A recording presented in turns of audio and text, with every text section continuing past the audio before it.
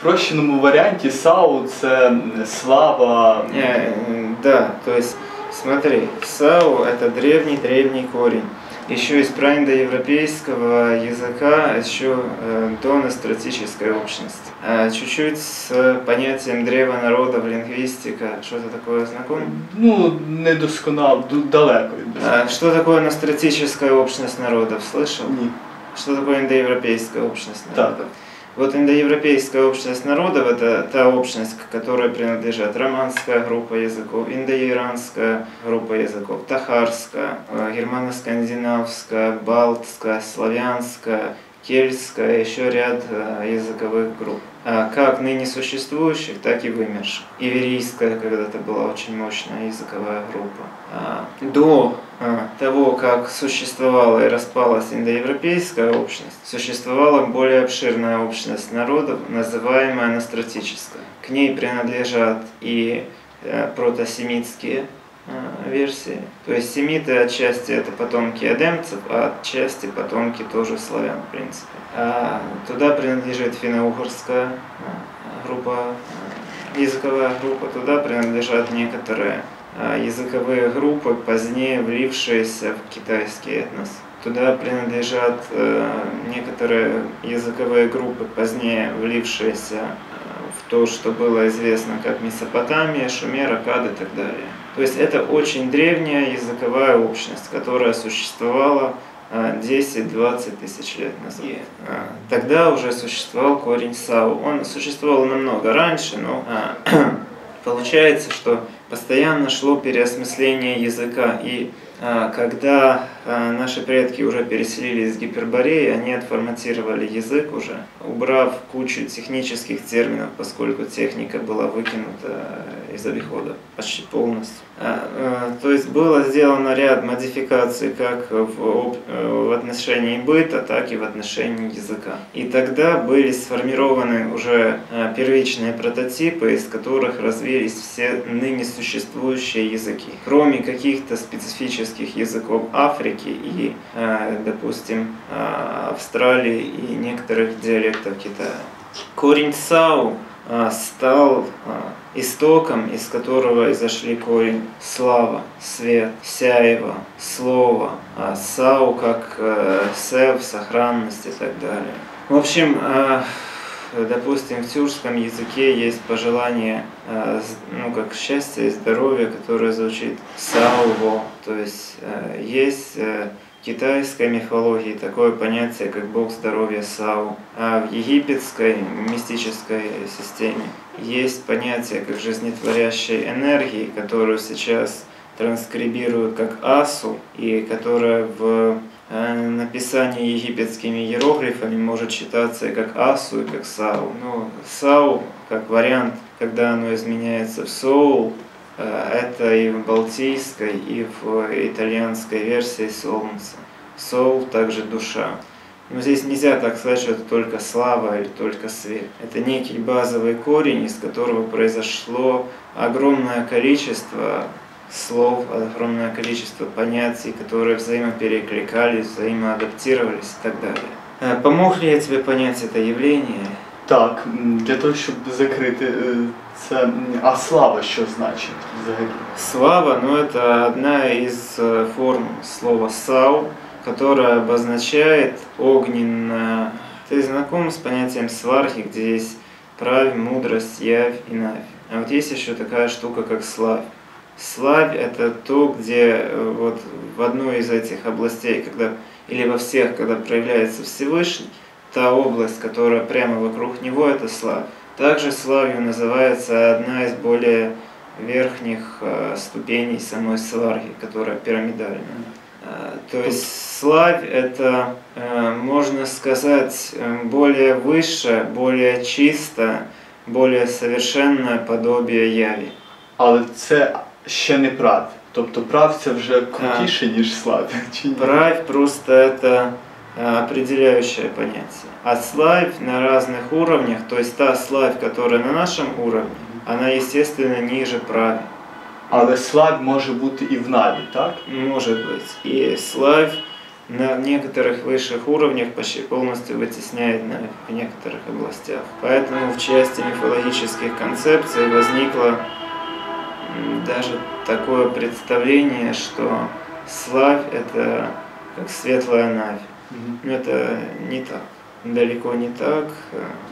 Це якесь сяйво навколо да. Это вот непосредственная энергия Всевышнего или непосредственная энергия каждого из нас. Когда э, мы говорим, что мы кого-то прославляем, это значит, что мы вот своей сутью, своей как бы soul, внутренней духовной энергией направляемся ко Всевышнему, mm-hmm.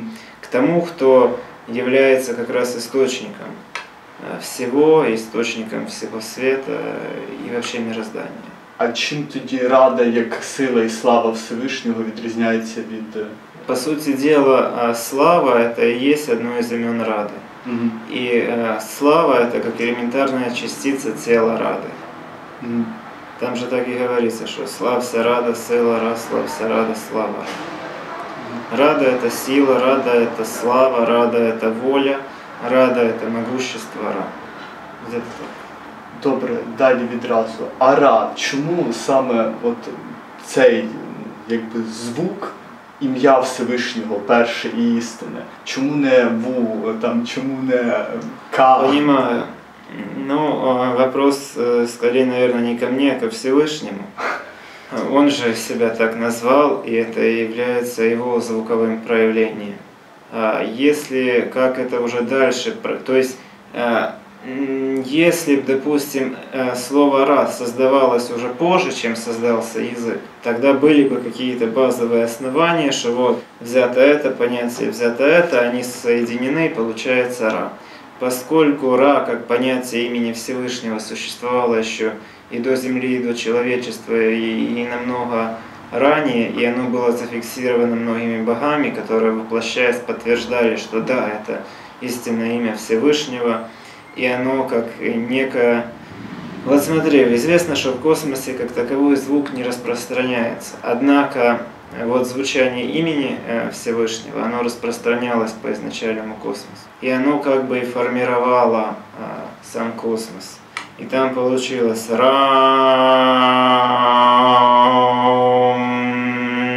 То есть как бы ра, а из него исходил постепенно звук аум.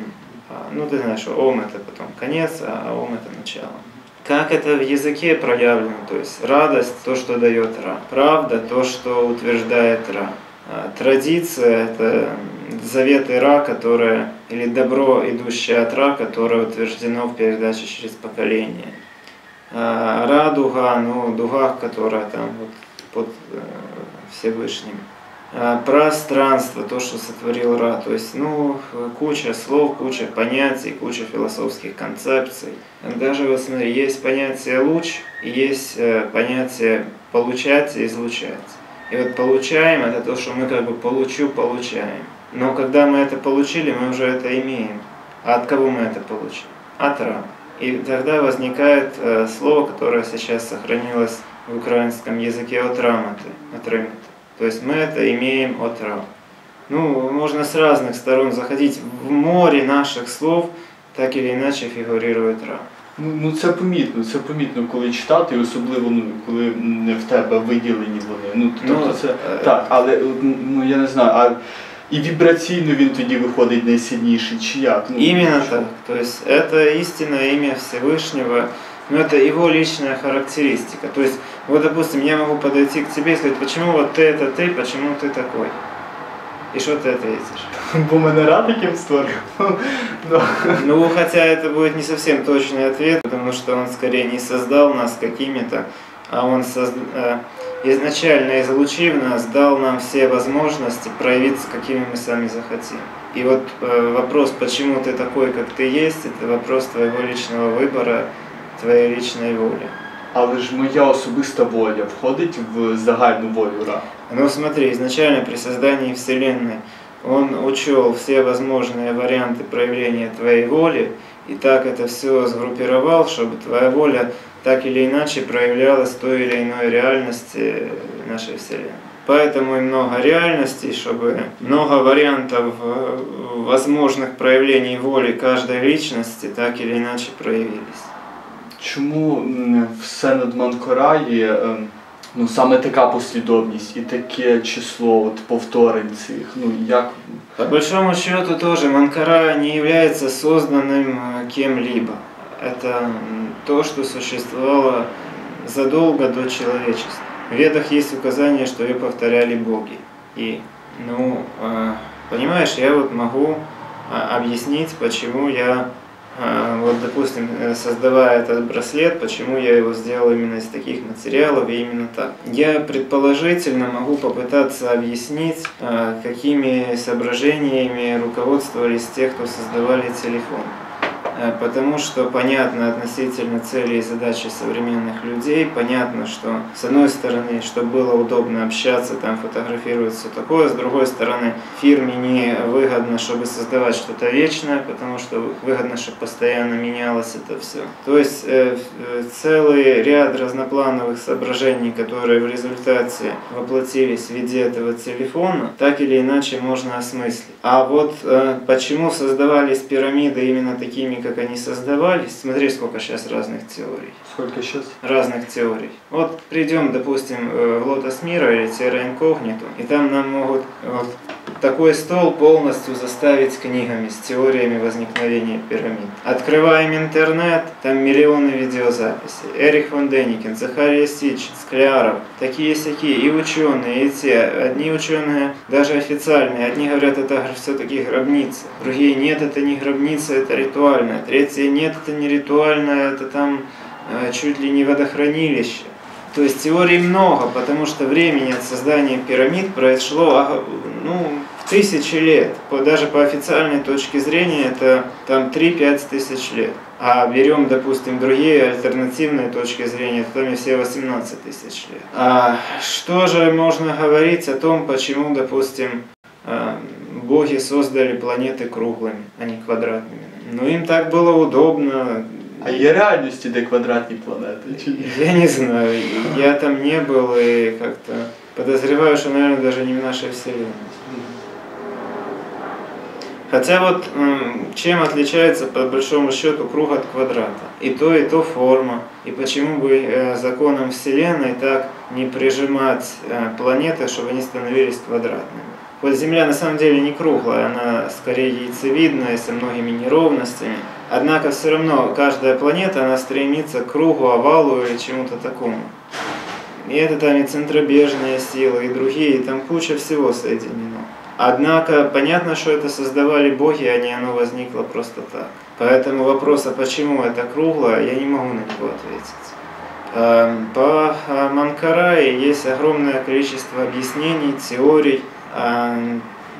Я считаю, что если где-то в получениях Саагаста сам Всевышний конкретно дает четкое объяснение, в получениях Саагаста я читал несколько э, вскользь объяснений самого Саагаста относительно э, настроя и смыслового значения именно такой последовательности. Однако все равно э, я подозреваю, что где-то там должно быть и более детально. Но у меня на данный момент нету, или же это еще в непереведенном состоянии где-то, что я даже не знаю, что оно у меня есть. А Наиболее честным ответом будет, а, что вот это есть как некая данность, как гравитация, как эм, э, форма планет, как э, распространение света, потому что это древнее нас. И почему э, Рада перед Ра? Э, Потому что э, даже в нашей жизни мы вначале видим свет Солнца, а потом уже само Солнце. И вначале идет проявление э, силы Всевышнего, а потом уже проявляется сам Всевышний. Это очень хорошо отображено и в славянских, и в индийских концепциях. В индийской концепции есть э, даже некоторые имена, которые звучат как Лакшми Нараяна. Лакшми – это имя Рады, Нараяна – имя Ра. Э, Уточнение, что Вышний и Всевышний – это тоже очень важное уточнение, потому что э, есть э, много богов, людей и существ, которые являются верховными в той или иной области бытия. И вот уточнение Вышний, Всевышний, я считаю чрезвычайно важно. Оно уточняет, что выше Ра нет никого. А в Санманкарае есть ряд дополнительных всяких значений, смыслов, и это можно, я считаю, нужно дальше все разбирать, изучать. Может, по ходу а, и тексты брать на помощь, может, по ходу и а, лучше все это с разных сторон заново перечитывать. Я буду только рад в этом направлении двигаться. Однако, ну, по факту это так, как есть. И э, спорить с этим, допустим, я не считаю, что вообще есть какой-то смысл.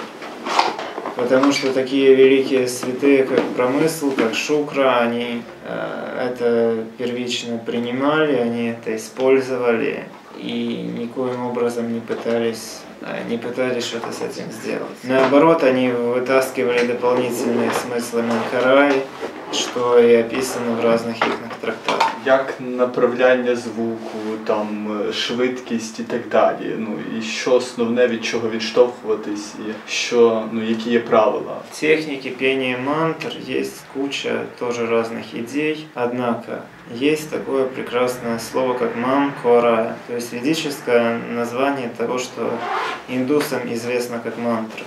Разбираем это слово, из чего оно состоит. Может, ты знаешь разбив? Ман – человек ум, ко – направление к, э, рая, ну, ра. Раяна. Я направляюсь до Всевышнего. Ну, где-то так. То есть идея Манкарая направиться ко Всевышнему. Поэтому все, что нам помогает это сделать, приемлемо, нужно и необходимо. Все, что нас так или иначе отдаляет, и, допустим, мы уже обращаем внимание на наше дыхание, а не на повторение. Соответственно, это надо что-то с этим делать. То есть выкид. И все-таки исполнять первостепенную задачу. Направление сознания экрана. А, конечно, когда уже человек освоил, допустим, человек повторяет Манкара 18 кругов, то есть он создал некий для себя удобный алгоритм повторения Манкара, ему это уже просто, легко, и когда он берет четки, он уже включается в то состояние, когда он повторяет, все с этим хорошо. Тогда возникает целесообразность уже совершенствовать процесс. Совершенствовать как? Совершенствовать дыхание, чтобы дыхание также помогало распространить силу Манкарай к каждой клетке, к каждой потенциальной искре нашего тела. А дальше возникает целесообразность полностью э, настроить свой ум э, и сознание так, чтобы это тоже не просто ты вот уже думаешь и направляешься к Ра, а повторяешь слава Ра и в сознании вспоминаешь, как огненный творец Сварок творил миры как из него излетались искры, как он создавал из вселенского огня галактики и кучу-кучу всего.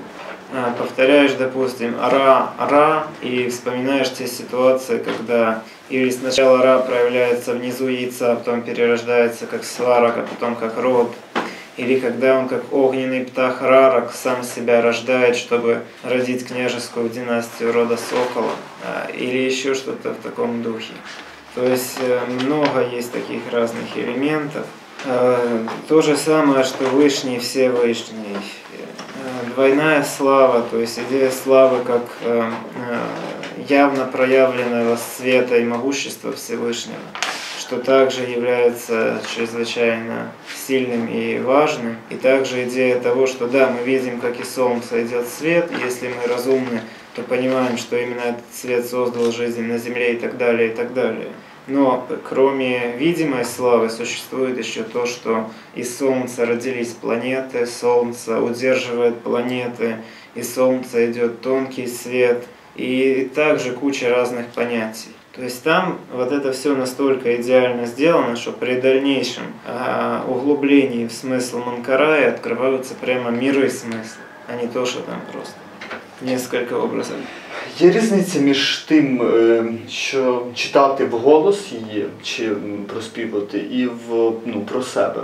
Про тебе там не сказано, це перше. Ну, про себе маю на увазі. Я розумію, що ти маєш на виду, і хочу уточнити. Задача направить наше сознание к В нашем сознании на разных орбитах мышления а, крутится куча мыслей. Вот ты на что-то смотришь, у тебя эта мысль крутится. Ты что-то слышишь, у тебя эта мысль крутится. А рука до чего-то дотрахивается, и ощущение даже твоего седалища, которое сидит на стуле, все равно это одна из мыслей, которая там у тебя крутится. А То есть все, что нас окружает, а, оно отвлекает нас от процесса направления сознания к Выход из этого какой? Все это согласовать с направлением сознания к То есть а, когда мы направляемся мыслью, то в это же время голосом мы повторяем звук и сознание, рот, ну, речевой аппарат и ухо возвращается, опять сознание. Получается, дважды оно а, проходит через наше восприятие. Четкие, которые у нас уже ассоциируются. То есть э, вот э, психологи современные, они заметили то, что э, если человека, вот ребенка, родители сильно изобьют во время какой-то телепередачи или во время чего-то, или это может быть связано там как-то косвенно с каким-то изображением или чем, вероятно развитие негативного восприятия. То есть ребенок будет связывать состояние своей избитости, моральной там, и другой подавленности с тем, что в это время звучало или что он перед этим ел или как-то так. Не всегда это срабатывает, однако иногда бывает такое явление. Поэтому, когда мы повторяем на четках, то э, если это не эпизодическое повторение, вот если, допустим, 24 круга, вот на данный момент я э, в районе 24-27 кругов в день это исполняю. Э, хотя бывают выбоины, и вот сейчас во время киевского похода у меня два дня были по одному кругу все же. Это потому, что в эти дни получается общение, встреча, общение, Э, съемки в одной из передач интересных, э, потом там еще действия, можно сказать, интеллектуальная война с врагами проповеди. И э, как бы день только такой начинался где-то с 6 и заканчивался под 2 часа ночи. А плюс мне же надо все-таки посмотреть, что у меня ВКонтакте, плюс мне надо все-таки омыться, так как тело, естественно, не самого себя омывает. Ну, где-то так. И надо позвонить тоже вот все это дело, и вам позвонить, и еще там Андрею и другим. И с теми же поросятами созвониться, когда они дальше будут с меня кровь пить. Поэтому почти все время уходило на это. Однако, учитывая то, что я повторяю Манкарай уже э, больше 13 лет, и ну, я привык к этому процессу, то каждый раз, когда я беру э, четки в руки, уже срабатывает ассоциативное воспоминание. Плюс, когда мы во время манкарая зажигаем благовоние, это также сам. И смотри, что у нас получилось. Плюс часто еще э, я это делаю с помощью заставки, допустим, на компьютере, э, заставки на телефоне. Видишь, какая у меня на телефоне заставка?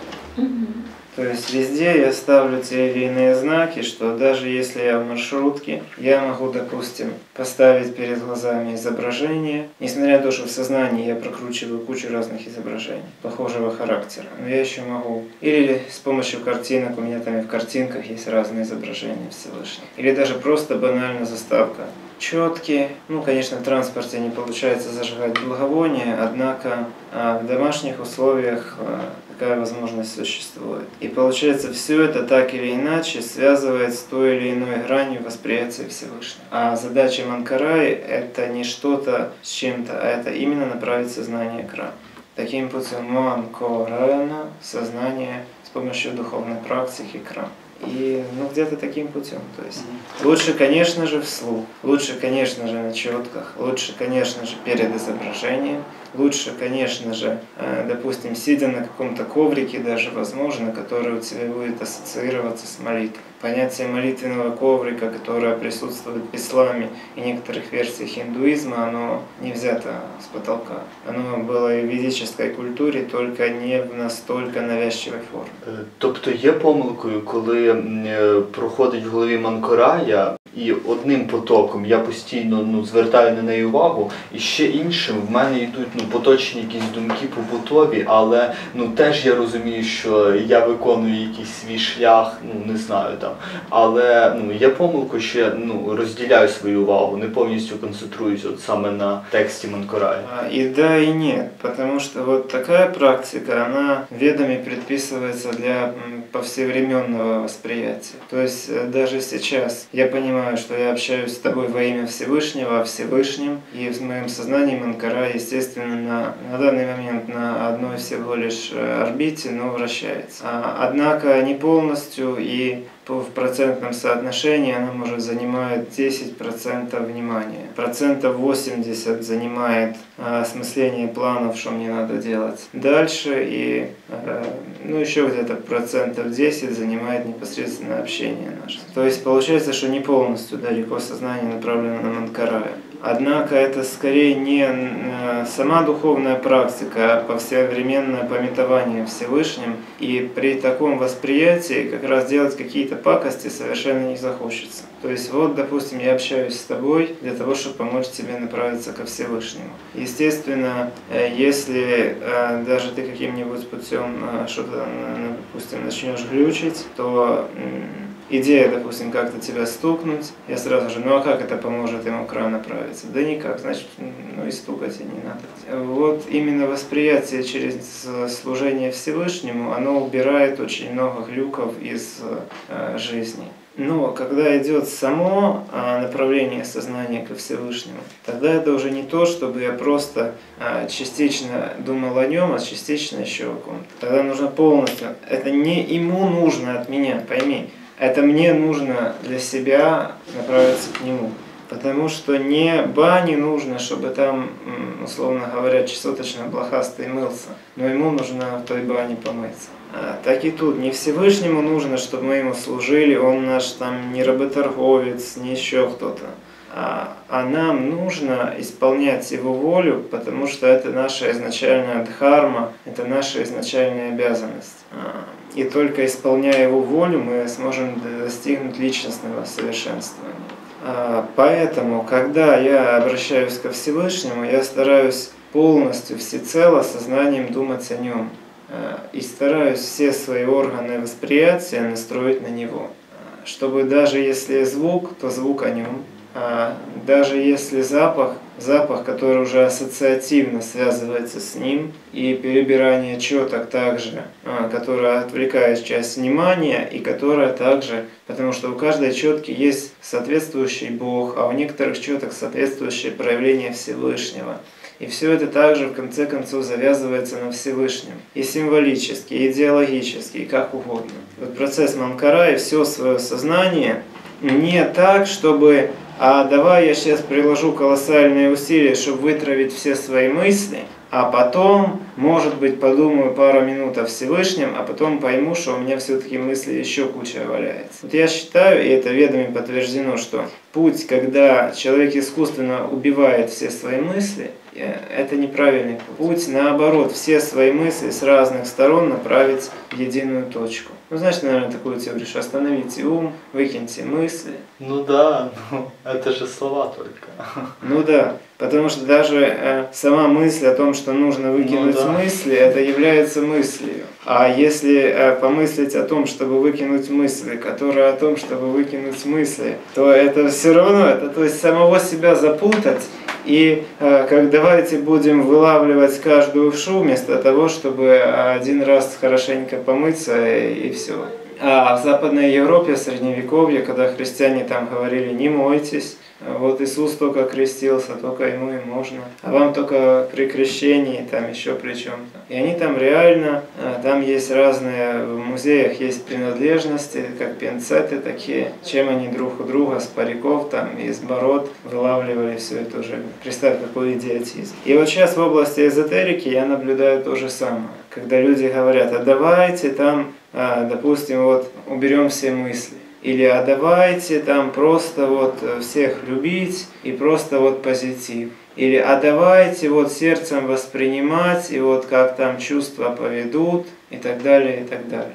Хотя при этом вопрос на самом деле важный, но а, сейчас воспринимается по-идиотски, когда а, я многим эзотерикам задаю простой вопрос, что важнее, что главнее, голова или сердце. Потому что многие эзотерики говорят, вот ум, он плохой. Ум это вообще чуть ли не от рептилоидов, гуманоидов, чертей. Вот как-то он случайно попал к людям, его надо выкинуть. Тебе это как-то удивительно, однако есть такие конкретные эзотерики, которые говорят, что ум это очень плохо. Очень плохо. Но это хуже, чем дух, ну, как бы не такой идеальный Ну, ум это всего лишь один из наших органов. И я им говорю, э, задаю простой вопрос. Что главнее, голова или сердце? Они, конечно, сердце. Головой думают рептилоиды, а вот сердцем мы чувствуем. Хотя на самом деле этот вопрос даже не вопрос. Потому что что главнее, уже в слове самом ну, ответ дан на этот вопрос. В нашем языке вообще даны все основные философские концепции мировосприятия. И э, я на самом деле не могу что-то придумать новое, чтобы оно как-то э, вот э, сказать, что, а знаете, а древние ошибались, а вот оно так, а так. И, собственно, опыт рахманской традиции, здравомыслия, и что бы сюда не привлекать, все сводится на том, что э, ум, он намного выше, чем просто эмоциональное восприятие.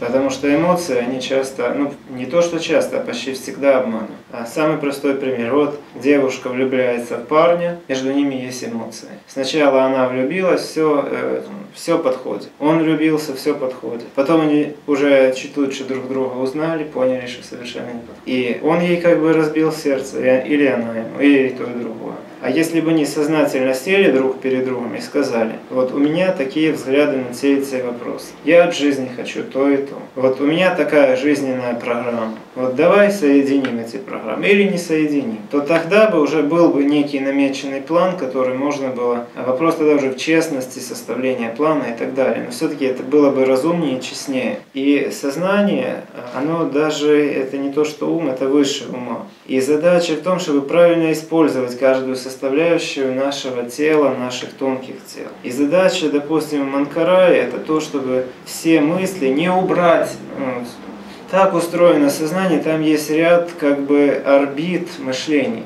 А есть э, текст Веда устройства сведомости, где описывается, что э, вот, ну, непосредственно мое сознание можно сравнить с Солнцем. Ну, сознание каждого человека вокруг которого идут орбиты. На каждой из орбит вращаются мысли. Князь Кый э, развил в полной функциональности 180 орбит мышления. А сейчас у среднестатистического человека работают 2-3. Но при этом только одна может достигнуть максимальной функциональности, что также редко бывает. Часто при общении с человеком э, начинаем за Ивана, а заканчиваем за барана, образно говоря. То есть человек при общении или что-то заметил и сразу туда переключился.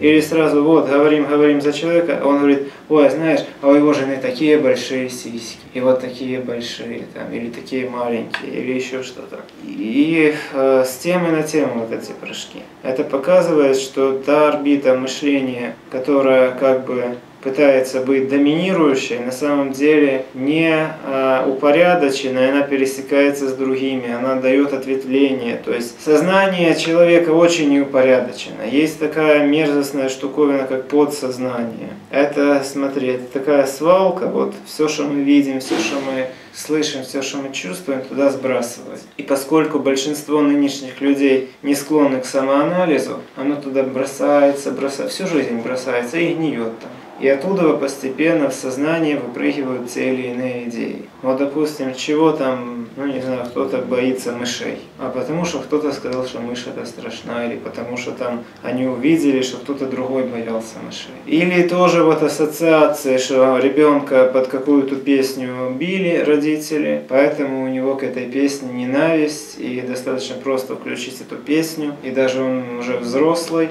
будет испытывать какие-то негативные эмоции, там, или заплачет, или, допустим, под какую-то песню он расставался с девушкой, или по, как при, допустим, при дожде умирали родители, и вот каждый раз, как дождь идет, этот человек может задумываться, а вот они умерли, а как им там в гробу лежится, а может принесем на гроб, положим там кусочек хлеба, колбаски, водочки. Идиотизм, но людей такое посещает. А що значить ну, взагалі направити свою свідомість До Ра? Тобто, ну я не знаю, як це там, якимись такими словами злитись з ним, ще щось таке. Ну нічого не означає. Слиться, смотри, слиться с ним ты не можешь. Потому что ты есть ты, а он есть он. Ну так. А слиться энергетическими полями, вот это да. Но при этом все равно ты остаешься с собой, а он остается с собой, просто как бы между вами устанавливается контакт. Символически в ведах это изображалось так, что сначала как ладонь чего нельзя делать, ладонь чего нужно делать. И также другая идея этого всего, что вот как с разных пальцев, это как разные мысли, как с разных сторон мы начинаем осмыслять, и в конце концов это все складывается в единое направление. То есть, допустим, ты повторяешь и это слышишь. Ты чувствуешь на четках памяти сразу восстанавливается повторение и твои мысли при предыдущих повторениях. Слышишь запах так же самое, видишь изображение так же самое. И постепенно все твое сознание, хоть как бы оно и получает информацию с разных источников, но информация о одном, и это все сходится в одну точку в конце концов. Так, а, а що вона значить, ну, направити свою И вот смотри, и вот из этой точки осуществляется как бы такой э, квантовый скачок, условно говоря, когда ты направляешься ко Всевышнему. Когда вот осуществляется непосредственный контакт со Всевышним. І він що? Ну, що він дає, як він міняє? Ну, может и не дает, может и не меняет, но а, ос- устанавливается непосредственный канал четкого и ясного обмена информацией. Тобто я розумію тоді його волю. Ты абсолютно четко понимаешь э, не то, что э, общую какую-то концепцию его воли, а понимаешь ее э, в прикладном понимании буквально до того, там э, э, нажимать такую кнопку на клавиатуре или другую при каком-то процессе. То есть полностью ст- э, становится еще яснее. При, при этом, при каждом вот таком контакте со Всевышним, сознание прочищается. То есть чем ты будешь чаще это делать, чем тем сильнее твое сознание будет очищаться, тем сильнее твое сознание будет структурироваться, будут упорядочиваться. И сейчас,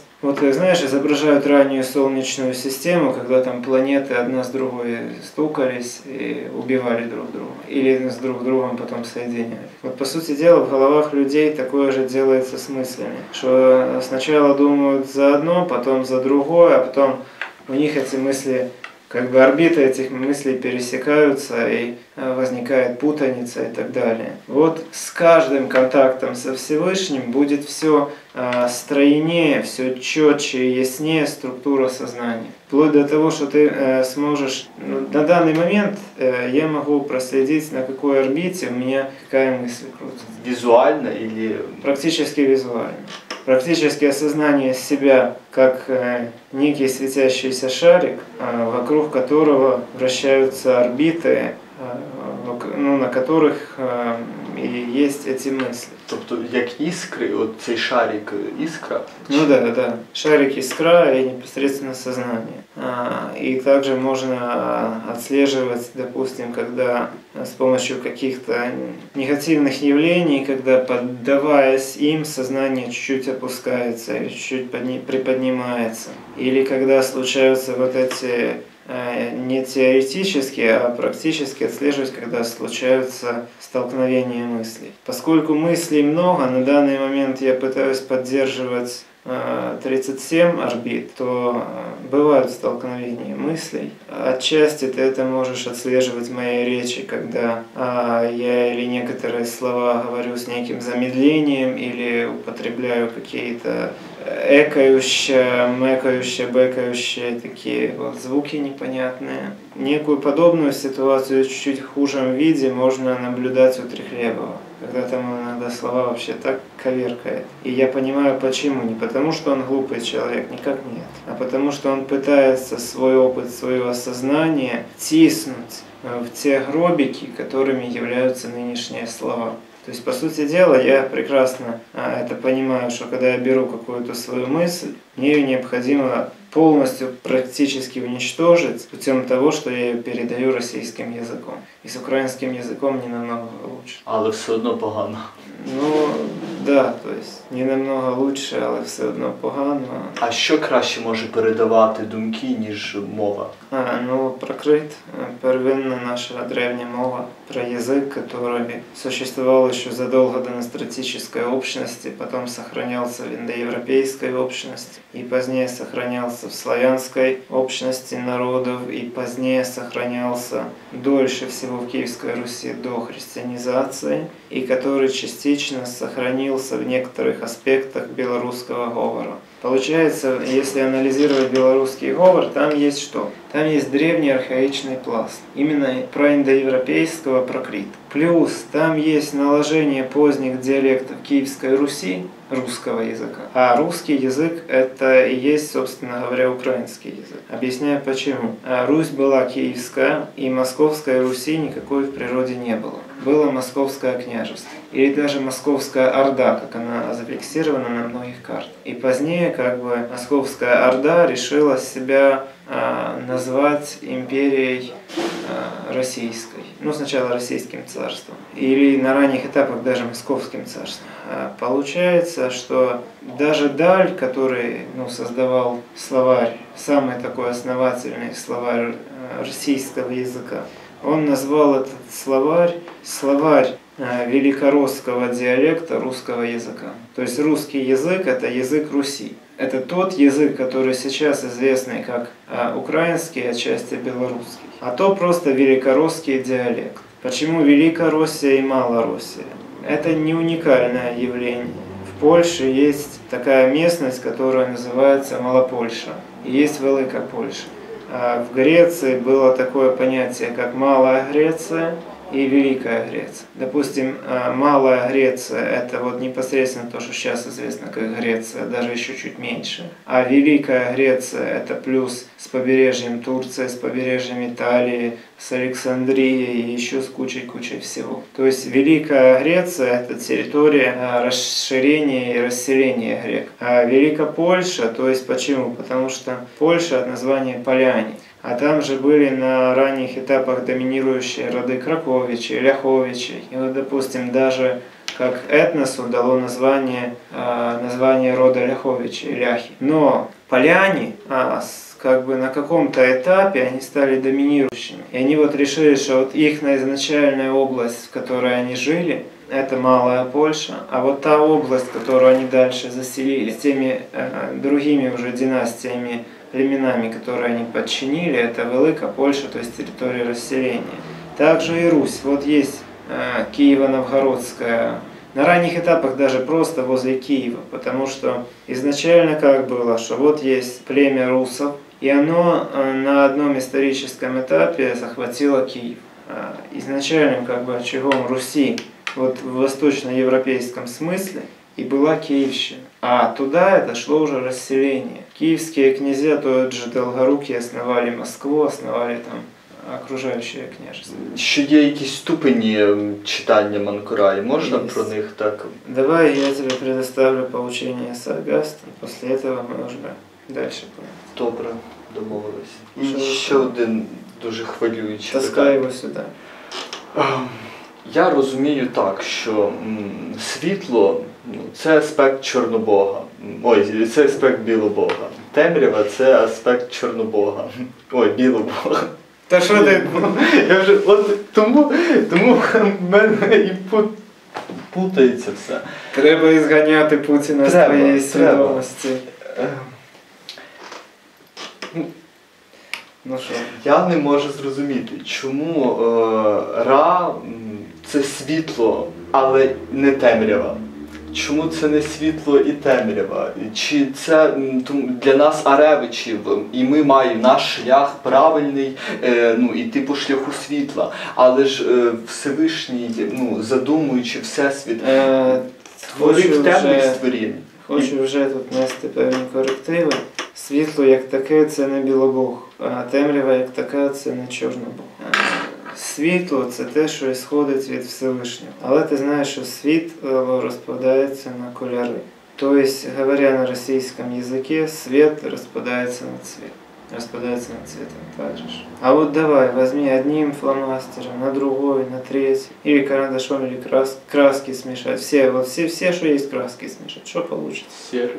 Как бы при наложении конце концов получится тьма. То есть и тьма это как множественное наложение, смешение всего со всем. Это такая идея.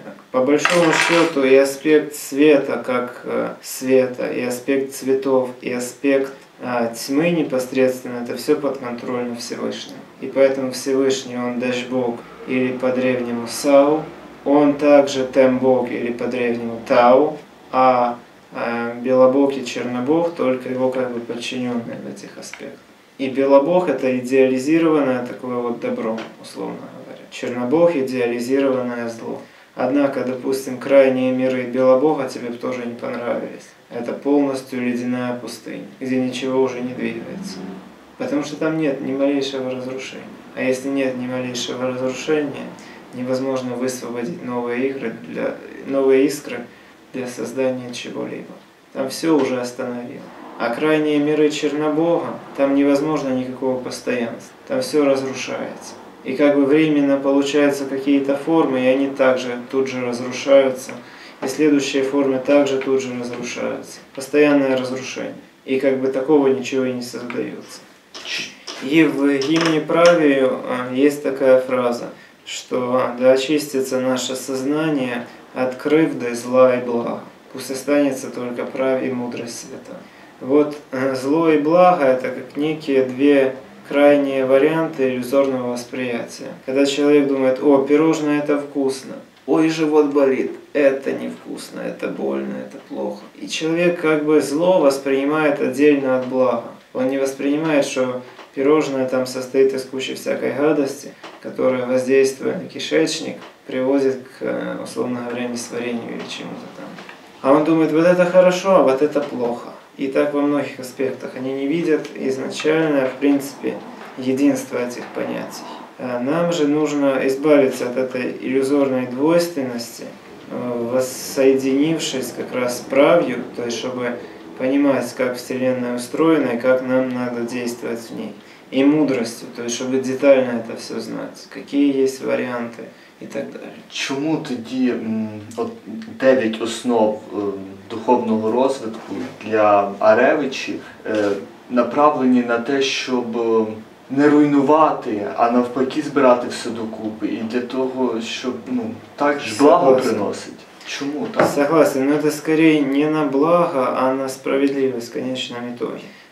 Запрет причинения вреда, он звучит как запрет причинения необоснованного вреда. Если какой-то враг угрожает нашей Родине, то, как действовал, допустим, Владислав Тепеш, это самый прекрасный вариант. Ну, ты знаешь историю про Владислава Тепеш? То який Дракулович? Да, именно он.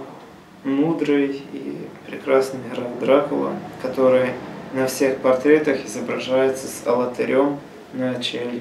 То есть он как? Он турков пугал некими такими ассоциациями с вампиризмом, с жестокостью, с колосажательством. Его, допустим, называют тепеш или цепеш, что означает колосажатель. И турки просто, когда приближались потом уже к границам Валахии, они испытывали страх, что здесь вот такой э, зверюга, который вот столько... И вот турецкая армия идет, и тут видит на колах куча их братьев в таких же доспехах, как они, ужасно изуродованные, головы в одних местах, руки в других местах, тело на э, кольях навешано. Получается, что если бы он этого не делал, то турецкая армия прошла бы дальше, и было бы массовое столкновение с местной армией. И получается, что умерло бы намного больше людей. То есть причинив зверство к, э, условно говоря, сотни людей, он спасал жизни тысяч людей, если не миллион, и спасал свою родину от захватчиков.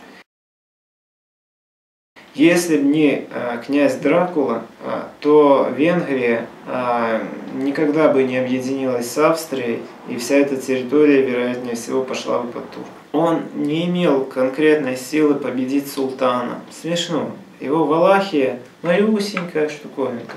А Османская империя – это Турция, это Греция. Она захватила Средиземноморье, захватила Египет. Это мощная империя. Даже России было всегда тяжело бороться с Османской империей. Ну, как моська против слона. Влад э, Дракула против Османской империи. И смотри, ведь эта моська устояла. И слон, увидев эту моську, поворачивался и бежал. То есть, получается, его действия были абсолютно канонично обоснованы. Он причинял ужасающий вред ради потенциального блага своей отчизны. И так и по другим аспектам. Вот, допустим, для паразитов очень невыгодно, чтобы мы были разумными. Если мы развиваем сознание, сразу паразиты сдыхают с голоду рядом с нами. То есть это получается не абсолютное благо. Если ты следуешь абсолютному благу, ты себя приносишь и говоришь, паразиты, жрите меня, я сдаюсь. Так? Ну так, і для того, щоб в кінці кінців принести благо. То я не розумію просто, чому в каноні... Не совсем, смотри, не то, чтобы в конце концов принести благо, а чтобы дать нам некую возможность создать удобную для нас атмосферу, из которой мы, находясь в которой мы потом откажемся и от блага как такового, отказавшись предварительно от крывда и зла, и направимся как раз к праве и истине. А в индуизме есть такое прекрасное понятие дхарма, артха, кама, мокша. Дхарма – исполнение предписанных обязательств, а артха – получаемое как бы изобилие, а кама – услаждение каких-то своих желаний и мокша – освобождение. Это концепция, а, согласно которой нужно следовать наставлениям вед для того, чтобы иметь достаток, с помощью которого можно а, исполнить все свои желания и после этого направившись уже в духовный мир. Потому что вот как, бывают люди, которые говорят, ну да, вот такая колбаса, она нехорошая, а вот есть же все-таки где-то вкусная колбаса, вот ее поедим, а потом уж подумаем. И вот эта колбаса вредная, что в супермаркете, а ведь есть домашняя колбаса, она безвредная. Или, допустим, да, вот так вот, э, ну ничего не интересного в таких обычных женщинах. Однако есть там особо качественные какие-то проститутки, которые могут так возбудить, что мертвец встанет на них посмотреть. Ну и дальше там уже. То есть часто люди э, считают, э, что э, они просто чего-то еще не получили, что вот это идеальное где-то все-таки есть. И если им дать попробовать все виды колбасы там, или принести всех проституток и сказать, ну что, получили счастье? Они скажут, да нет, конечно же, нету здесь счастья. Вот как многие те, которые снизу поднимаются, почему вот э, во времена Советского Союза, да и сейчас, культивируется не э, образ элиты, вот такой, как она должна быть, шляхетной, достойной, а элиты, как скорее бандюков неких, которые просто захватили власть, и там, вот смотри, тот же золотой унитаз, ну, Януковича, вот это его межегорье. Это понятно, князь бы такое не делал. Я внимательно смотрел репортажи про его это межегорье, и понятно, что это, ну, очень низкого такого уровня ума человека в конце. И его биография, это вор, который воровал шапки, там,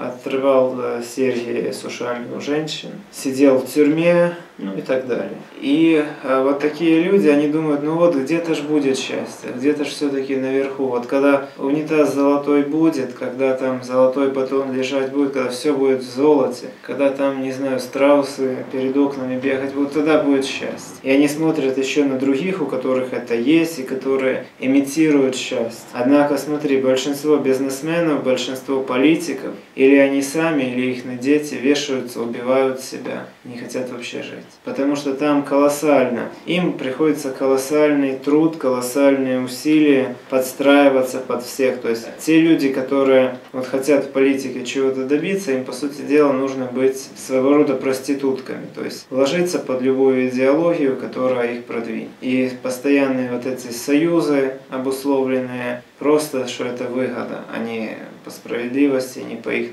личной идеологии. А все это потому, что есть какая-то а, такая вот а, надежда все-таки на что-то, что будет в конце, и они имитируют счастье, они имитируют благополучие. А те, кто внизу, они думают, так э, вот это счастливы, вот по-настоящему, вот надо такими же стать и будем счастливы. А, поэтому вот идея Дхарма Артха Кама Мокша, она говорит, что сначала вот исполняйте ведические законы, просто чтобы гармонизовать быт. Будет гармоничен быт, а в меру своих усилий каждый сможет получить плоды своей деятельности. Ввиду чего усладить все свои желания, понять их бессмысленность и направиться дальше. Мокша, освобождение. А коли розумієш безглуздість всіх бажань, тоді що, йдеш в гори і ну, покидаєш тіло? Ну, может быть, не в горы. Почему? Потому что ты родился. У тебя есть обязанности, во-первых, перед родом, в котором ты родился. У тебя есть обязанности перед землей, на которой ты родился. А поскольку тебе родители не передали никаких знаний, а ты хочешь изучать их, допустим, из источников рахманской традиции, то у тебя возникают обязанности перед э, рахманской традицией в лице Раяна Правеслава, который передал мне знания, и непосредственно передо мной по передаче этих знаний и так далее. То есть не все все-таки так просто. Где-то так. І перед батьками є обов'язаність. Конечно, ну перед родом. Перед родом. А перед родителями, да, родители родили, и то есть Віддати им нужно Богу. отплатить так или иначе.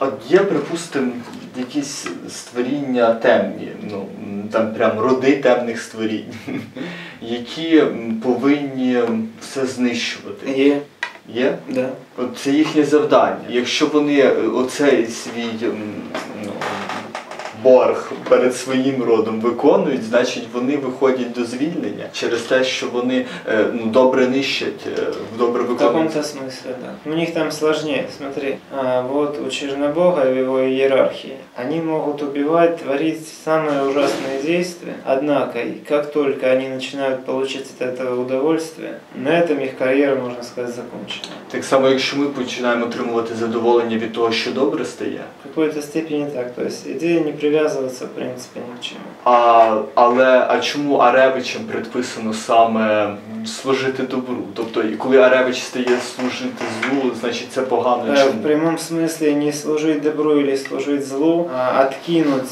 добро и зло как а, обоюдоострую иллюзию и направиться путем правил. С временными использованиями как добра, так и зла. А Ревичи это непосредственно народ правил. Не добра. Добра это белобожичье изначально. Нам потрібно і зло робити, і добро. Но р- делать это все справедливо, не так, что, а вот сейчас я тебе наделаю добра, которое тебе нафиг не надо, а потом наделаю зла, да, типа для гармонии, которая также тебе не заслужена, и никак, и не вообще ни зачем. А гармонично, то есть вот те же девять основ. А, Когда мы, э, получается, не, не делаем, с одной стороны, не причиняем вреда кому не надо, но а, во имя высшей цели можем жесточайшим образом обходиться с какими-то индивидами. Допустим, в княжестве князя Анта за воровство и руки рубали, и просто руки жарили в буквальном смысле. Там было такое законодательство, что просто а, через, э, по-моему, 20 лет а, стала проблема, что а, на показательных казнях не было кого казнить. Князь Ант специально а, пошел потом на Ольвию и взял оттуда несколько греческих преступников. Своих уже не было. Никто не хотел делать преступления, понимаешь? Если ты будешь знать, что э, за воровство 人を там э, руку засунут в печь, и она будет сама сгорать, а ты будешь все это чувствовать, то нафиг ни еда, ничего не надо уже вообще. Ну але тоді все побудовано на страху, а не усвідомленні ну, того, що це приносить шкоду іншим і що це служить для задоволення власних відчуттів. Ну и так и не так. С одной стороны, князь Ант это делал, и получается, да, это построено на страхе. С другой стороны, князь Ант вел и мощную идеологическую кампанию. И как бы, если бы не князь Ант, деградация на Руси началась бы а, намного раньше, 1500 лет раньше. Получается, вот эти глубинные сознательные и подсознательные устои, а, которыми а, наши предки руководились, отчасти даже до недавних пор, это заслуга князя Анта. Он это с одной стороны вбивал на уровне страха, с другой стороны вбивал на уровне поощрения тех, кто праведно действовали, с третьей стороны а, добровольно-принудительно проводил занятия. То есть, э, в принципе, нам вот сейчас нужен такой князь. А що, ну чи правильно я розумію, що м, Аревичі служать е, безпосередньо праві і мудрості, тобто обходячи ілюзії, праві, Е, праві, е, обходячи ілюзорних Чорнобога і Білобога, то в якісь моменти історичні, коли потрібно ну. Не упорядковувати всесвіт, а руйнувати його, вони можуть повністю зайняти позицію тих, хто ну буде руйнувати і в цьому бачити ну волю Всевишнього. Ну, не то, чтобы занять их позицию, позицию выше, которая... Ну так, але діяльність туди направляти з усвідомленням вищого ну порядку і волі, кажу ж Всевишнього. Ну, щось таке. Ну, не совсем так. То есть, смотри, всегда разрушителей хватает. И проблема в том, что, чтобы разрушать, много ума не надо. Всегда на Земле справлялись Безаревич. То какая-то падла а, с соседних планет прилазила, то тут какая-то падаль заводилась. То есть, всегда справлялись. То вот с Луны свалились чертенята. Все с этим хорошо. Поэтому нам самим еще... Ну да, есть такой интересный эпизод, правда, это Великая Межебожная война. Когда, по сути дела, два э, клана Аревичи свели в э, всеземной войне все народы. И когда была уничтожена большая часть вообще людей. Це 36 тисяч років назад почалось чи? Нет, это война Дьевича и Виевича 7-5 тысяч. Ага. А 36 это промысл с князем тьмы. Мгм, мгм. Там тоже зверюга такая страшная была. Е, Так що страшні, страшнішої звірюги за нього не буде, так вже до кінця цього всесвіту. Посмотрим. Невідомо. Ну, как бы, сейчас кто? Сейчас нету такого. За все 36 тысяч лет, на- а, что прошли, тот же Равана или тот же князь Данова, который 16 тысяч лет назад бесился, они ни- никакие в сравнении с ним. К примеру, представим, что она будет читать. Представим, что вот в точности, как я ее проинструктирую, она будет исполнять. Потому что у нее желание избавиться от живота, при этом питаясь так, как она питается, есть. Она говорила, что она там готова молиться, готова поститься, готова даже неделю не есть. А в нас може? Не- Ну, по крайней мере, она сказала, что готова. М. Неделю не есть. Понимаете, неделю. Это подвиг прямо такой. М. Неделю она есть не будет, это все. И живот уходи, так сказать. Поэтому я думаю, что она может даже, если я ей дам какое-то обращение, может быть, она его и будет повторять. Но представьте себе, что если, ну, я не знаю, можно еще какую-то, по идее, э, придумать, э, вообще из какой-то другой переформатировать э, заклинание то, чтобы живот убирался Может быть, э, ну, даже если просто будет убираться, то тогда она станет аналогом черной дыры, которая будет жрать, жрать, жрать, жрать. Имея, допустим, э, на это деньги, она будет это делать, но как бы, І я собі уявила, Арі, що вона буде весь час сидіти на унітазі, ну и это... щоб живот пропадав. Ну, то есть это вообще не то. То есть, даже если с какой бы стороны эту мантру не создать, даже если, к примеру, и проблему с унитазом как-то ликвидировать, как составить заклинание, чтобы у нее жир исчезал куда-то там, не знаю, просто рассасывался, превращался в воздух. Но все равно, получается, она будет расходовать пищу, расходовать пищу, и для других будет примером, что можно жрать как трактор, и при этом э, живот будет уходить. То есть с какой бы стороны э, к этому не подойти, э, так как она хочет, это и нельзя, и этого нету, и даже если это придумать, то все равно лучше этого не придумать. Это первое, как бы, что мне потом, вот я с ней поговорил, я ей четко сказал, что нужно просто нормально питаться. И живот тогда сам не заведется. Потому что, ну, вы же понимаете, это точно, это так, и это Ну, я вже удостовірилася однозначно. дуже. Особливо, коли я перестала готувати. Дальше уже, когда я ушел и э, в транспорте это самое, я думаю, а вот если бы пришлось, вот как бы можно было бы такую мантру создать или такое заклинание создать? Мне вспомнилось заклинание насчет э, бородавы. Я понимаю, что можно там заменить несколько слов и как бы приделать его к животу, образно говоря. Но представьте, если у нее там, не знаю, об- вот так обрежется весь живот и останется голый Ну, з- позвоночник. Заклинання, і- і який принцип його дії? Ну, прямой. Стимулировать отпадение бородавок. Ну це ж теж воно е, де звертання до когось, чи як? Чи, Да. Ну, а до кого? Оно не обращается конкретно к какому-то из богов, оно обращается как бы к сонму богов, которые заведуют э, человеческим здоровьем.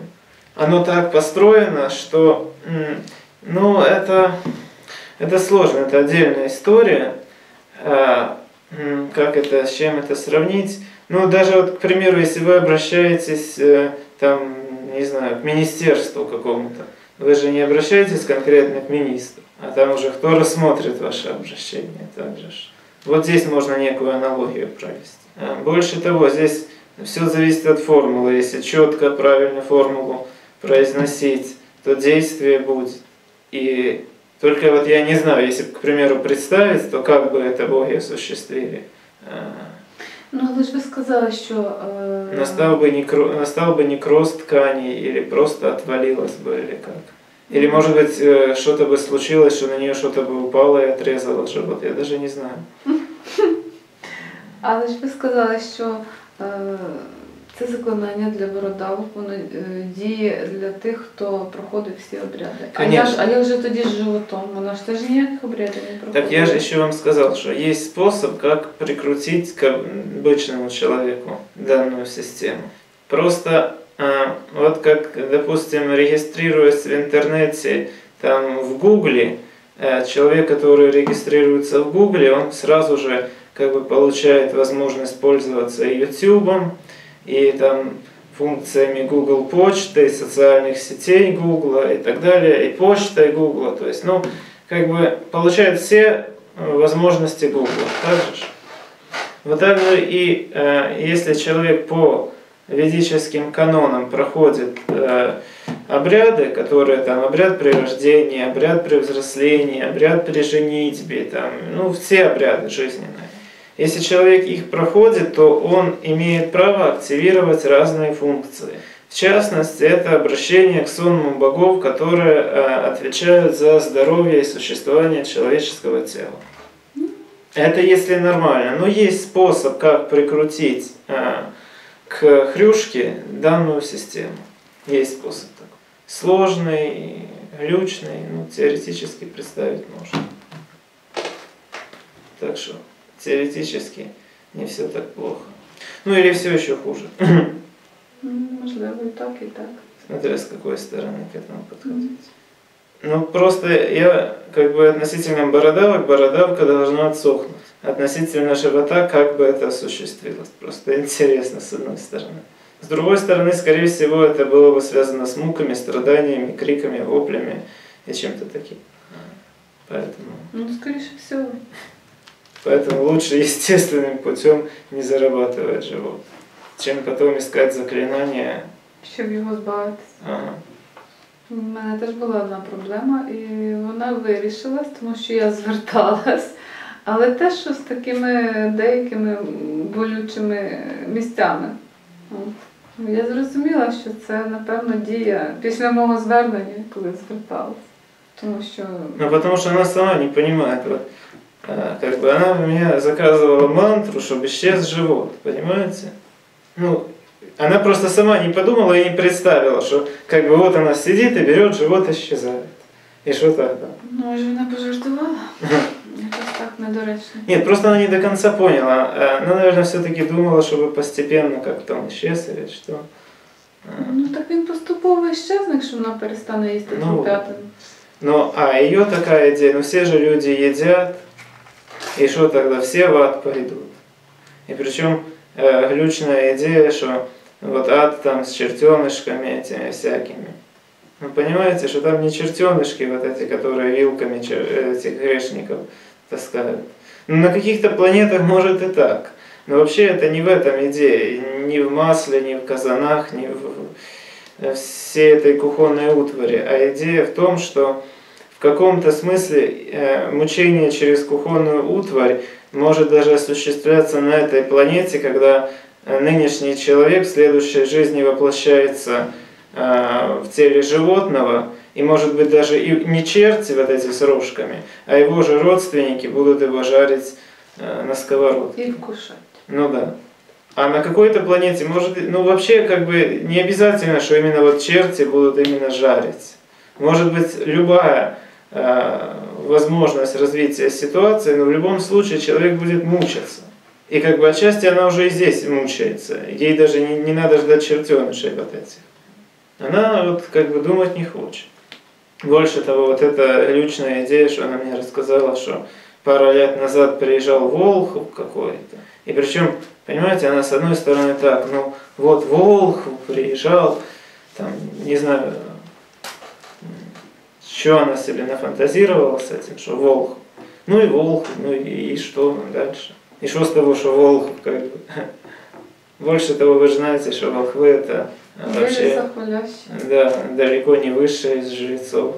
Да и к тому же, как бы, а проверила ли она, является ли это существо хотя бы волхвом или обычной хрюшкой, которая просто э, так называлась. Ведь она даже не проверила, является ли это волхвом, по сути дела. А с другой стороны, ну даже если и волхв, ну и что? Что она думала, что он ей за э, пару часов э, раскроет все тайны ведической традиции или что? А когда она такая говорит, что нет, вот она там послушала, но все это прошлое, все это уже неинтересно, сейчас уже новое время. То есть сама не поняла про что, сама не поняла о чем, и сама не поняла, что сама не поняла ничего, короче говоря. Поэтому вот во всех таких случаях я вижу, что главное исполнять э, наставление вед, девять основ духовного развития, наставление Аум Ар Аси, в частности, вот наставление Аум Ар Аси, какой людей мыслите, это, наверное, одно из самых вообще главных. Потому что большинство таких проблем из того, что люди не хотят мыслить. Как вот вы рассказываете, что дочка говорит, что телегония это уже раньше было. Это про, про, прошедший век. То есть, понимаете, она даже и не понимает, какую глупость она говорит. Какая телегония раньше была, кого с кем. Ведь телегония это биологический процесс, который осуществляется. Вот как э, она осуществляется сейчас там или в будущем, так она и осуществляется. Базовый закон, на ну, да. базируется все. Ну не все, но по крайней ну, мере аспект передачи генетичних образів. Іменно ну, іменно телегонія є багато інших законів, які іменно ну, да. на яких тримається життя. Да. А люди, во-первых, они э, не понимают, потому что современные государственные законы, они не основаны на Вселенной. И многие из них думают, а вот как в государстве были старые законы, стали новые, так и в природе, там, были старые законы, что вот должна быть семья, должно быть так вот все по Библии, а теперь новые законы, что там э, свободный секс, секс по дружбе, там жрем гамбургеры, издыхаем, э, так сказать, от радости. Хотя это тоже показывает, что они даже не, не думают и не понимают, насколько э, глючные глупости они воспроизводят. Поэтому возвращаемся все-таки к тому, что именно про богов вы хотите изучать. Допустим, побільше узнати про істин Бога Арію. Не узнати, а дізнатись. Дізнатись. Про Аріну, про богиню, про його спутницю. Супутницю, а не спутницю. Не треба суржикувати. Ну, так будемо старатися. Я просто що сейчас говорю российское для того, чтобы там россияне поняли, но все равно суржик он хуже еще российского языка. Вы же понимаете, почему суржик он хуже? Ну, звичайно. Почему? Тому що е, знищується правильна мова, знищується все, що основано на мові. Коли людина розмовляє, вона е, втрачає і коріння, і все, втрачає і розуміння, і не розуміє ці слова так, як потрібно. В принципе, правильно.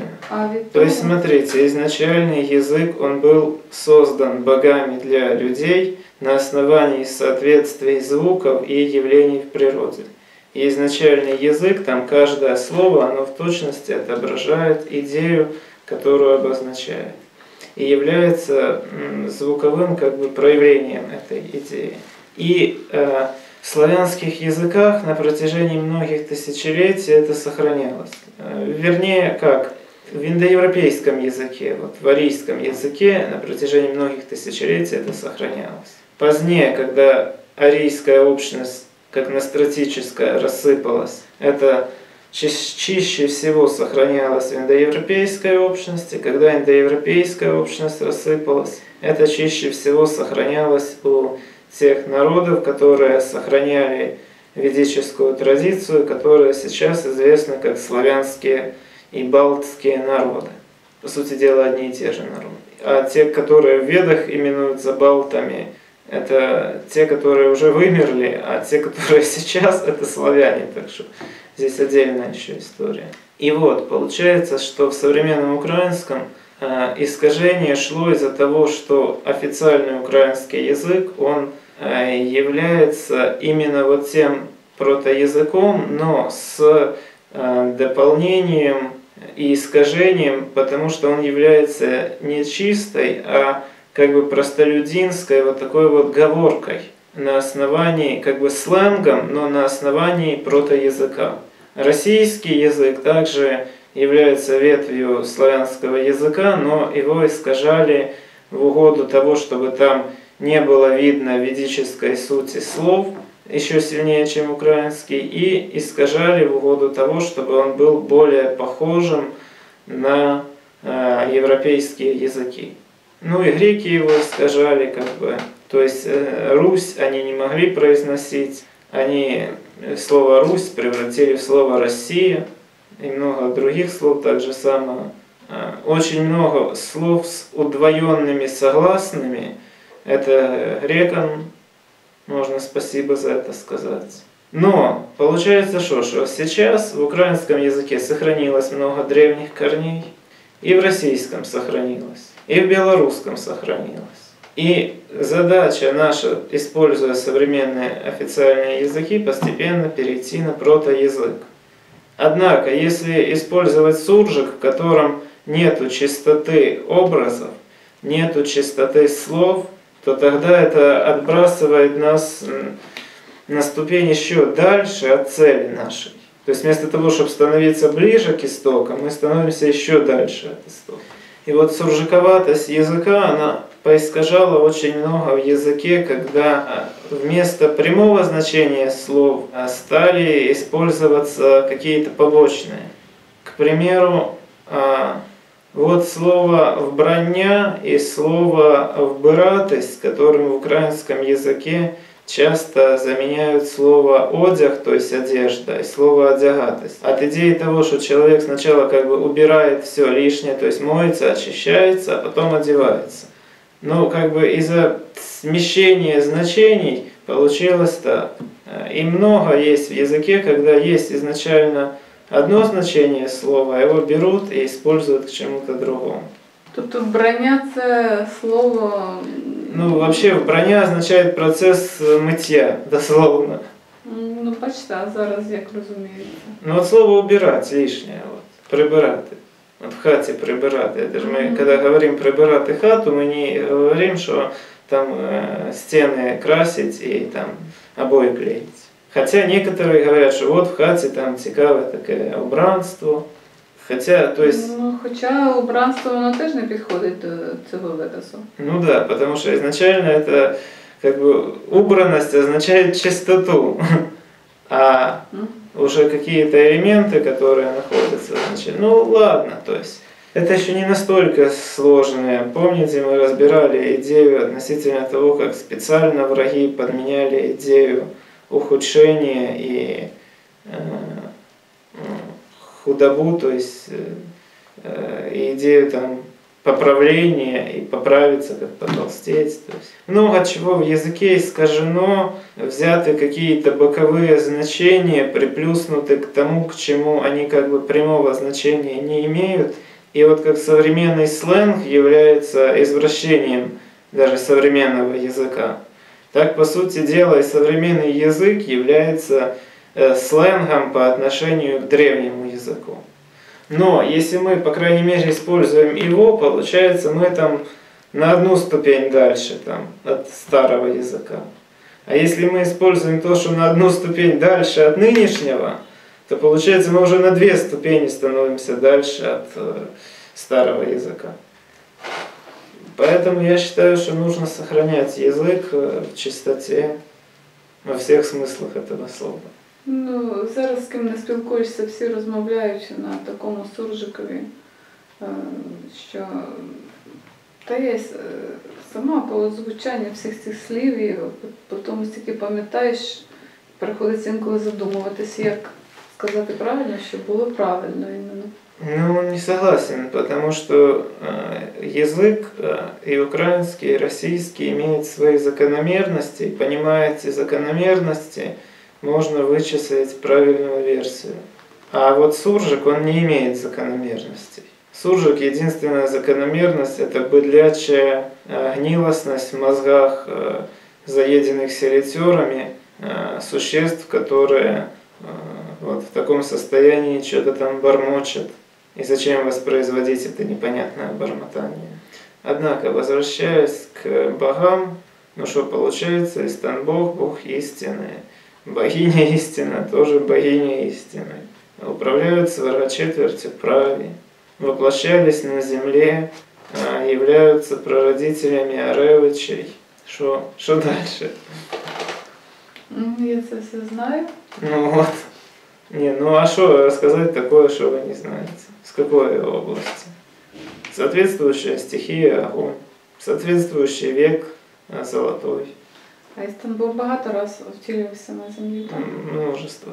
Много, многое множество. Ну, по сути дела, как надо, так сразу. А е, богиня Аріна це теж її сестра?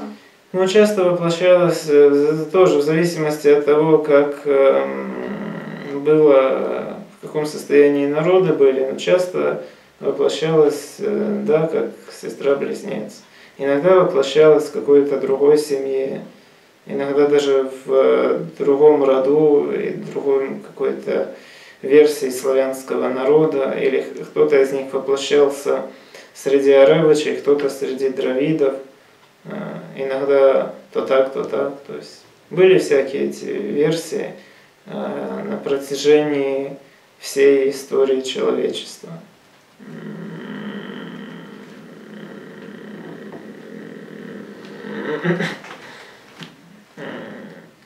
Ну, я не знаю, що вам сказати. Что-нибудь. Що не що-небудь. Что вы читали последнее? Читала, знаю я. И что вы читали? І що вичитала? Про що таке враньо вичитала. И что там вы вычитали, интересно? Ну, то, що, то, що вране є, то є враньо. І що демон кривди його, він е, сильно наплодив множество лжи, щоб люди не могли добратися до істини. Ну да. Ну, Це ще раз, ще один раз прочитала сьогодні. И нынешняя цивилизация, она в этом отношении прекрасное доказательство, что именно так. Когда вот есть куча религий, и вот самый страшный глюк – это в мозгах тех, которые говорят, да все правы, каждый по-своему, у всех своя правда, там, все, каждый там на своем уровне. А якщо, допустимо, християни говорять, ні, правда тільки у нас, а всі інші це. Нет, ну это и тот, и тот подход, если его возводить вот э, в абсолют, э, не научный, потому что научный подход это сначала видим какой-то предмет и сначала, да что это такое? И вот один говорит, ну, это, наверное, там, м, к примеру, посуда такая, а другой говорит, нет, это, наверное, ритуальный предмет. Ну, к примеру, если стоит вот эта штука где-то на столе, и несколько человек, им нужно определить, что это такое. А ще хтось може сказати, що це дуже красивий горщок для квітів. Ну тогда научный вариант это вот если вот те люди, которые есть, изначально подходят, каждый высказывает свою точку зрения, и дальше они просто определяют, э, чья точка зрения правильна. Примеру, кто-то говорит, что там это горшок для цветов. И, соответственно, горшок для цветов смотрим, нету дырки, чтобы вода вытекала. Поэтому по функциональности, если это горшок для цветов, он какой-то ущербный. Дальше. А если видел ли кто-то цветы в таком горшке? Ну, не обов'язково бачити. Ну, как бы не обязательно, но желательно. Кроме того, если мы материал пробуем, материал это металл. Металлы и горшки для цветов не очень состыкуются. Потому что вода, она даст Ну, окисление металла. Надо че- черепкові. То есть так или иначе, видя этот предмет, э, вариант с горшком для цветов нужно откинуть.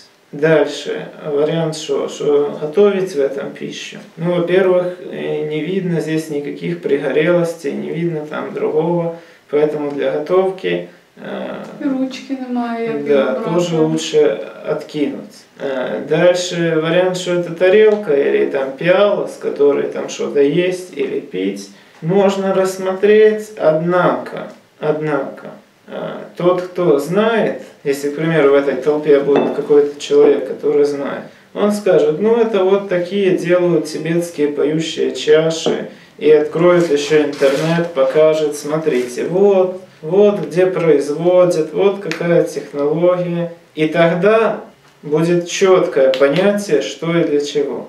И тогда, то есть на раннем этапе как бы никто ничего не знает, и каждый должен высказать, придумать свою теорию.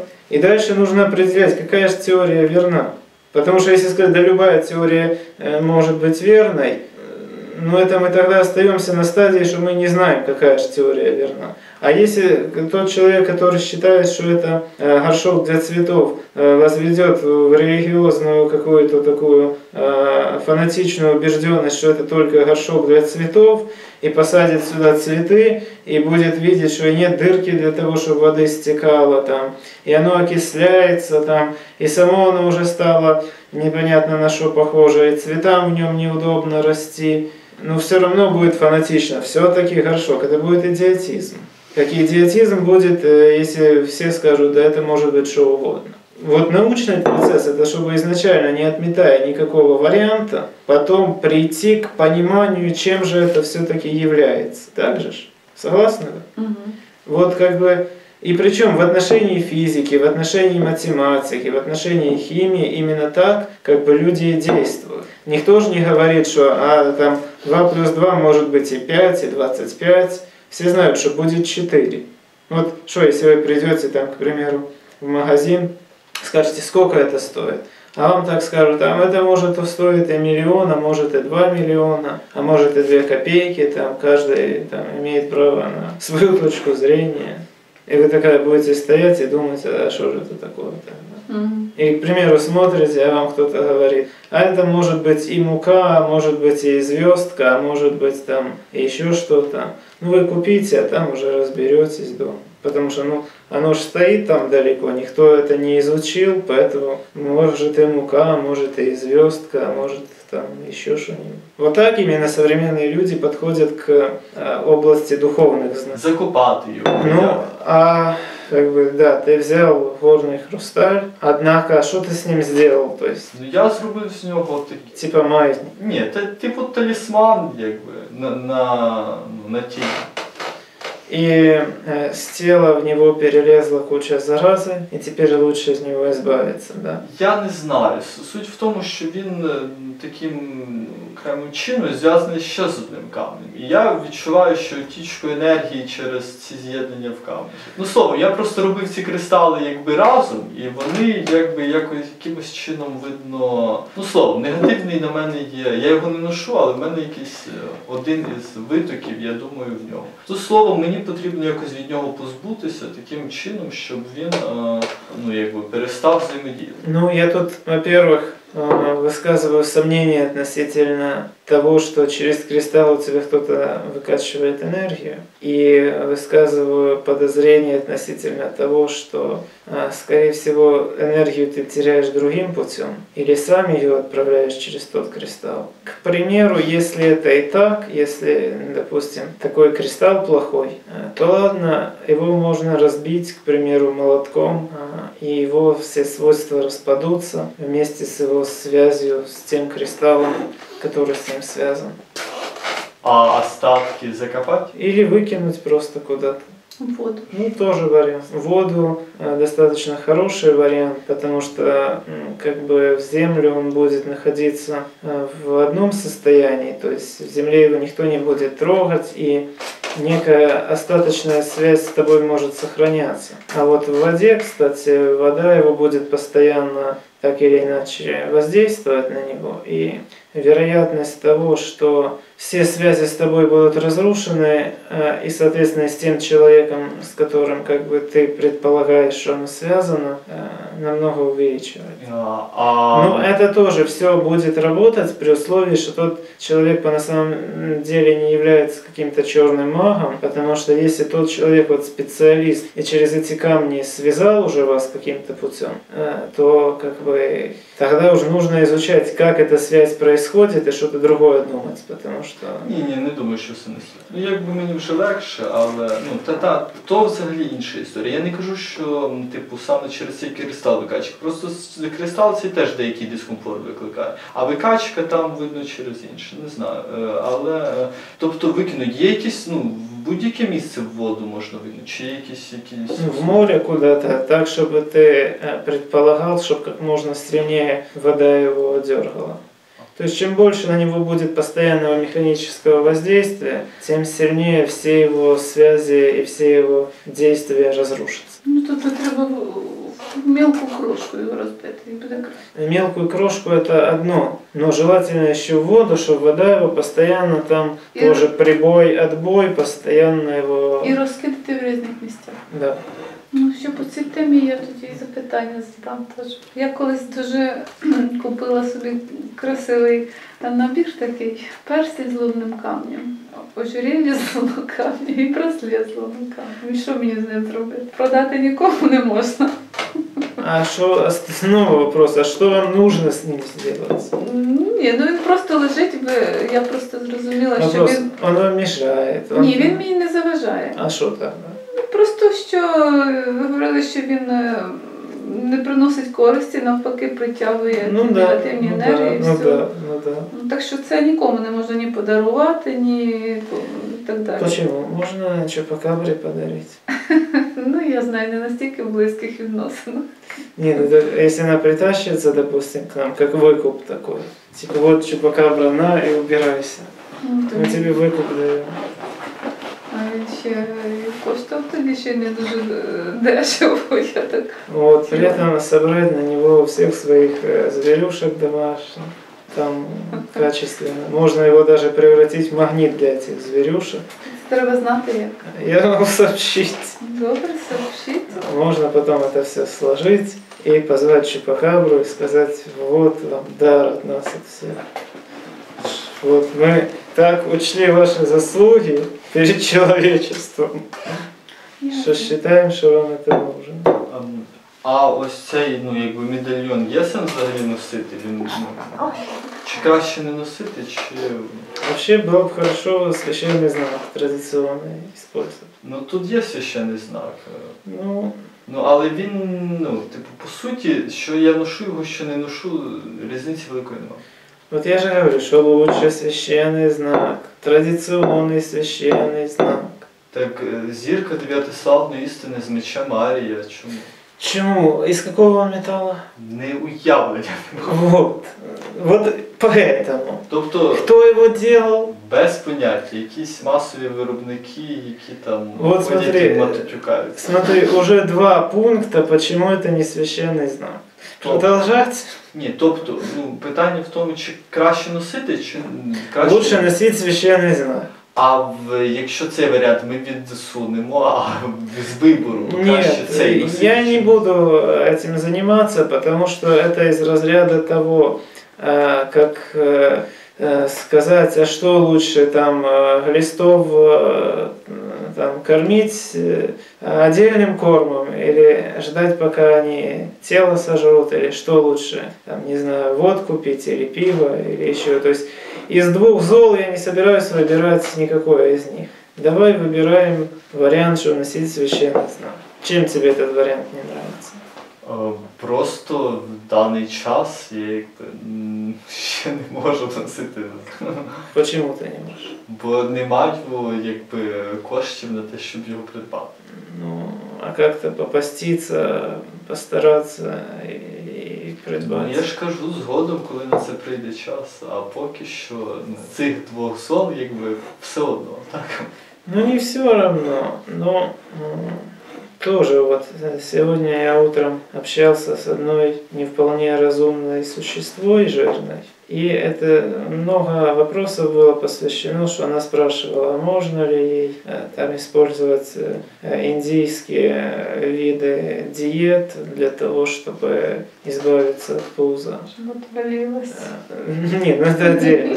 То, что она у меня мантру просила, это отдельно. А, или не можно, или это. Но все равно это не то. Все равно как бы, э, вот если мы выбираем из нескольких не то, то получается, э, мы в любом случае проигрываем. И не то получилось. Ну да. То есть, к примеру, смотри, если ты вообще не носишь священный знак, примеру, я тебе сейчас скажу, не носи священный знак. А ты выйдешь из офиса, тебе залезет какая-нибудь тварь и будет жрать, и тогда частично кармическая ответственность за это пойдет мне. С другой стороны, не знаю, какая скотина изготавливала этот знак, я не знаю, какие мысли этой скотины могут проецироваться на тебя, соответственно. И поэтому сказать носи его я тоже не могу. Единственное, что я могу сказать, это найди тот или иной способ, э, чтобы у тебя был священный знак. Не знаю, вырежь из дерева, к примеру, вырежь из дерева там руну какую-то, там что угодно сделай. Ну, сделай. А я знаю спосіб. Какой? Теж не знаю, які мені можуть думки прийти в голову. Я просто думаю, що я можу е, тобі дати певну частину грошей, щоб ти собі. Я можу тобі дати певну частину грошей, щоб ти собі купив цей знак. А потім ти мені зроблю. Ні, ну ти чому? Ну, є певні теж особистісні обставини.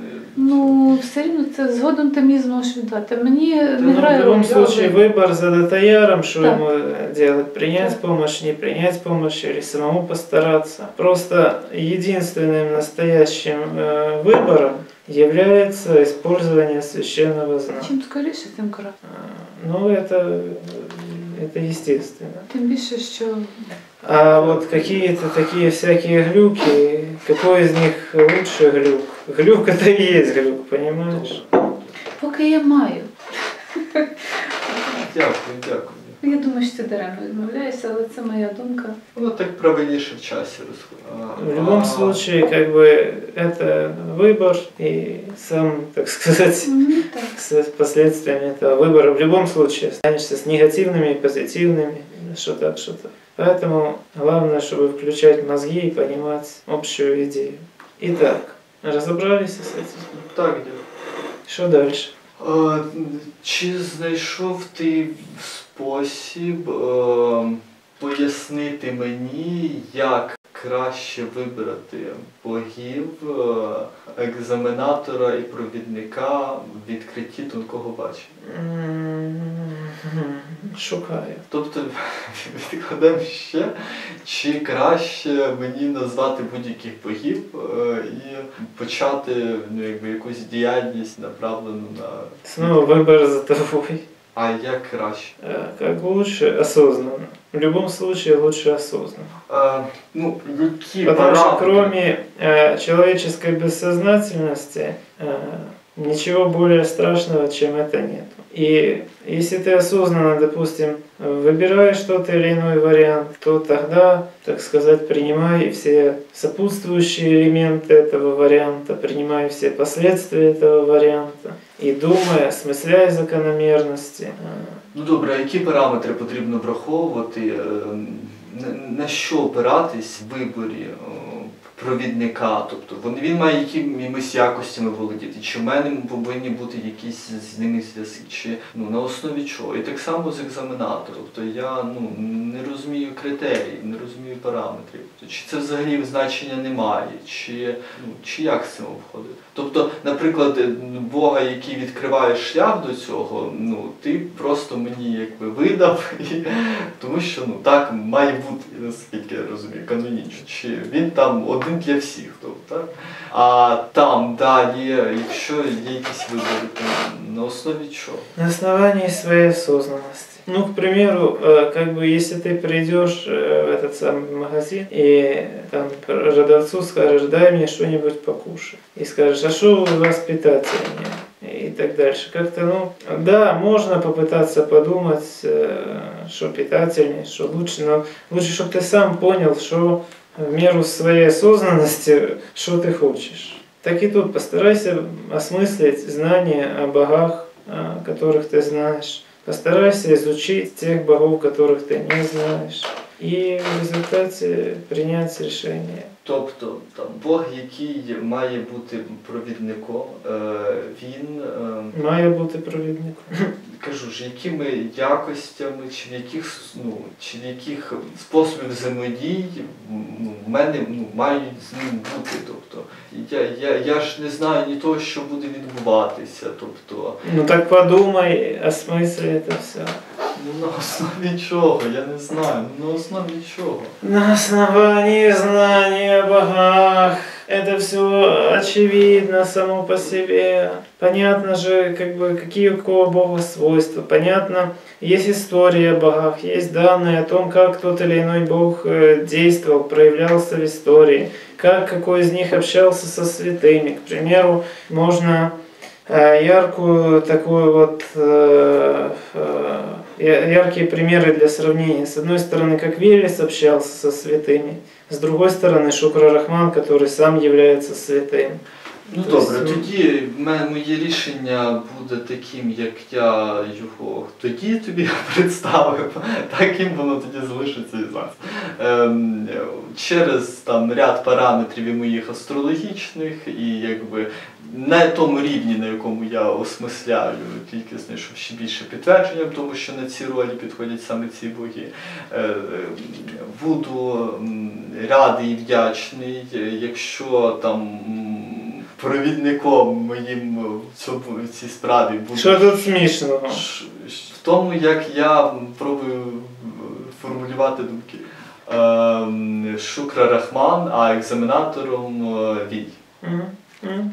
Що я маю робити далі для того, щоб е, які зусилля я маю докласти для того, щоб відкрити тонке бачення? Нужно проводить обряд, когда ты это все провозгласишь. Е, Та частина з воспіванням гімну, з направленням до переплута, ну, вже закрита, так? Чи, Ну, как бы... чи її снова, потрібно відновити і Пойми, почати? здесь зависит от того, как бы, во-первых, насколько ты это хочешь качественно, чтобы было, и чем качественнее ты хочешь, тем качественнее и действуй. Вот, к примеру, сейчас одни э, люди думают, что они купят китайскую подделку телефона там за тысячу гривен там или еще дешевле, и э, вот все будет им хорошо.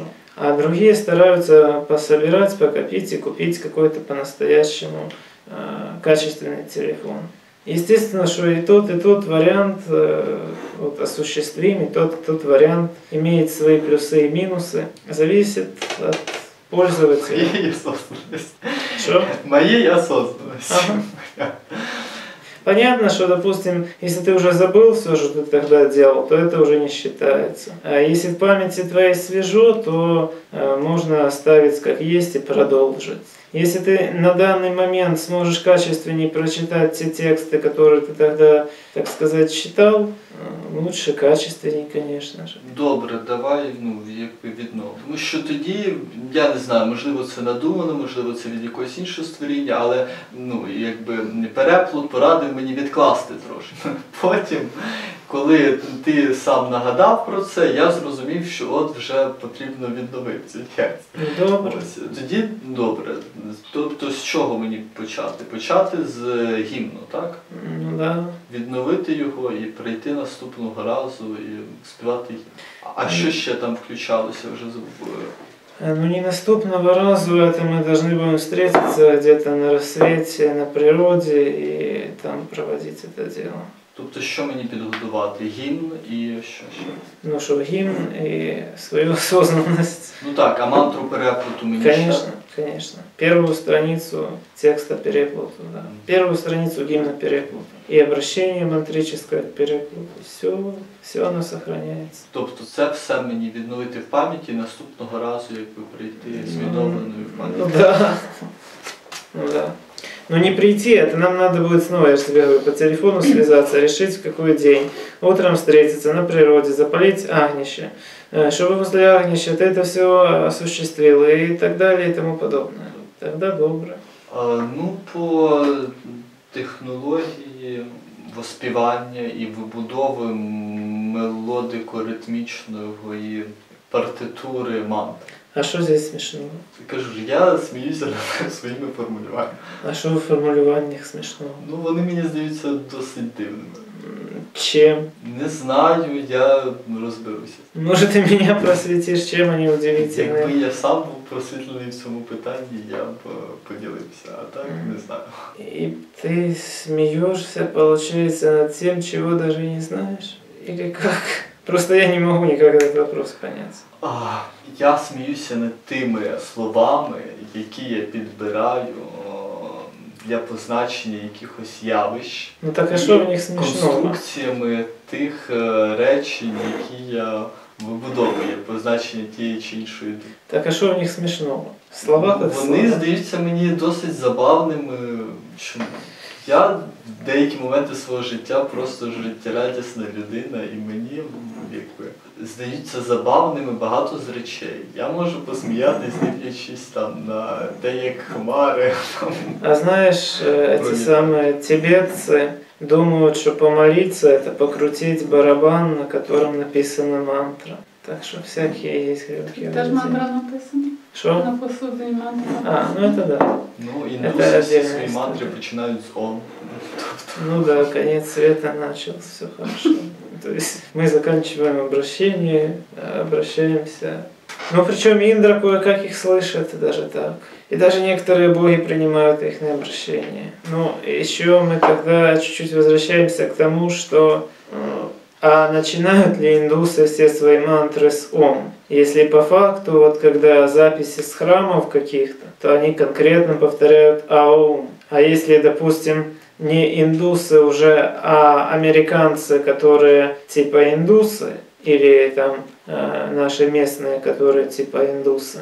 Или, к примеру, как одна мне, я ей говорю, что нельзя наркотой заниматься. А она говорит, а вот э, в Индии там Бабаджи, э, который наркоту курил, и при этом Бабаджи. То есть, если он такой Бабаджи, который наркоту курит, то понятно, что он может и ом повторять, и как хочешь со своей наркотой. А если вот э, более старые их версии, то у них все-таки мантры правильно начинаются аум. Звучание глубокое, красивое, точное. Они носовой звук на конце воспроизводят. То есть как бы с тем, насколько индусы э, повторяют конец света, также вопрос интересный. Это как с христианами, которые с одной стороны Еговки как бы молятся, а а с другой стороны были и такие христиане, которые Еговки совершенно не молились, прославляли Всевышнего, Саваота, или прославляли Иисуса, Бога любви, или кого-то из древних святых, а, поэтому тоже неоднозначная ситуация. Повторять мантры, ну да, мантры желательно повторять как можно чаще, мантры желательно повторять как можно качественней. А главное, духовная их на идее, это, конечно, является направление ко Всевышнему, но звуковые какие-то характеристики, ну, аспект полноголосия, к примеру, одна из э, основных э, качеств мантр. И согласно ведам, э, чуть ли не одно из, и, наверное, главнейшее, главнейшее в плане звучания правило – это повторение в точности. Повторение в точности имен, повторение в точности эпитетов, слов и так далее. То есть повторение всех звуков плюс полноголосие, плюс иногда расширенное произнесение гласных. А що значить повноголосие? Ну, не стремление к э, скомканности слов. Тобто можна не голосно і буде все рівно як повноголосі. Чи потрібно голосно? Я имею в виду сейчас не громкость. Ну, то я за це питаю. Я сейчас громкость вообще не трогаю. Тобто м, чітке, трошки навіть гіперболізоване промовляння, так, якби е, активна робота артикуляційним апаратом, чи ну як. е, Ну, из того, что ты произнес, к делу относится только идея четкости произношения. Однако даже четкость, она может быть э, не главным критерием. А, конечно, да, слово нужно э, повторять правильно, а, однако чем более архаичная версия слова, тем лучше. Какая версія? Архаичная, древняя. Потому что чем более древняя версия слова, тем она более точная в конце концов. А які з того, що я не назвав, крім чіткості, крити... ну, є показ... ну, характеристики повноголосся? Нет, полноголосие это полноголосие.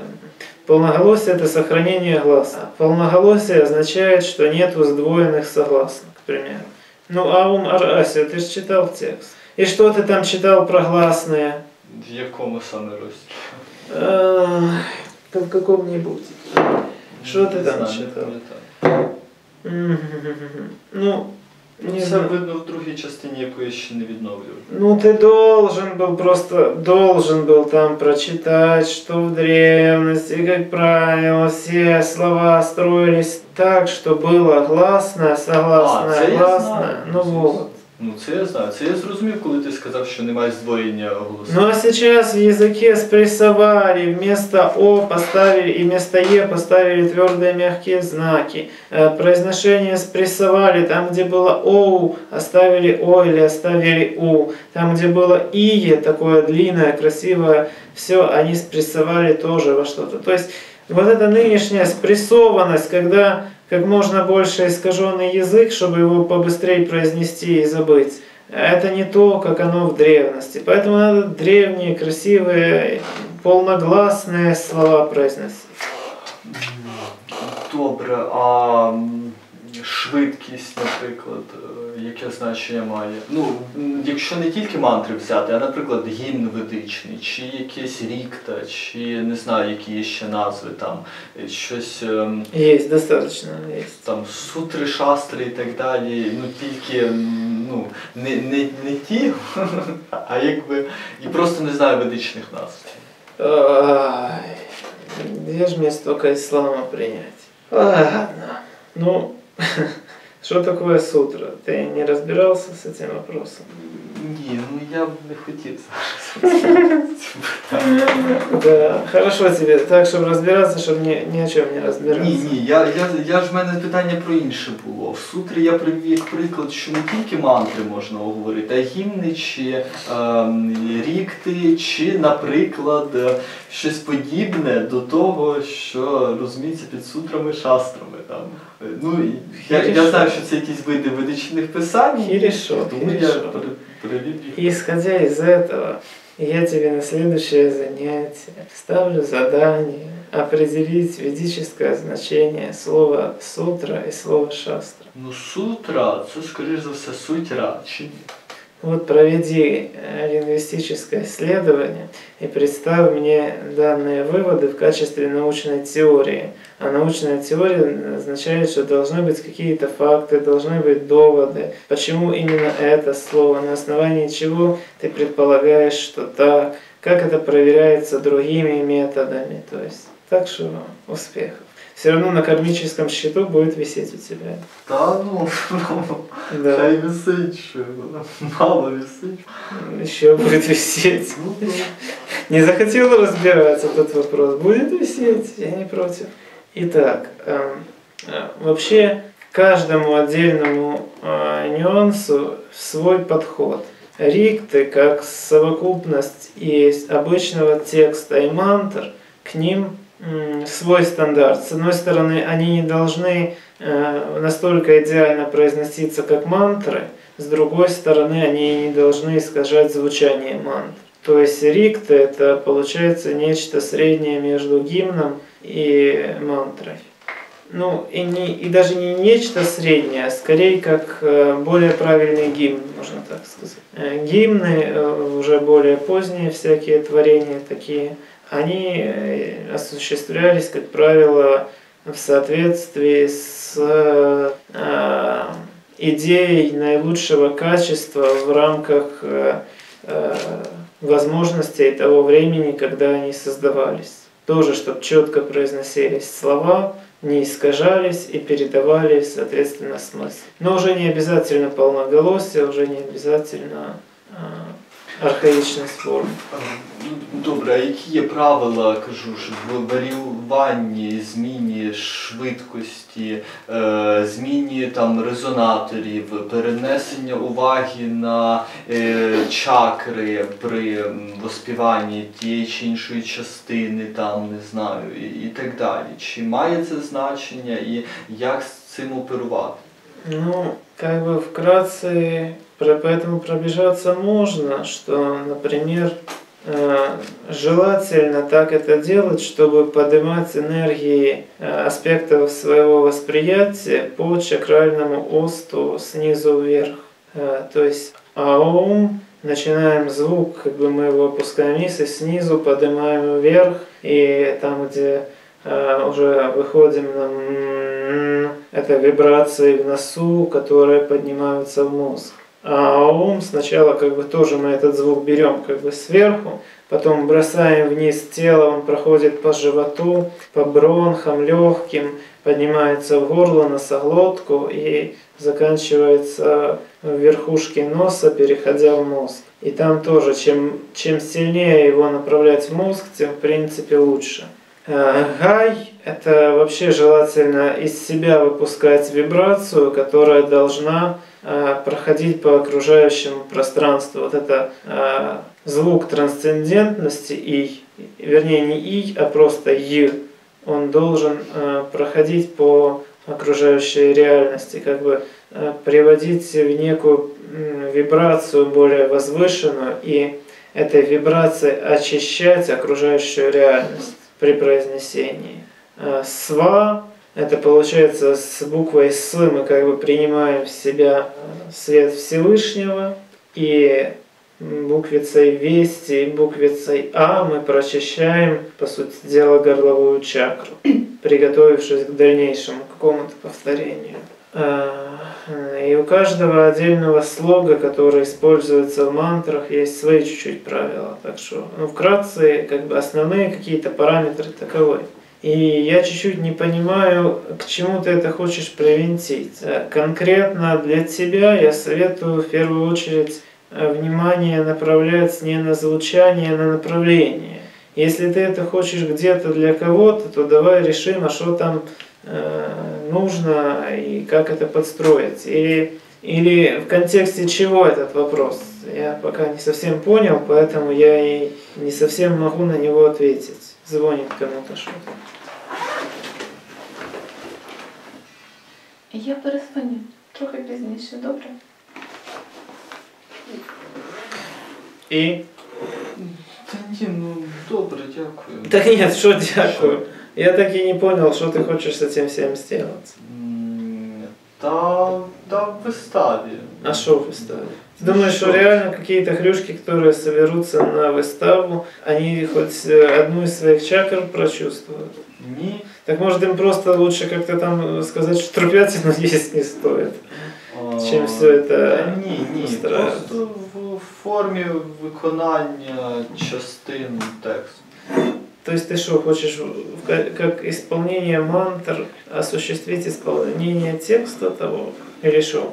Я не, ну я тоже не Ну, понимаю, а что ты чому? хочешь. Ну так, як і так частини. Зачем? И какую часть текста ты хочешь э, под мантры подделать? Ну, не під мантри, під ем, такий спосіб, ну, якби виспівання.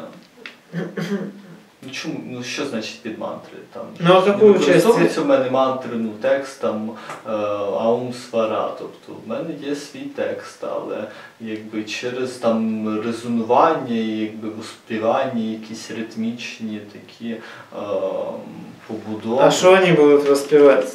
Там, какие слова, какой текст? Текст, Может, такой текст вообще не стоит воспевать? Может, такой текст вообще не стоит воспевать?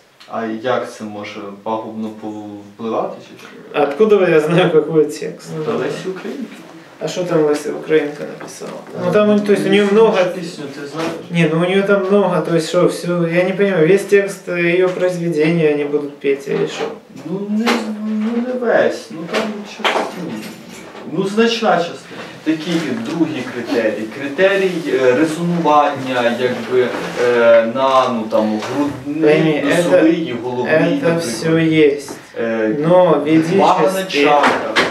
Это все есть, но ведические мантры это созданные, созданные э, специально для соответствующих целей последовательности звуков и кратких фраз. А ты, получается, там какие-то свои штуковины создаешь.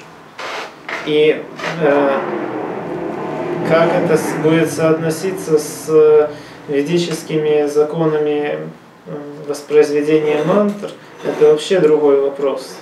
Но это понимаешь, что, допустим, температура плавления, э, к примеру, латуни отличается от температуры плавления стали. А температура плавления стали отличается от температуры плавления свинца. А если в общем говорить о металлах, то да, все металлы плавятся, для этого нужен огонь и так дальше. Но это общие слова, которые про все и ни про что. Если конкретно мы разбираем какой-то вариант, то мы решаем или отдельный металл, или сплав, а, какие мы хотим, чтобы у него были характеристики, что мы из него хотим сделать и так дальше.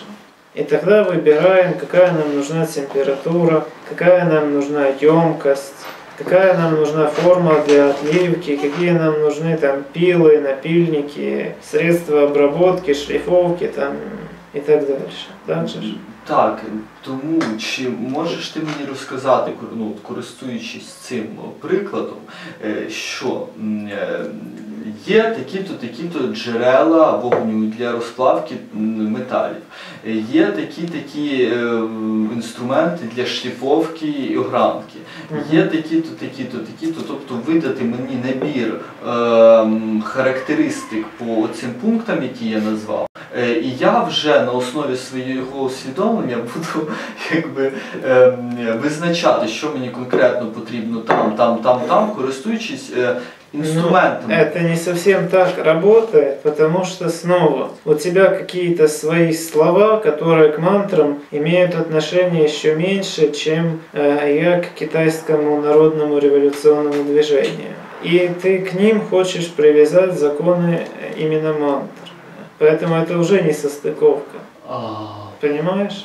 Так, що але- закони але- мантр, они для мантр. Так, але тоді в, в, в цьому випадку мантра буде ось ця чаша. Я не знаю, яка вона там, з чого вона, з якого матеріалу. Це З латуні. неважливо, з чого.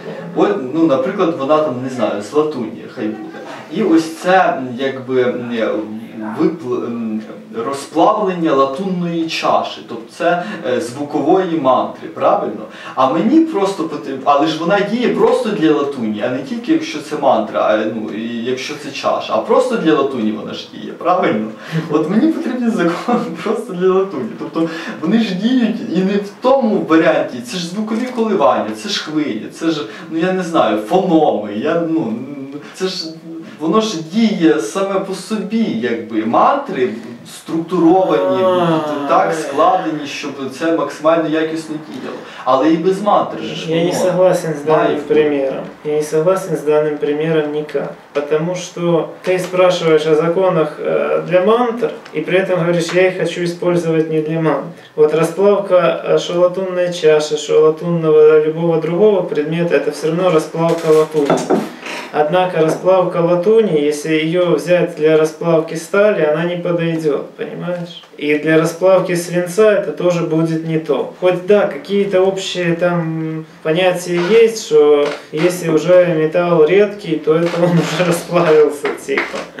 Ну ось мені е, загальні поняття. Ну, э, общее понятие, во-первых, непонятно, что ты хочешь этим добиться. Непонятно, какие у тебя там есть слова, потому что если ты все ее произведение собираешься просто, чтобы они там пели, то в ее произведении есть куча слов, которые являются деградировавшими словами, искаженные слова. Ну, это как и в официальном украинском языке современном. Правда, чуть меньше, чем в российском языке. Однако все равно э, есть целый ряд дебильных слов, которые означают совершенно не то, что, э, с чем связаны звуки, из которых они состоят, говорят слова с перековеркованным смыслом и так дальше. Самый яркий пример я тебе когда-то приводил корчма, к примеру. Корчма в древности это название пыточной камеры при тюрьме. Там, где люди корчились и мучились.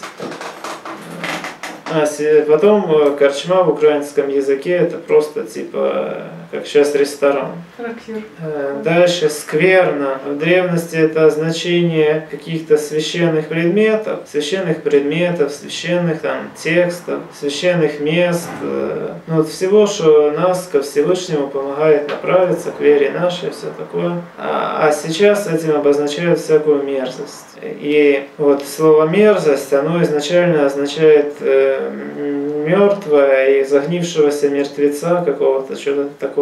Хотя сейчас могут и не только это слово мерзость означать. То есть значение слов, оно искажено э, очень сильно. И такие слова вместо мантр петь или что? Не вместо мантр, вместо мантр.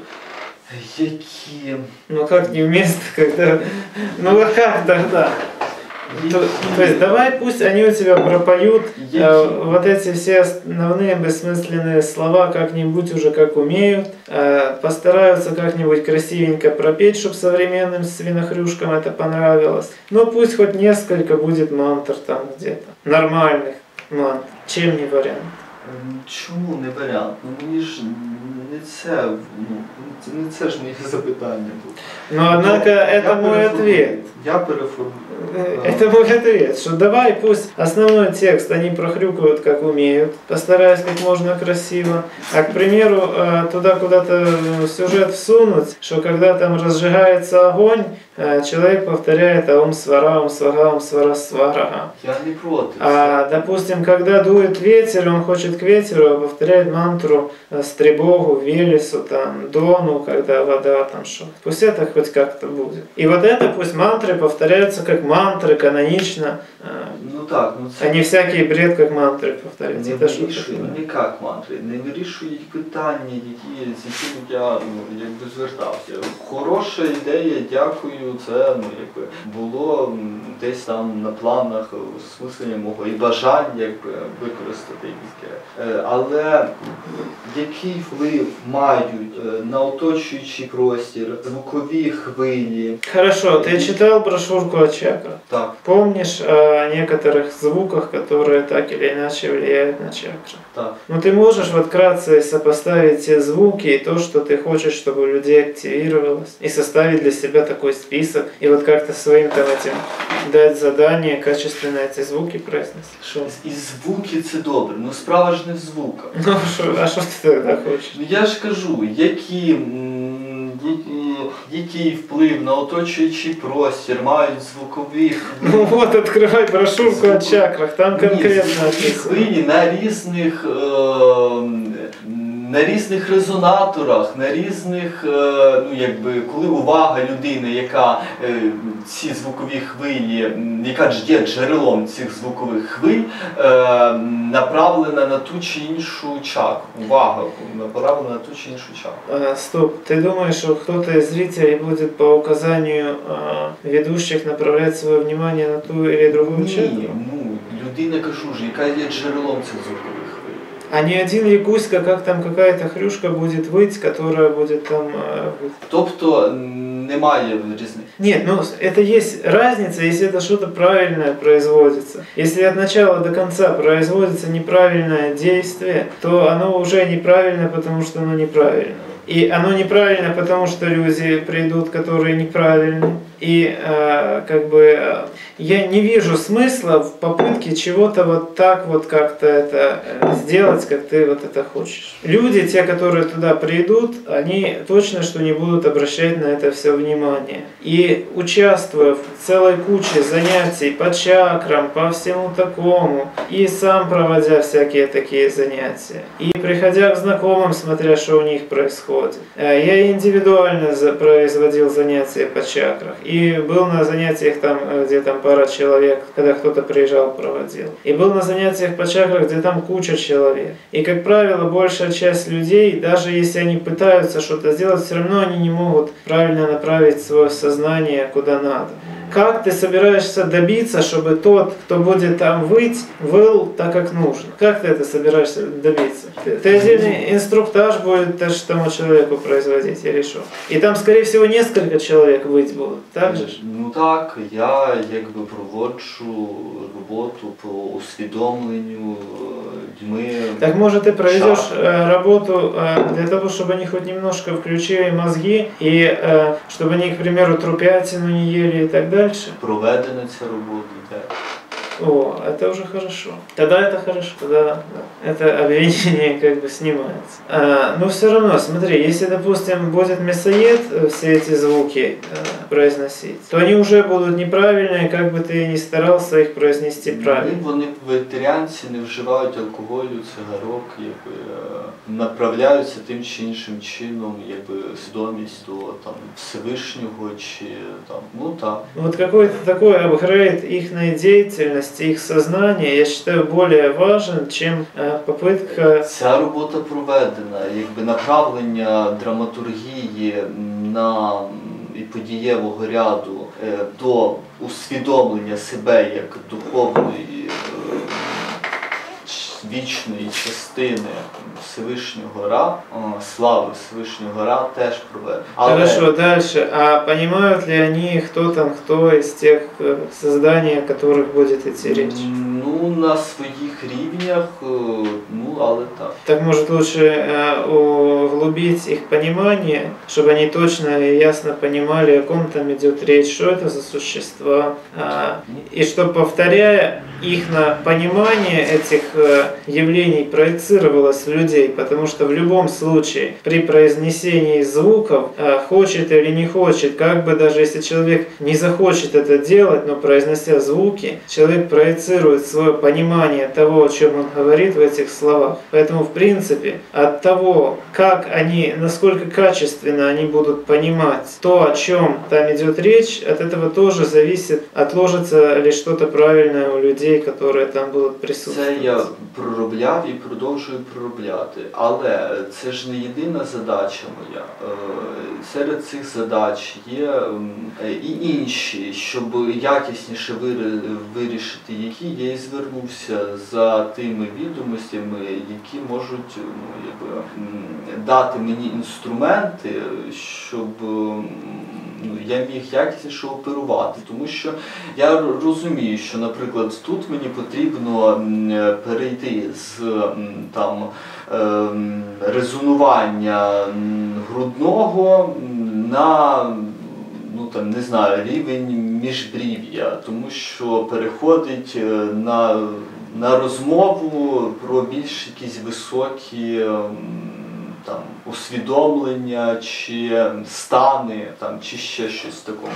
Е, але я це розумію ну, на рівні моїх моєї усвідомленості і знання там, наприклад, чакр чи якихось філософських концептів. Тому я звернувся за знаннями про щоб деталізувати.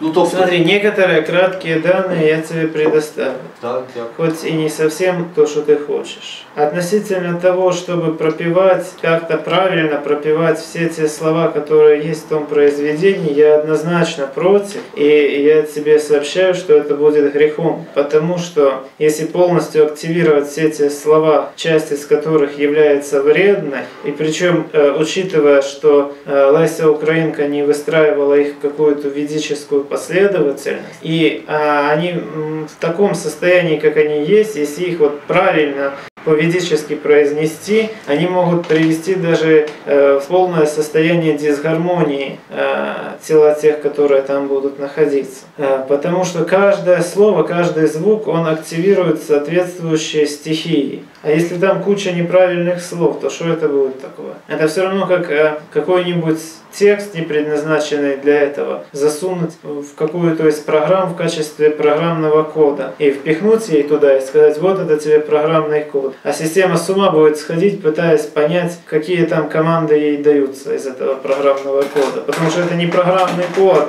а это просто какой-то текст. К примеру, возьми даже ту же Лесю Украинку и всунь в качестве программного кода в систему. Система да не воспримет это как программный код. А в плане звуков, если качественно это произнести, то тела окружающих так или иначе им придется это принять в качестве программного кода, а, активирующего соответствующие процессы. Поэтому вот я снова возвращаюсь к тому, что если просто всякие непонятные слова, пусть они и валяются в качестве непонятных слов. А мантры нужно, соответственно, повторять как мантры качественно. И... А есть еще э, данные по структуре звука, теории звука и всему связанному с этим, но для этого нужно, чтобы ты детально понимал э, воздействие прави, яви, мудрости и нави, и изучать э, теорию звука, как бы тоже там очень много разных э, данных.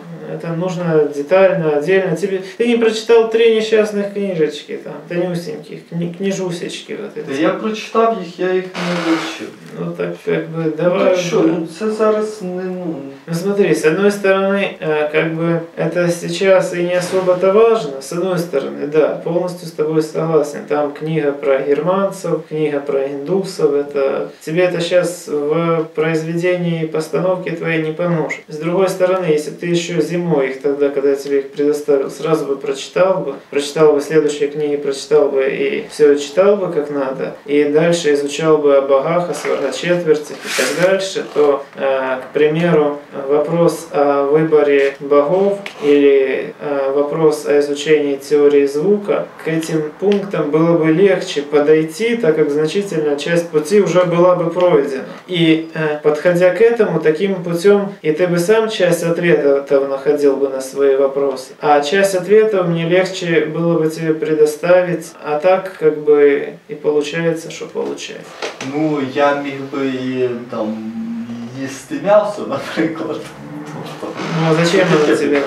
Ясно, що ні. Нет, ну и снова я против данной постановки вопроса Ти изначально. кажеш про те, що могло б бути краще. Так могло бути краще, але було б так краще, могло б бути ще краще, але могло б бути і гірше, а було б гірше, було, можна було б ще гірше було. Нет, а, э, это я против такой постановки вопроса. Потому что если ты осознанно и ты понимаешь, что надо лучше, то то, что могло бы быть хуже, ты не должен э, ставить ни в какой критерий, ты должен стараться лучше. А как? Ты, получается, не хочешь лучше? Ты, получается, чтобы отговориться от того, чтобы э, было лучше, ты говоришь, что могло бы быть хуже? Это как э, там некоторые современные там политики говорят, ну чего там, вот мы уже поиздевались над страной, ну могли бы еще хуже поиздеваться. Могло бы быть хуже, могло. Ну зачем? Так а навіщо казати, що могло бути краще? Потому что мы должны стремиться к тому, чтобы было лучше. По сути дела, все, что и вокруг нас есть, это и так уже э, так, что хуже некуда. Э, С какой бы стороны ни подойти. Но можно это правильно воспринять как стимул к развитию, а можно неправильно, как некоторые, как еще больше стимул к деградации. Снова, даже не важно, какие есть стимулы, важно то, что надо развиваться. И это цель воплощения, это цель существования Земли, это цель всех знаний, и это то, что должно быть конечной целью и пунктом, к чему ведут все остальные цели и действия человека. Абсолютно. А то, что где-то могло быть э, внизу, где-то могло быть сбоку, да пусть оно себе будет тысячу лет. Но нам надо то, что вверху. Так же? Так, згоден. Ну так вот. Поэтому как там книжки поживают? Ті як лежать. Ага. М, е, Как звали автора индийских вед? Того, хто редагував, чи що? Того, кто создал четыре индийские веды. Е, Ва- Васу Веда. Вьясадева. В'ясадев. Полное имя Прабхупады. Я вже забув. Автор э, э, Рамаяны, э, сюжет Рамаяны. Втілився, Ра, вбив Раван. Мгм. Ну хорошо, а если все-таки помедитировать, э, дабы определить, кто автор? Я не можу. Для мене складні скриті. Хорошо, а если так помедитировать, чтобы понять, как автора звали по-украински? По-українськи. Ну, по-нашему, по-ведически. М, Митродата, что вы скажете? Я хочу сказати, що є Вясудева, є Васудева. Да на свалку всех этих девов. Э, Возвращаемся к ведам. Я. Они как откладываем подальше Весадевов и Васудевов. М, Кто автор Рамаяны? Ну, теж. Помните. а как его звали в прошлой жизни? З той, хто був святим і грабіжником. О, и І ну, как его звали как грабителя? ну не Арк, Как его звали как грабителя? Деба. О, хорошо, вот, вот все-таки помните, Що таке так? как его звали как праведного. Ви скажете, то я згадаю, так не можу. Плохо, надо перечитывать. Вкратце жизнь данного персонажа. Він хотів раз димний камінь, а там я приготувала лову. Как установили ловушку? Ну так, щоб руку можна було засунути і забрати, тільки без камня. А з камнем м, не виходило. І він е, пару разів пробував, в нього нічого не вийшло, А камень отпустить не хотел. а камінь не хотів.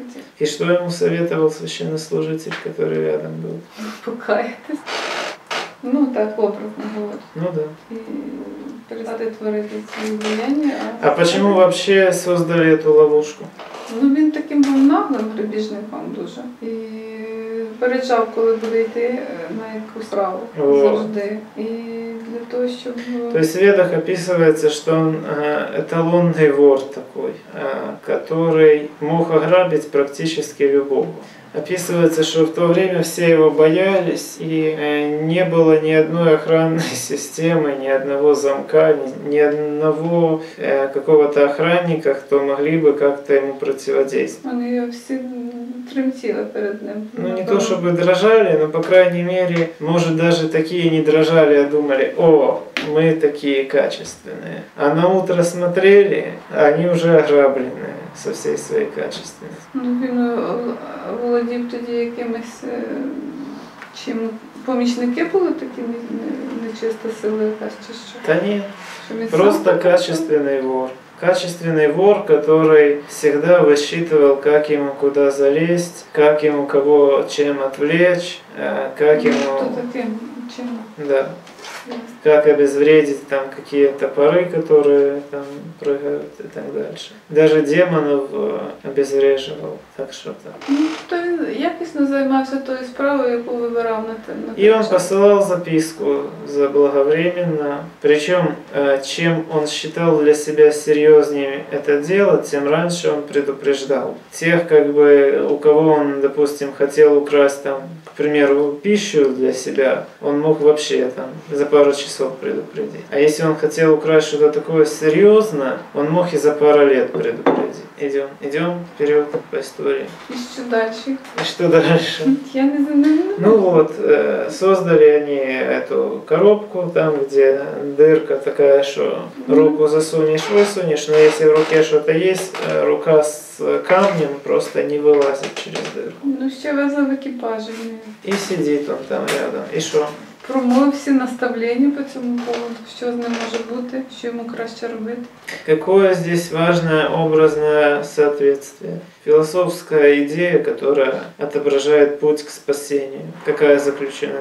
И Ну що людина, м, не дивлячись на ні на які обставини, ні на те, що вона, допустим, була великим грабіжником, чи ким вона може в любу не-не-не, это общая концепция так, допустим, его всех жизней, но э, именно история с камнем и коробкой, она показывает э, относительно материального мира, что вот как он э, свою руку в ту коробку засунул, так и все искры, которые находятся в материальном мире, получается, свое внимание в этот материальный мир засунули, надеясь получить в нем какие-то наслаждения, э, какие-то удовольствия и так дальше. Вот как он камень тот хотел получить.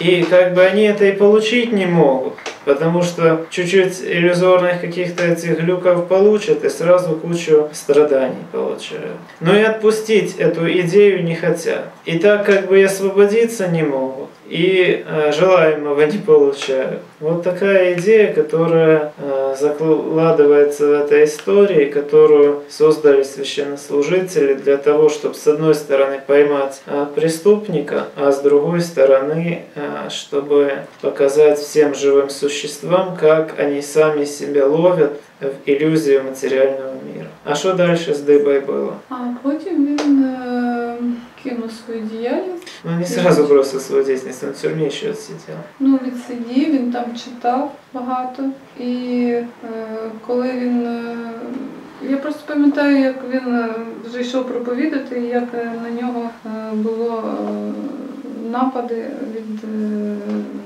демонів. І коли йому було вже. Там були дві різні ситуації, і в нього питали, чому він так в одній поступив, а в другій по-іншому.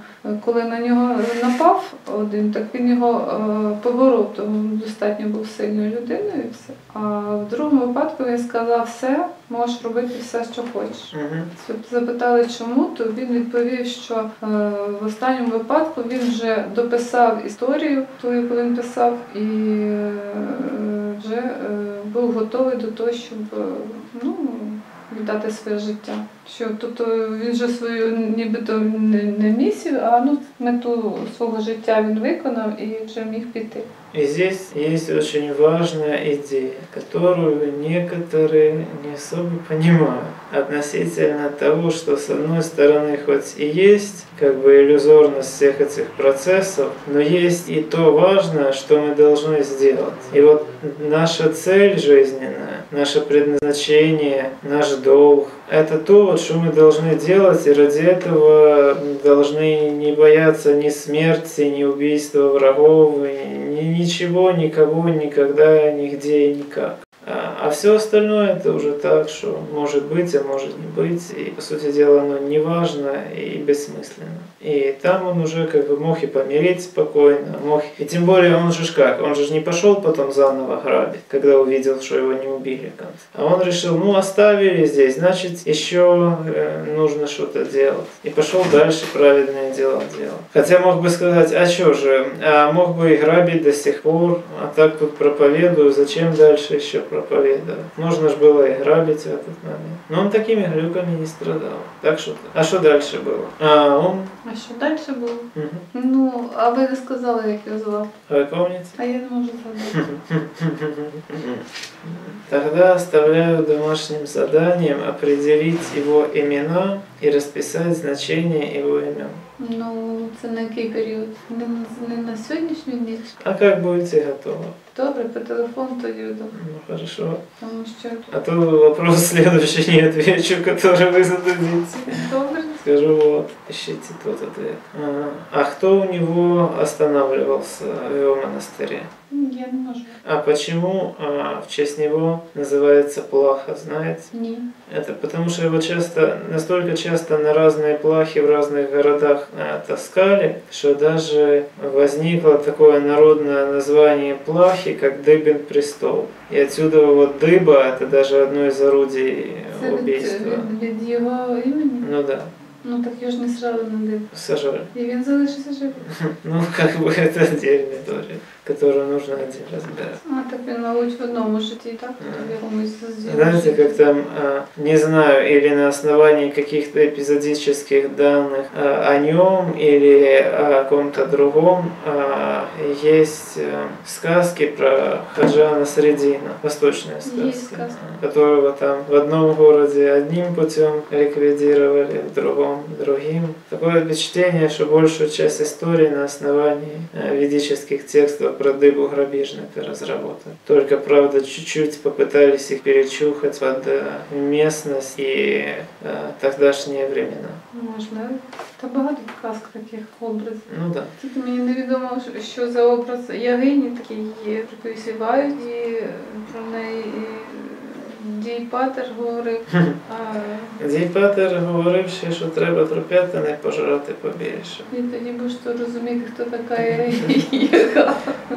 Ну так, Бо вона теж харчується так. Дивіться, тоді всяке ягидство можна зрозуміти. Якщо троп'ятиною зажиратися. Ага, тобто ягиство, яга це мають е, однокоріневі якісь такі чи однозвучні, так?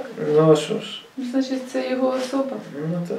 А кстати, что вы помните про династию Ведрих? Я знаю, що їх було 100 чи ще більше. Как звали первого? Ведрих. Ведрих создатель. Я знаю, що там знаменитий Ведрих 13. А был ли он первым? Ну, якщо со- создатель, то, мабуть, був перший. А я же вам объяснял, что первым считается следующий Ведрих, а Ведрих создатель типа как нулевой. А, нуля, то так з нуля починається. Ну, Ну, как бы, смотрите, с одной стороны, э, их династия с нуля начинается, с другой стороны, э, было несколько ведрихов без номера, с третьей стороны, э, некоторые князья этой династии не имели имя Ведрих, однако все равно принадлежали к династии. Поэтому... ім'я Ведрих? А, ну тут друге імена мали. Ну да. А там такие самые известные, допустим, Ведрих первый святой, Ведрих второй мудрый, Ведрих третий ясный, э, Ведрих э, четвертый мудрый второй, Ведрих пятый красивый, э, Ведрих шестой писатель, Ведрих седьмой составитель и Ведрих восьмой великий. Да Таяра, что ты помнишь про Ведриха Великого? Почему так плохо? А ведь я же тебе про него рассказывал. Я пам'ятаю. И мне уже настолько нудно вспоминать, э, что я тебе все рассказывал, а ты никак не помнишь э, то, что я тебе рассказывал. Но я надеюсь, что ты как-то все-таки исправишь этот э, вопрос. Или как? А, Справлюсь цей раз, ще раз а на каком занятии я тебе рассказывал об этом, помнишь? Поняття. Чего ж так плохо? А, Ведрих Великий занимался изучением свархи, изучением Вселенной, А, Он описывал излучение Тифона и Тифаниды, описывал э, характеристики свархочетвертей, описывал размеры, пропорции свархи. кольори. Много чего описывал. Я навіть пам'ятаю, що він імператор Магадрав. Да, что здесь смешно? Ну что, ну что, ну... Что все время так ты- Вот засмеяться ты успеваешь, а запомнить не успеваешь. Ну что ж такое? А Ведрих 13 це той, що літав, Нет, Ведрих 17. а то 17 Да. Ну тот, который э, быстро перемещался. і міг проявлятися в багатьох місцях. ну, не совсем проявляться и не совсем во многих местах. Однако технология захвата частиц э, той штуковиной, которая у него была, давала ему возможность, э, сверхбы... чтобы его капсула сверхбыстро летала. Однако к чему это привело? Тому Что що случилось с Кайнаром? Кайнар це що його син. Ага. Ну, він ну, розтіряв все своє тіло в одному з е, путешествий. Ну да. Ну, Смотри. т- точнее, там даже путешествия не было еще. Ну. Он захотел воспользоваться технологией отца и неправильно ввел параметры, и это привело к тому, что и его тело, и окружающие корабли э, были уничтожены. Арі, а я забула, хто той, що в якому був збудований окремий палац для прийому, і який то тіряв то вухо, то носа, потім вбирав, як його звав? Морок. Морок. Мгм. А кем он приходился, Рава не помнит? Ну, не совсем. А лучше помнить? Деда дядей. А, діда, дядя. Ну, если такой термин есть. То есть Равана ему внучата племянником приходился. Ну, чи ж немає? Один Кузька. А почему так случилось, понимаете? Подумати, бо я пам'ятаю цей випадок, а чому так? Ну, Тобі в мене було записано, щоб я могла послухати кілька разів. То я, можливо, запам'ятала б краще. С чем он экспериментировал? Чем он занимался? Чем они все занимались? Хто всі? Зверюхи Раваны. И Равана и же с ними. Ну, вы же помните, что когда эти зверюхи завелись на Земле, первая их задача – это модификация своих тел, чтобы как-то скрещиваться с Аревичами, и тут у нас водиться. Помните? И он проводил какой-то эксперимент. А, Эксперимент довел до того, что с одной стороны все клетки его тела получили бессмертие, с другой стороны они все абсолютно рассинхронизировались а, и стали существовать отдельно друг от друга, не получив осознанность. И силой воли что он сделал? Ну, він зібрав їх в купу. Собрал кучу. Да. І тоді силою волі він всіх е, періодично хто відпадав, збирав в кучу. Какие это дало ему плюсы? Не знаю. Ну как не знаете, когда я вам рассказывал? Розказував. Это дало ему возможность превращаться в стаю крыс, в оленя, в лисицу, в нескольких зайцев, э, в нескольких собак, в волка и так дальше. Просто потому, что он переконфигурировал те же самые клетки, которые и так э, у него очень успешно рассоединялись. Помните? Ну, Згадала, так. Ну, так. А потім він також успішно міг їх назад е, притягнути, як свої клітки. Ну да. Тобто вони йому підчинялися? Ну, э, они ему подчинялись так же само, как э, вот телефон человеку подчиняется. Они не имели отдельной осознанности. То вони такі Он ні. силой воли брал их и ставил на соответствующее место. То, что он создавал, допустим, какую-то э, версию тела, это не значит, что он им давал команду, и они все быстро сами э, по щучьему велению собирались. Это значит, что силой воли он брал и Кожну ставил. кліточку Брал и ставил, так? да. Брал и ставил. Трудовий дядя дід. Це ж скільки кліточок цих, Да, цих Игорь. частин. Но он не сразу, он долго тренировался, он учился. И в конце получил такую возможность. Потому что в ходе самого эксперимента он типа помер. И они все думали, что он помер. И только через пару лет он такой приполз до них и каже, не, я жив-здоров. Натаяры понял, о чем речь. Ну, Так, частково. Что ты, что ты не понял? Да я не, не все чув. Что ты не слышал? Та хто це був? Да багато чого. Я потім, потім подивлюся, чи потім якось дізнаюся. Це не важливо, що ти зараз переказуєш. Да я не знаю, то ли пересказывать, то ли на скрижалях выгравировать. Тож ти будеш розміщувати відео. Колись, колись. А я не маю такої можливості. Чи колись перечитаю. Навіть і тут мені тільки через телефон, бо комп'ютер не працює.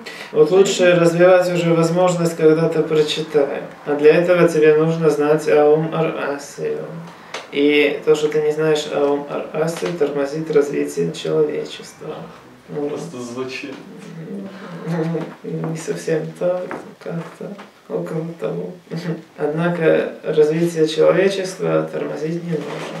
Нужно Ну, ускорить. Ну вот, но я напоминаю. Чтобы ты хорошо помнил, Що треба изучить Аум Ну що вивчити? Я вже вивчив. І далі мені, наскільки я пам'ятаю, потрібно тобі переклад. Е, Перевод начала закрата. Е, знання законів Аум Ар-Асії. які закони? Все. Які що зна- мається на увазі під законом? Вот все законы, которые там есть, о несклоняемой о концовке, о разновидностях вида письма, о использовании титлов, о использовании серпомары, о использовании и неиспользовании тех или иных приемов Я зрозумів. в придании э, обратного значения словам. Ну, куча всего, все это нужно знать. А э, законы относительно того, как изменением одной буквы меняется значение всего слова. А, Все эти параметры нужно знать. Що ще розберемо? А що значить е, стан свідомості? А е, що це? Просветленное сознание. Що, що, з- ну, а що це значить? Просветленное сознание означает просветленное сознание. Ну как? Тобто свідомість не допускає погрішності чи що? может допускать погрешности, но э, стремиться к тому, чтобы не допускать и не затемненное сознание. То есть, смотри, э, у тебя сознание часто затемнено э, ленью э, относительно того, что ты вот не хочешь некоторые данные изучить. Э, у некоторых людей еще сильнее сознание затемнено ленью или другими глюками. А Еще у тебя сознание затемнено идеей иллюзии. Ты говоришь, ну если все иллюзия, тогда какая разница? Хотя я объяснял, что не все иллюзия. Основные как бы наставления по духовному развитию, само духовное развитие самосовершенствование – это совершенно не иллюзия. Есть люди, которые затуманивают еще сознание с помощью алкоголя. Есть люди, еще затуманивают сознание с помощью разных других мерзопакостей. Ас, то есть ясное сознание, означает, что сознание не затуманено всей этой мерзости. Ну і е, яким чином тоді відбувається мислення, що, що? Ну как?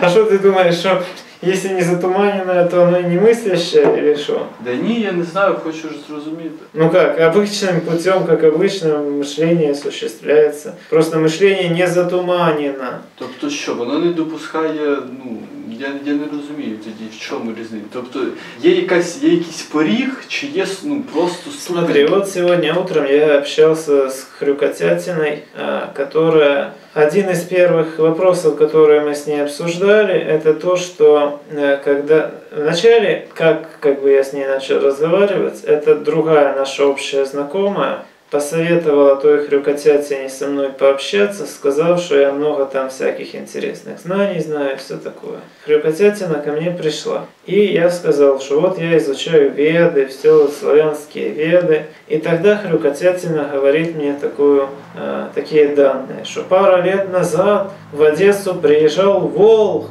и Волх провел несколько часовое, несколько часовое занятие, где он рассказал ей все веды славянские. И она поняла, что это уже все дела давно минувших дней, и что это все уже не современно, не интересно. И тогда о чем ей дальше со мной говорить, типа разочаровалась. Ну понимаешь, какие здесь глюки? Здесь глюки относительно того, что она тем, что э, не хочет мыслить и не хочет правильно оценивать, она некоторые концепции попыталась раздуть прямо чуть ли не до э, абсолютности, а другие явления не захотела учитывать. Вот такое выборочное мышление неточное, оно также затемняет сознание. Потому что она должна была много, какие здесь пункты разобрать. Во-первых, то, что она слишком переключенная такая была из-за того, что там «О, волк!» приезжал. Какой он там волк, что оно такое приезжало, волк или то вообще, или какой-то самозванец, или там неведомая вообще зверюшка. И если волк, ну и что, там как бы. Она все это не, обдумала и составила ложную концепцию восприятия, соответственно, и действий. Следующий важный пункт, который мы обговаривали. А, соответственно, я критиковал ее ожирение и говорил, что в ведах э, как бы, есть ряд интересных указаний относительно того, чем является жирный человек. В частности, даже в поучениях Саагаста есть отдельный абзац, где описано, что жирная сестра это такой ужас, жирная мать это такой кошмар, жирный кошмар, жирная там жена. То есть, по сути дела, каждый из этих параметров является той или иной Э, гранью культивация, культивация и деградация цивилизации. То есть, потому что жирный человек это уже больной человек, и жирный человек это тот, который не контролирует э, свое тело, и тот, который перерасходывает на себя пищу и таким путем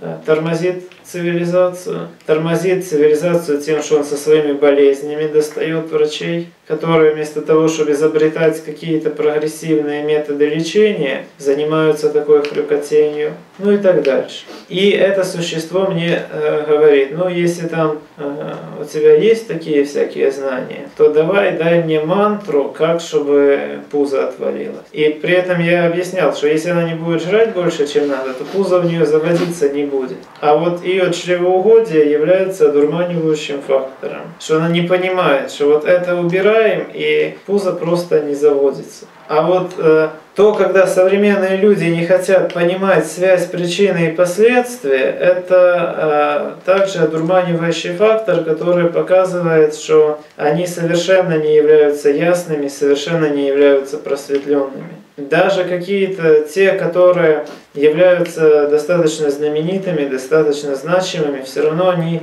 э, ну, хрюшки, короче говоря примеру, я э, просматривал, э, ну, даже последнюю, допустим, серию э, первого сезона э, «Легенды завтрашнего дня». И там концепция путешествий во времени, где показано, что они трижды уничтожают один и тот же предмет, что само по себе уже невозможно. Понимаешь, невозможно. Вот ты хоть это понимаешь или как? Я розумію, що я дуже мало знаю про можливості часово-просторової. Нет, э, тогда ты просто э, этим говоришь, что ты понимаешь, что ты не хочешь э, в этом вопросе разбираться. Ні, я розумію, що в мене немає знань для того, щоб компетентно про це говорити. Да есть у тебя все знания. Чому? Я ж не знаю про якісь там можливості.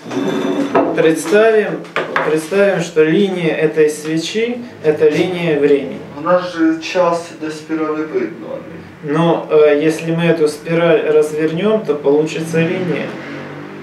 спираль, состоящая из линий, из линий в конце концов. И на коротких отрезках, как э, сферичность Земли на коротких отрезках э, нам все равно не видна, нам видна э, плоскость Земли, так и на коротких отрезках очень хорошо видна линия времени. К примеру, есть прошлое и есть будущее. И э, там как идея, что они решили в трех разных точках линии времени уничтожить один и тот же предмет. А, но если его здесь уже уничтожить, то тут он просто не возник. Так можливо вони з майбутнього знищували в майбутньому, потім в менш майбутньому, потім в теперішньому, а потім в минулому.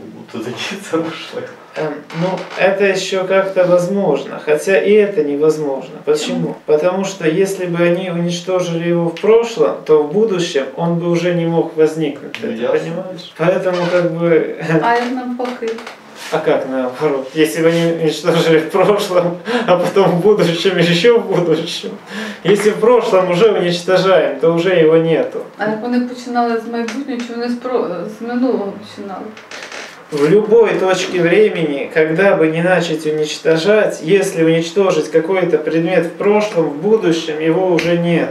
Якщо в майбутньому знищити, а тоді в минулому він є. Ну, конечно. Ну, как, к примеру, там, э, тело человека, оно же в будущем уничтожается, там, вот, ну, в момент, момент смерти. А в прошлом, там, ребенок только рождается. Но если в прошлом ребенка уничтожить, то в будущем ну, старик не умрет, потому что старика в будущем этого не будет. Ну, це зрозуміло.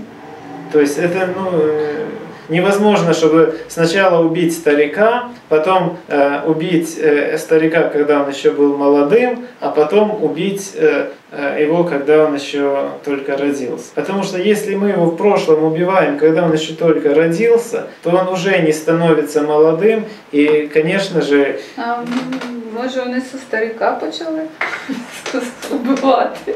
Да с чего бы не начать? Есть будущее и есть прошлое. Если в прошлом мы вносим те или иные изменения, они сразу же а, отображаются на будущем и меняют его картину полностью. Вы же. Угу. Понятная идея? Наполовину ми нічого не зрозуміли. Ну почему? Ну, я ж говорю, коли е, знищити в минулому зразу, то в майбутньому ясно, що ніде не буде. А якщо десь якомусь, як говорив е, Даяр, в середньому знищити, то воно ще ж буде там минулому дитина, допустим, там буде, чи якийсь там хлопчик. Ну да, но в будущем не будет. В будущем, да. А если все равно, если они планируют потом из среднего прошлого отправиться в самое прошлое, в прошлом все равно убить, то вот тот, который был в среднем прошлом, он исчезнет, так или иначе. Ну, представим, что вот линия времени, этот объект постепенно идет, идет, идет, идет, становится этим объектом, а потом становится этим. Так вот, если, э, к примеру, э, отправиться с далекого будущего в, ну, например, с 2000 э, к примеру, мы разберем временной отрезок с 2000 года по 1900 год. Так вот, если с нынешнего времени отправиться в 2000 год и убить там кого-то, а потом отправиться в 1950 год и убить более молодую версию этого же кого-то, то тогда вот тот э, кто-то, которого мы раньше, так сказать, убили э, в 2000 году, он в 2000 году не будет существовать, и, естественно, мы его в 2000 году не сможем убить. Ну, а если после этого еще отправиться в 900 год и там прибить этого же кого-то, ну, то естественно, что он и не будет существовать ни в 50-м, э, ни в 2000 ну, так, а... Но если мы вообще отправляемся в прошлое с целью кого-то убить, то когда вырастает э, новая, как бы, новая линия времени, и снова когда вот, доходит тот момент, когда мы это себе решим, то поскольку этого человека не было, которого мы убили типа в прошлый временной век, поскольку его не было и мы не решали его убить, то мы не отправляемся в прошлое, и в результате э, время само себя восстанавливает э, в естественное состояние. Закон выравнивания времени, который описан в Ведах и который объясняет, почему никакие путешествия времени и изменения прошлого невозможны в рамках этой реальности. Вот если еще, допустим, допустим, отправиться в параллельную реальность и там случайно что-то изменить, и причем э, так, что это не поведет ни к каким последствиям на эту реальность, то это еще другая ситуация. Но в своей реальности мы ничего не можем изменить. Ми можемо іншу реальність е, і там щось поміняти. Але ж то для тої реальності поміняється, а Ну не да. для нашої, так? Ну да. Так вот так и с вопросом о брюхе и обжорстве. Человек вначале обжирается, потом заводится брюхо, а потом человек думает, как с этим брюхом бороться. Треба вернутися туди, коли його не було. Да, и убрать аспект с э, обжорством, Так, и все. тогда все остальные аспекты тоже убираются.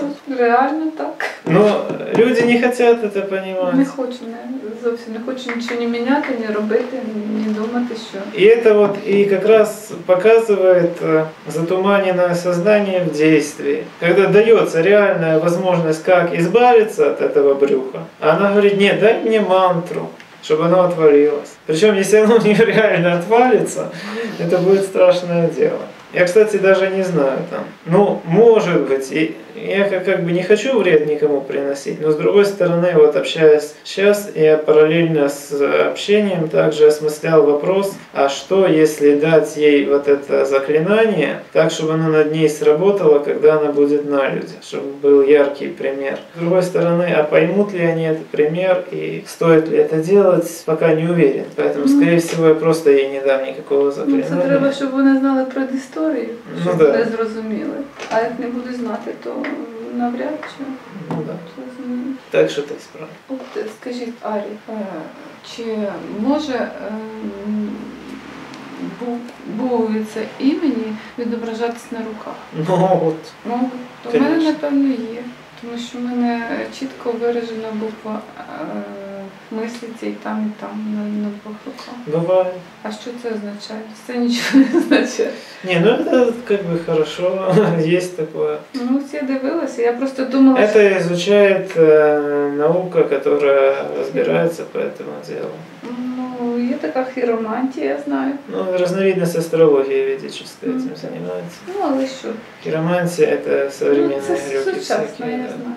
Ну, тут чітка буква. А поскольку это все так или иначе определяется астрологией рождения человека, то в ведической традиции это изучается астрология. Ну, как бы под видом, а, вернее, это является одним из э, векторов изучения астрологии, так точнее будет. сказать. Ну, це не, в- не в кожній людині, так? Чи... Ну, не знаю, может быть, у кого, э, того, кого, кто э, внимательно рассматривает свое тело осознанно, кто-то находит, кто может такая хрюшка, что э, и не обращает на это внимания, может и не находит. Але ж тут, м, напевно, ж має бути справжнє ім'я тут е, відображатися. Тож не всі Ну, у знають. меня как бы на теле там есть целый ряд крестообразных разных э, образований. Так что все нормально с этим. Тобто ваше ім'я відображає. Ну, есть такое. Тонка матерія це форм, ну, тон, тонша і грубша матерія. Це ну, не в залежності від сварги четверті і е, від е, це паралельно існуючі просто як це? Ну, тобто, не те, що там тоньша це нафь, наприклад, да, Ну, никак це- нет. Тобто ну, как бы, смотри, э, тут нужно учитывать, что с одной стороны, как бы есть то, как оно вот в материальном э, мире в общем есть. Есть нужно, как оно есть э, в нашем яйце и как оно есть конкретно в перекрестке, котором мы живем. В нашем перекрестке многие срезы тонкой материи конкретно за навью, так сказать. Но вообще э, это не то. Вообще есть, к примеру, самая грубая материя, там это уже кристаллы такие качественные, металлы, там, и дальше, дальше газы, там, электромагнитные колебания, дальше, дальше, дальше, то есть по мере утончения. Можно составить такой список, такой спектр, и здесь можно как этот список составить, что с одной стороны в порядке от э, грубости к тонкости, а с другой стороны разделить список на четыре части и написать, какие элементы относятся к праве, какие к нави, какие к мудрости. Есть такое. Потому что вот на нашем перекрестке, в котором мы живем, перекрестке сварга четверти. Здесь, как правило, большую часть грубой материи э, как бы определяет явь.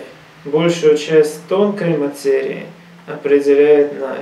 Хоть э, и это не является настолько однозначным. Это такие же угруппования, такие же группировки э, искр, как и остальная материя. Также, по сути дела, это просто более тонкая версия грубой материи.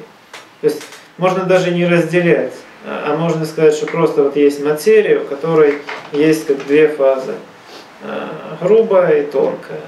И есть постепенный переход между ними. Аум свара. Аум свара. А, там можна сидіти. Це просто як медитація, не як славлення, а як просто сосредоточення медитація. Аум свара, аум сваха, аум свара, сварха, аум свара, аум сваха, аум свара, сварха, аум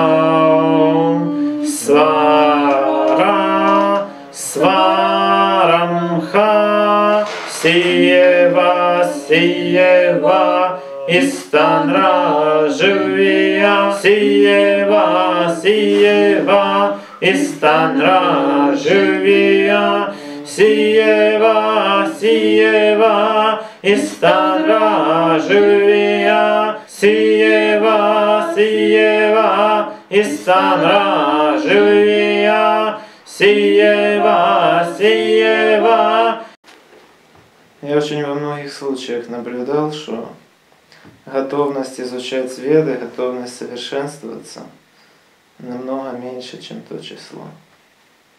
Ну и, кстати, то, что сегодня сюда приходило, это подтвердило своим поведением. Когда я же не говорил, что давай там, не знаю, застрелись, к примеру. Я ей говорил, давай чертей выкидывать и давай мантры читать. Два требования. Вот кто бы из нормальных людей э, не хотел бы. Не захотіла своїх рідних викидати чортів? А, Ні, так, а, не дам. Це мій вибір. Не дам і все. Мої. А, но о плохом не будем, то есть о той, кто сюда приходила. И возвращаемся. А, я так а, читал, читал разные сборники, тем более, что учитывая, что Караслав хочет практиковать это дело, а разные специфические мантры могут быть вредны. Ам, ну... Тобто спеціально на щось направлені чи? Ну, просто э, есть ряд мантр, которые... Ну, сейчас мы о чакральных мантрах, о чакральных А, звуках. чи правильно? Да, это то, что его давно уже хотел. То, что я ему никак не это. Так вот, э, Караслава, готов? Да. Э, запиши, что это э, мантрическое собрание э, Б-634.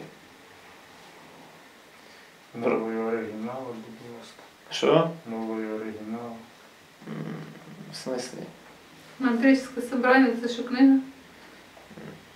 Ну, один из сборников мантр э, и. Б. 634. Может, Ну так, а вообще э, разбор Б634 или там, допустим, поставить какой-то номер э, непонятный, это уже современный выбор, просто мне важно, чтобы ты это записал, потому что я не собираюсь в своей памяти сохранять, что я кому давал, и, в принципе, э, потом ты скажешь, а, что тебе надо там или продолжение, или какие-то разъяснения, а я его сотру, и вообще таких славлений э, разных чакральных я перечитал такую кучу, что просто я не определю, какое я тебе дал. Ну, правда, что смогу пересматривать запись, однако, как бы это все равно усложняет. А так, э, по номеру легче, конечно. Поэтому пусть на всякий случай будет. Это просто обозначение. Э, Аум свара, Да. сварам ха, сагастее, раз. буджее. Дежа? Що? Дежа? Ем, Буквиця Богі, буквиця Он, буквиця е, Джерало, буквиця Йодгайя, е, буквиця Є, так що так. Боджає, Циє, Чарає, Ще раз. Циє, Ці, Циє, це є. Чарає, Мгм. Дарає. Дара. Дарає, пра іскра, Да. кнес, циє чарає, Є. циє чарає, корун шеє, шеє, Мгм. сунна шеє, кораніє, Да. колініє. Коу чи ко. Колініє, Мгм. буяє, Да. ото сила їє, велая, В чи є. е, українське є, Вілая. сєрая, белджа, е, белджа просто, Через Е. так, е, але не російське, а українське. Цирная, Белджа цирна є. Е, Белджа це одна, а цирна це наступна. Цирна.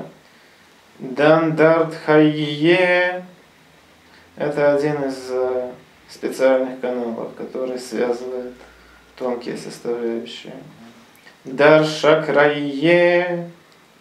Даршакрайе это определенная ш- определенный э, тонкоматериальный орган, который развивается на дандартхе при условии постоянного духовного развития.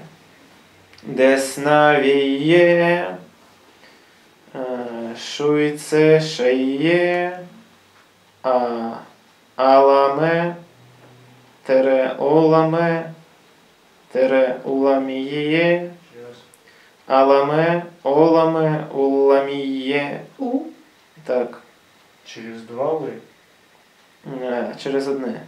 Аламы, оламы и улам – это такие штуковины, которые растут э, на тонких телах головы, э, в районе ушей и дальше, ближе к позвоночнику, которые отвечают за синхронизацию трех головных чакр.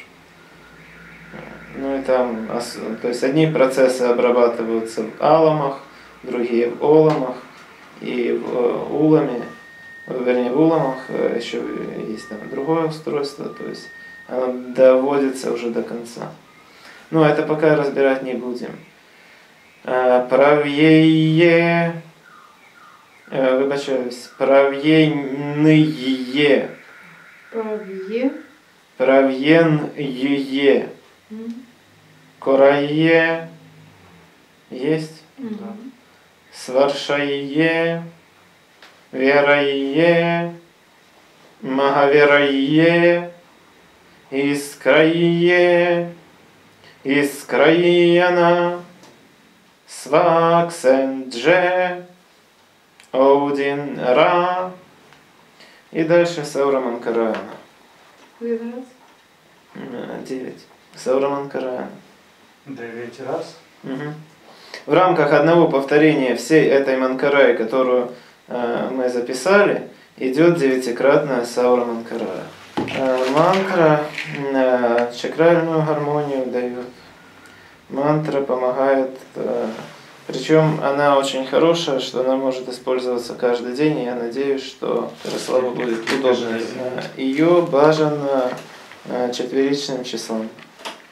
Четыричним. Четверичный. То есть 4, 8, 12. Ну, 12 это получается 3 на 4, то есть там и тройка, и четверка. Лучше все-таки соблюдать четверку, более качественно.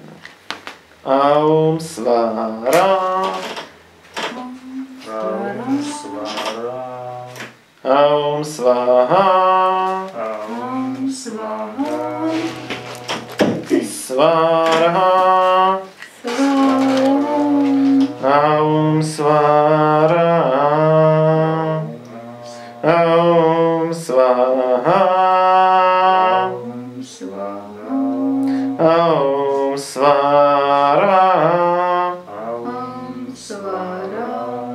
Свара, свара, Om Звертаємось до п'яти боїв захисників. Звертаємось до п'яти боїв захисників і просимо очистити це приміщення, І просимо очистити це приміщення. і просимо очистити тіла наші, І просимо очистити тіла наші, даби душа могла бути в чистоті і ясності, даби душа могла бути в чистоті і ясності, щоб бачили ми над духа повсякчас з нами існуючого, щоб бачили ми духа повсякчас з нами існуючого, пра іскра, пра іскра, все над Бога, все царюючого. Все над Бога все царюючого. Славу вічну йому возносимо, славу вічну йому возносимо, мольби і жертви всякі приносимо. мольби й жертви всякі приносимо. Саура, саура, рай, рай, сау, сау, сау, вишній, сау, вишній, вишній, всевишній, сау, сау. Саура, саура, рай, рай, сау, сау, сау, вишній, сау, вишній, вишній, всевишній, сау, сау, саура, саура, рай, рай, сау, сау, сау, вишній, сау, вишній, вишній, всевишній, сау, сау, вишній, Боже, славний ра. Вишній Боже, славний рай, Все до тебе йде мольба, все до тебе йде мольба. Помоги нам зрозуміти себе, Помоги нам зрозуміти себе, поможи нам зрозуміти тебе, поможи нам зрозуміти тебе, помоги нам пізнати себе, поможи нам пізнати себе, поможи нам пізнати тебе. поможи нам пізнати тебе. Саура, саура, рай, рай, сау, сау, сау, вишній, сау, вишній, вишній, всевишній, сау, сау. Саура, саура, рай, рай, сау, сау, сау, вишній, сау, вишній, вишній, всевишній, сау, сау, вишній, Боже, славний ра, все до тебе йде мольба. Благослови Корислава та Мітрадату, що використовуючи цю мантру, вони отримали благословіння Шукра Рахмана, що використовуючи цю мантру, вони отримали благословіння Повласті, Рунакорна та інших древніх святих. Хай тримає над ними десниці Рамадай та Промисл, хай благословляє їх праведна Віранта, Аум Свара. Прошу тогда повторять мантры, а я буду настраиваться, чтобы понять, глючит ли кто-то из вас, и глючит или в какой мере и как. Лучше синхронно, конечно же. Аум свара, сварамха, сагастеє, Божеє,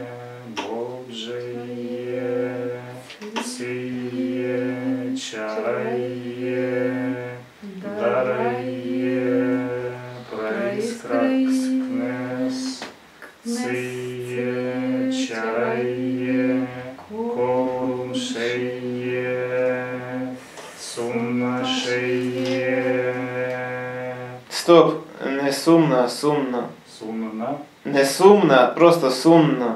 Без букви М на кінці Н. Сумна шиє. Кораніє. Колініє.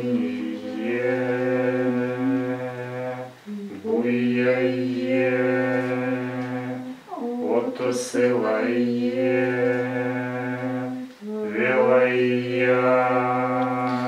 Смотрите, слово «отосылае», оно интересно тем, что э, оно записывалось путем э, буквицы «от» и твердый знак. Твердый знак редуцированное «о». Поэтому э, желательно так повторять, чтобы было понятно. «Ото сила е».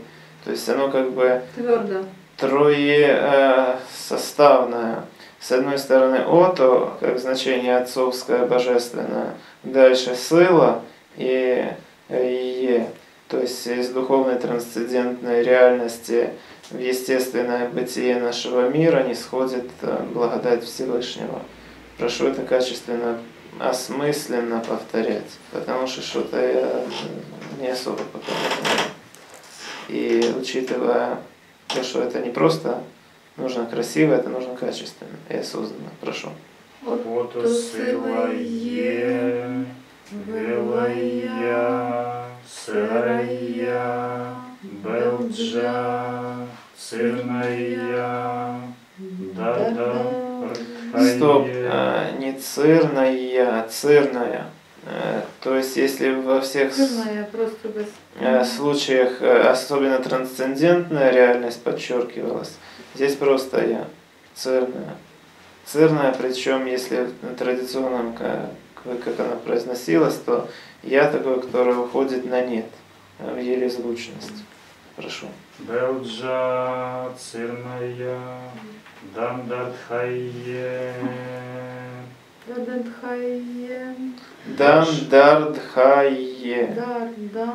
Стоп. Дандардхае. Через ди. Так. Звісно. Дан, дар. Так. Дха. Да, я не так писала. Дандардхае.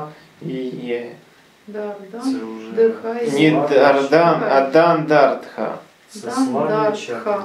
Э, Славья чакра это не... э, Вообще дандартха это такая труба, которая растет э, сзади оста. И от нее каналы связывают высшие реальности богов, славья чакру, видя чакру и кора чакру Дан, Не дар, только их, дхайє. это особо интересный канал, лучше пока его не трогать. Лучше понимать, что это канал, по которому нам приходят божественные, дары божественной благодати, можно так сказать. Ну де ж тут славя чакра? Будет, будет, все будет хорошо. Дарша крає. Дар шакраи. Дар, Дарша шакрає. крає. Десна. Давайте Андартхае сначала несколько раз качественно. Дан, дар, Дандардхайє. Дандардхайє.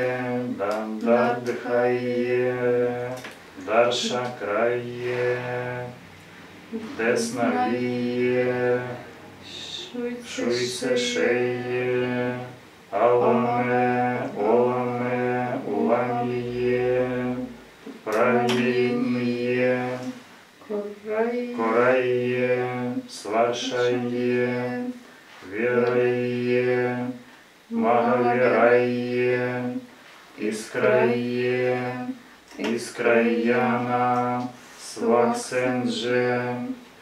Одінра.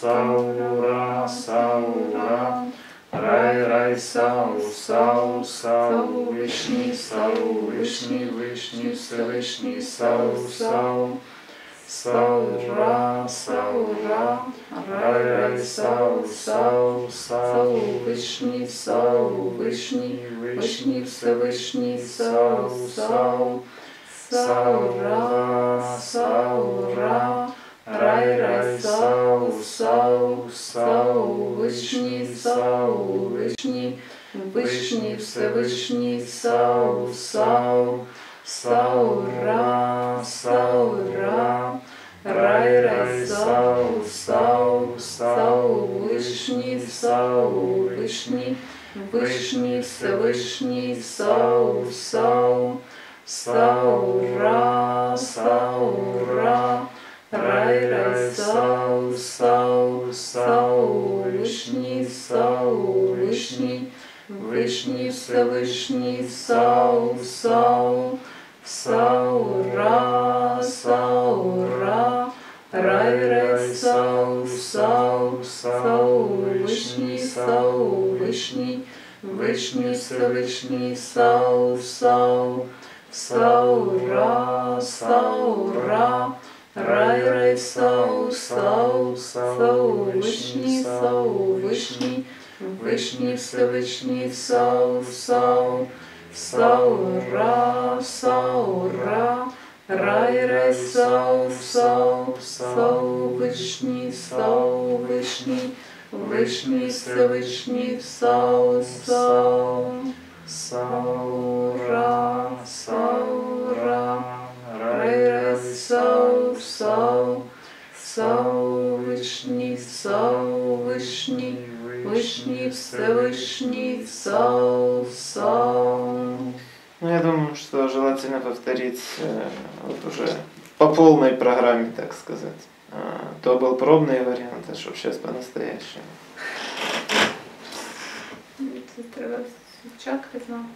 Ну, а как бы можно сначала перед финальным повторением разобрать теоретически, если что-то непонятно в тексте. Ну что, то есть некоторые предчакры, э, предоста мы сегодня разбирали. Например, э, Куроншата чакра. Здесь э, обозначено слогом Куроншаи. Э, Дальше Креста чакра пропущена, и дальше идет сразу сунна шии от слова сунна чакра. И здесь еще квитачата чакра пропущена, еще несколько чакр пропущено, но не потому, что э, там старый был какой-то человек, и он забыл их, или еще что-то в таком духе. Или не потому, что текст повредился, или я там не перевел, а потому что это такой сборник, это э, ну, такая сборка, эта сборка предназначена на один год стабильного повторения. То есть сейчас я порекомендую каждому из вас решить, что, допустим, или один раз в месяц, или один раз в неделю, или хоть один раз в день, а, но нужно решить для себя, чтобы это было стабильно. Не главное даже много, ну как бы, если оно не будет стабильно, оно вообще работать почти не будет так, как надо. Если оно будет мало, то оно будет работать, по крайней мере, слабо. Поэтому лучше пусть оно работает слабо, но стабильно, чем какие-то подвижки, но потом опять сходить на нет. Це на рік маєте на увазі Да, треба повторяти, да. так? Ну краще. Но на год э, не совсем на год. А наскільки? А, Точнее, от э, нынешнего времени до следующего празднества Ярилы. А, Коляда уже прошла, уже к этому не привязаться. Поэтому как бы теоретически эта мантра будет у вас полноправно включаться на день Ярилы, и э, до следующего дня Ярилы год ее нужно практиковать. Це тут більше, ніж вийде, так? Ну, как бы да, Ну так. получится на данный момент э, год и месяц. Ну, А Этот месяц ее можно вообще не повторять, к примеру, или повторять. Но поскольку как бы Тренуватися можна. А в який час її треба повторяти? э, это здесь самостоятельно для себя нужно решить. Главный ее критерий, который или возможен, или невозможен, это стабильность. Стоянство стабільно. Да, чтобы вот э, фиксированное число раз, фиксированный отрезок времени. Если этого не будет соблюдаться, то, ну, как бы и так она будет работать, даже если ее просто один раз повторить, даже однократное повторение, это уже чакрам там маленький плюсик какой-то будет, или какую-то чертячку мелкую оттуда э, удастся согнать, или какую-то рамку заживить от каких-то там штук. Но а, если это стабильно повторять, она будет работать как бы так, как она должна быть, то есть привести в гармоничный строй все те разноплановые разбросанности, которые есть э, в чакральном строении человека. Где-то так. Хороша штука. Згоден, що добра штука, тому пропоную, якщо є ще питання, давайте, якщо нема, прошу. Де ж тут славі чак? Э, Я уже говорил, что некоторые чакры здесь выкинуты. Э, Есть такая штука, где там э, комбинируются мантры из э, первых э, 16 буквиц, из вторых, из третьих и ну буквиц я имею в виду как это является под буквицей Б. Ладно, лучше не ковыряться там, однако, если э, при наилучшем развитии на протяжении 9 лет каждый э, год я буду давать э, следующую комбинацию э, слов, обозначающих чакры и активизирующие их э, в последовательности, которая предписана древними святыми или же богами в некоторых случаях. И это будет как бы продление развития предыдущего этапа. Где-то так. То есть, по сути дела, можно сказать, что хоть этот отрезок рассчитан на год, но вообще эта штука, если уж правильно делать, то рассчитана на 9 лет. Может, вы и не особо этого хотели, но Караслав хотел. А я думал, что же ему такого дать, э, чтобы он и выжил, и теж треба вижити. развивался. А він мене Ну, трохи Це не не значить, що ти от е, тут ми сидимо вдвох, що ти прив'язав мене, от нас прив'язав цим Стоп, кого я кому привязал? Ну, ти то говориш, що ми вдвох повинні це повторяти. Нет, э, еще важный нюанс. Я не говорю, что вы э, обязаны это синхронно делать. И, к примеру, завтра э, я планирую заниматься с Датаяром, а сегодня э, вечером я планирую еще гнать чертей из э, того, что у меня запланировано. Потому что сегодня это э, неплановое одержимое, так сказать, приходило, а есть еще плановое. Поэтому, возможно, я им порекомендую это дело. В принципе, чем больше людей будут э, одну и ту же мантру повторять, тем лучше. Так что так. Такі там ці традиції, ті. Эм, э, Ты что имеешь в виду рахманскую традицию? Ну, Ну ты так это сказал, что я вообще думал, какой это там традиция, где в Китае. Ясно ж, які. Нет, ну не ясно. Вот когда ты говоришь какой-то там, мне уже не ясно. Ты мог бы просто сказать в рахманской традиции. Ты говоришь, ну в этой какой-то там, где-то там. У меня сразу уже э, ассоциация отделения от э, нынешнего, как бы, э, и поиски где-то в дебрях э, Южной Америки в Гималаях э, каких-то мамонтов, которые повторяют с нами синхронно мантры. Э, В рахманской традиции Вообще э, этим занимаются только священнослужители, остальные не экспериментируют так глубоко и так далеко. Ну, все одно якісь люди ж це роблять. Ну да, но совершенно не гарантия, что кто-то из священнослужителей именно на эти годы из всего того обилия мантр, мантрических комбинаций, обрядов и всего того, что есть э, в том обилии текстов, которые они используют постоянно, совершенно не факт, что кто-то из них выберет из э, 4000 вариантов именно 634 вариант. Так что так. А чого ти цей вибрав? Ну, как бы я читал, и э, я выбрал, я так решил. А, А може б тут би якось хто це хоче цим займатися, той би і вибирав. А Нет, хочеш? а, не так. Ты хотел читать мантры, которые будут гармонизировать чакры, так? Вот я тебе дал мантры, которые гармонизируют чакры. А это знаешь, как если ты приходишь к э, доктору и говоришь, болит спина А потом говоришь, а можно я сам буду выбирать между слабительным а, и противозачаточным? И зачем? Если тебе надо спину лечить.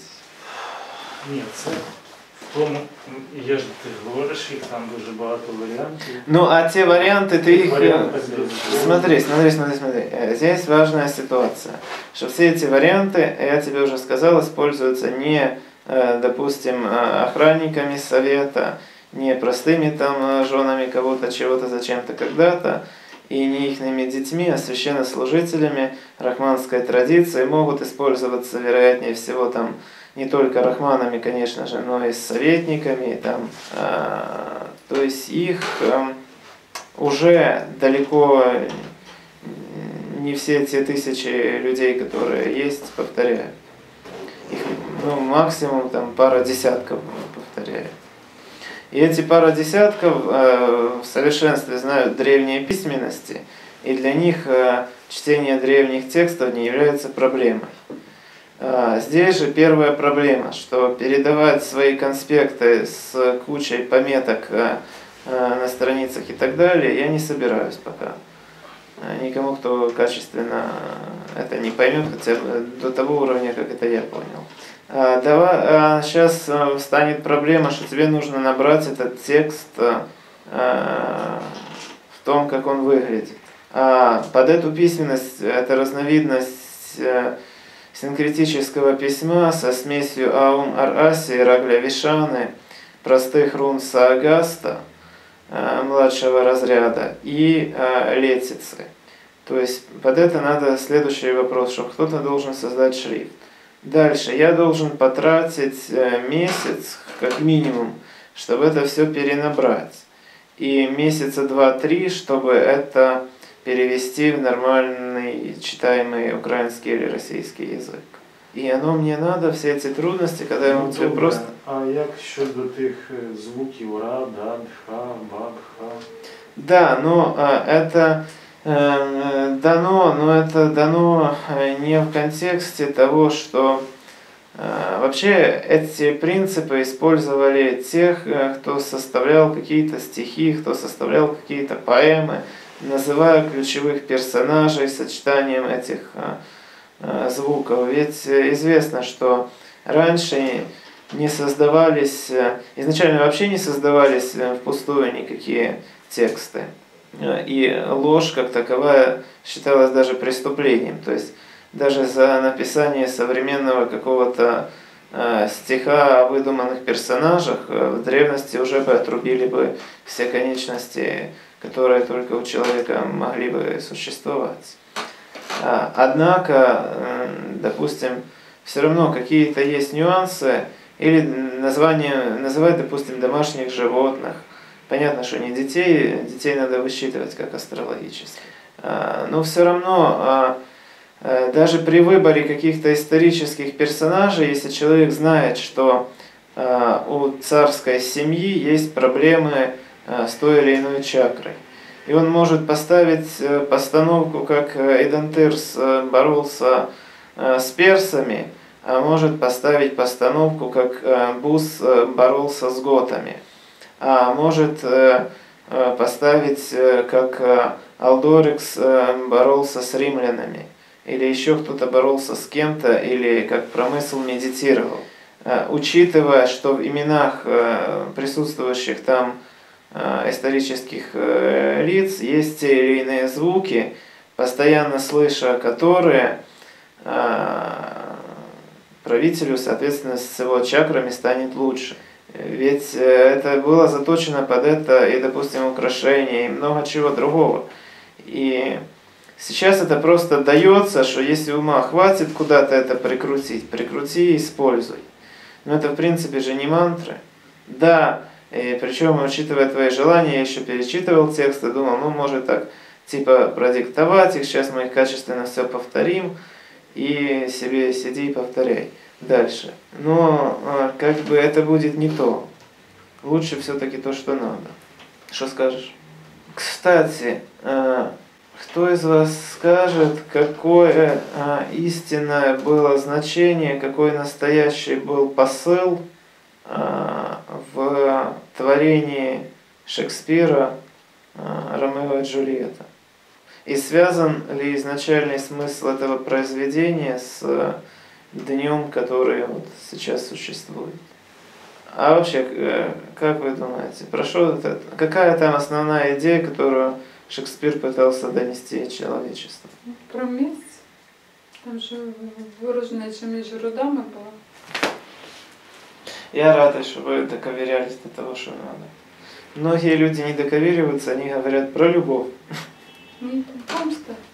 Э, идея такая, если там детально это разбирать, то идея того, чтобы вообще на время Шекспира в Британии, да и вообще в Европе, как раз дети, подростки и все те, кто в более позднее столетие считали, что это для них и чуть ли не про них, они просто не могли это читать, потому что они еще не знали грамоты. Тогда христиане вырезали а, потомков а, друидов дравидов, вырезали там ранее христианское духовенство. И, по сути дела, весь народ был в невежестве. Там еще катар альбегойцев дорезали, то есть дорезали, кого не вырезали, чтобы совсем э, все было плохо. Ну и ведьм, то есть тех, кто что-то ведал, постоянно дожигали, дорезали и так дальше. Поэтому в тех условиях э, читать могли только э, люди уже под 30, под 40 лет.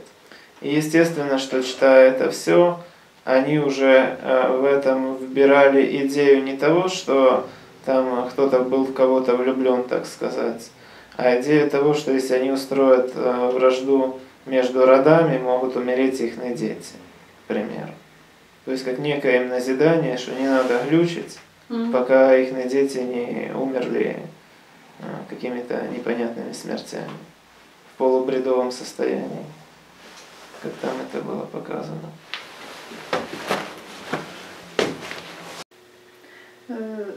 Тут перша фраза Аум свара, сварам ха, сагасті є. То це звертання до Всевишнього. Обращение ко Всевышнему Сагасту. Уточнение здесь идет как бы в контексте Вселенной. Уточнение, что Всевышний Ра, Бог богов, Творец миров, однозначный правитель и повелитель всего мироздания, который своим светом и своим могуществом создал все мироздание, создал проявленный мир. А, для этого здесь используется слово Рамха, и который проявлен а, как князь Саагаст, правитель Видьянгороди и император Рутай.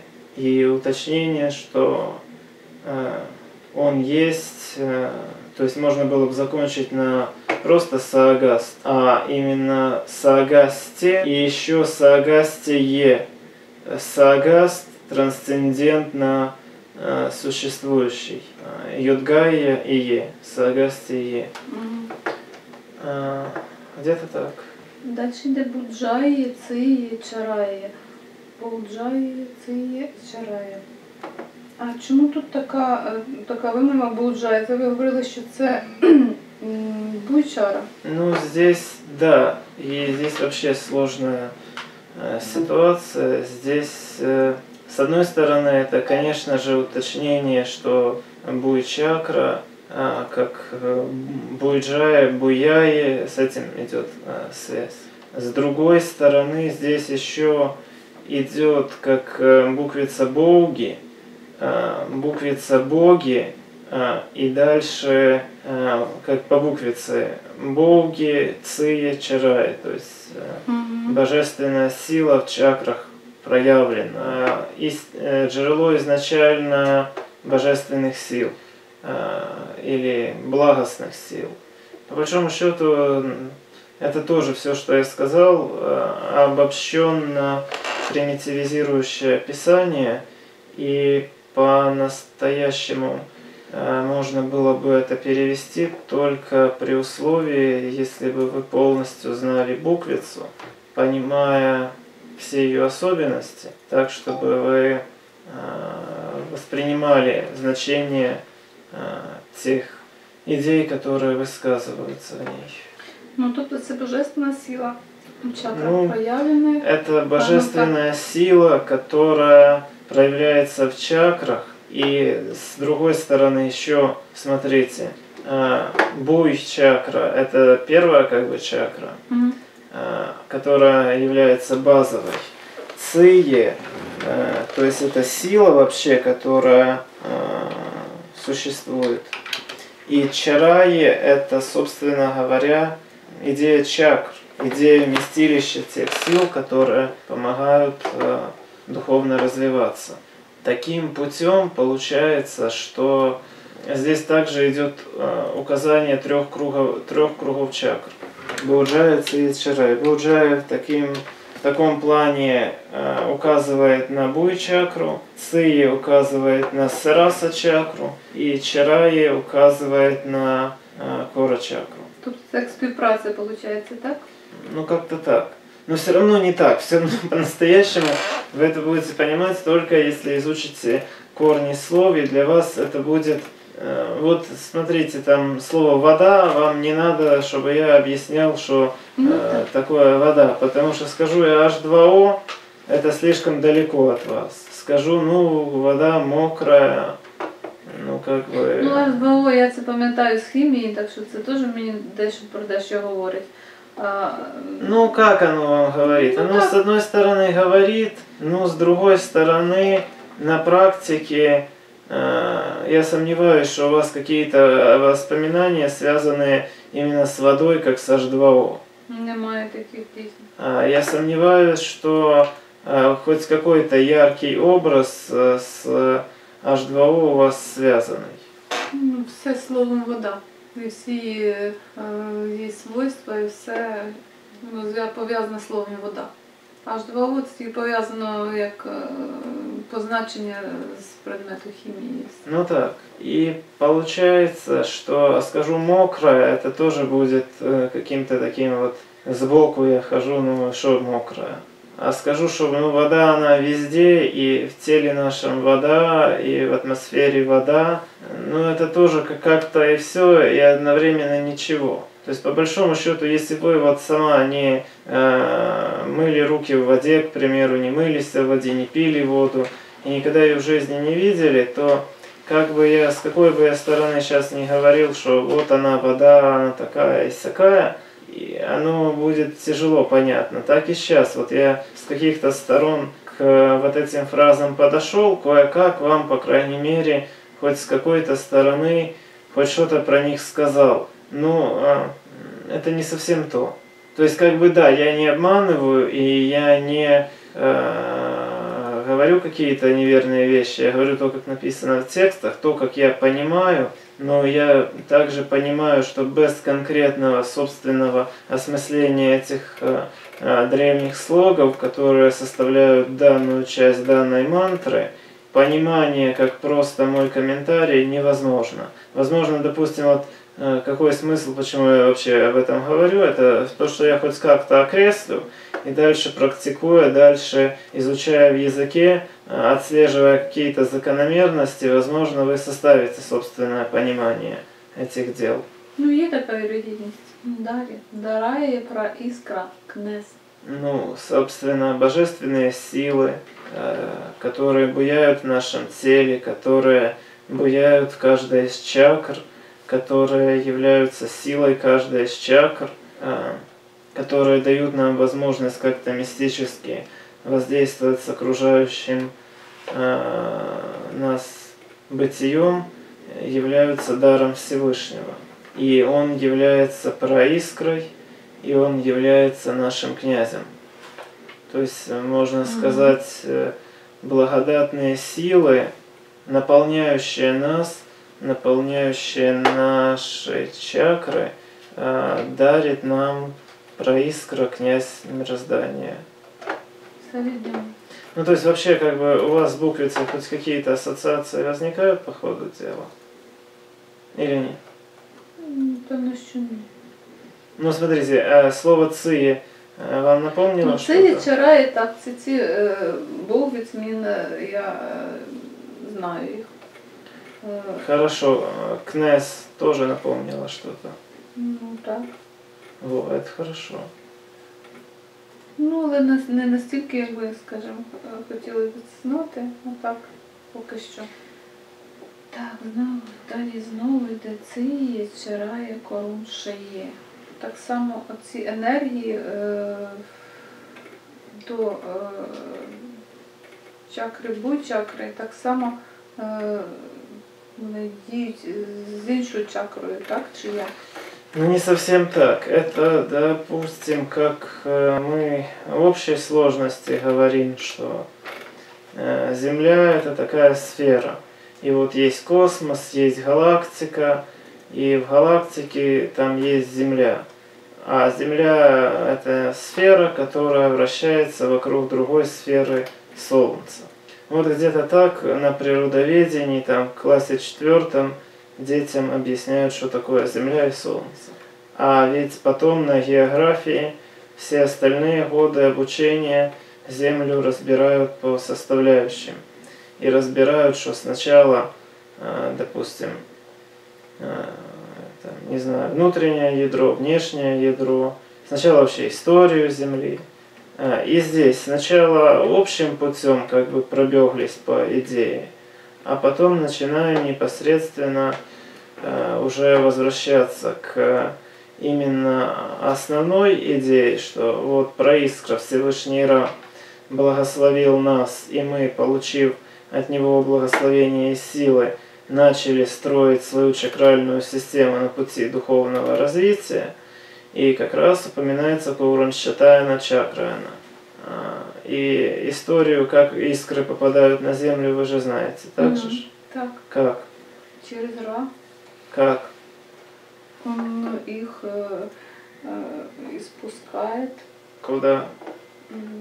материальный мир. Так, а сколько же уже можно? И спускает, и спускает, и спускает. Мира не хватит. Вы же помните, что Тифон и Тифанида по-разному творили материю. Так. А Что чем это за- отличается творение Тифона а, и э, творение Тифаниды? Ну, він більш якісно все робив. А что еще он такого интересного натворил? Ну, вона думала більш про нього, коли. Е, Ну да-да-да, это Да, все окрестности, это причины, выкидаем все, что она думала, и оставляем э, последствия этого. А последствия этого такие, что э, Тифон э, творил, как правило, то, что позднее стало столицей мира. Вот солнце, центры, э, ну, вернее, даже не центры, а материю, которую потом э, Всевышний использовал для творения солнц, центров земель и так далее и тому подобное. И в этих образованиях э, Тифон, а позднее Всевышний это доформатировал, создал э, такие алгоритмы, которые сами помогают время от времени подводить те или иные искры к Ра, так, чтобы они от Всевышнего получали посыл божественного благословения, и чтобы они шли, допустим, на какой-то окружающий объект и там развивались. И в Солнце, допустим, э, с периферии Солнца алгоритмы и подпрограммы, э, повелеваемые богами, собирают искры, которые хоть как-то потенциально могут начать духовно развиваться. Их э, подводят ко Всевышнему, они от Всевышнего получают некоторые силы, получают благословение, превращаются в фотон, и в виде фотона устремляются куда? матеріальний мір А Солнце в Китай. на сонце. Митродата, ну, опять же, я и так уже часть мыслей направил на компьютер, чтобы вас не мучить. Ну, но все-таки придется помучить. А, ну, подумайте хорошо. Если на Солнце алгоритмы, если они из Солнца отправляют фотоны, то куда идут фотоны? Ну, на, на окружающие планеты. Ну да. Одной из этих планет является кто? Земля. Хорошо. А, и что они на Земле начинают делать, эти искры? Начинают духовно развиваться. То есть они э, становятся там минералами там или нет, не сначала, м, наверное, не минералами, а самыми мельчайшими частицами, и потом, если они развиваются, то становятся минералами там и, и дальше самыми простейшими там. Вот а, тут вы уже почти правильно это все понимаете. То есть, получается, на Солнце некоторые искры получают благословение Всевышнего. Да тільки все це через сонце йде, так? Ну, есть какие-то искры, которые, собственно, вошли э, в формирование Земли и которые как-то непонятным путем когда-нибудь, может, станут тоже кем-то.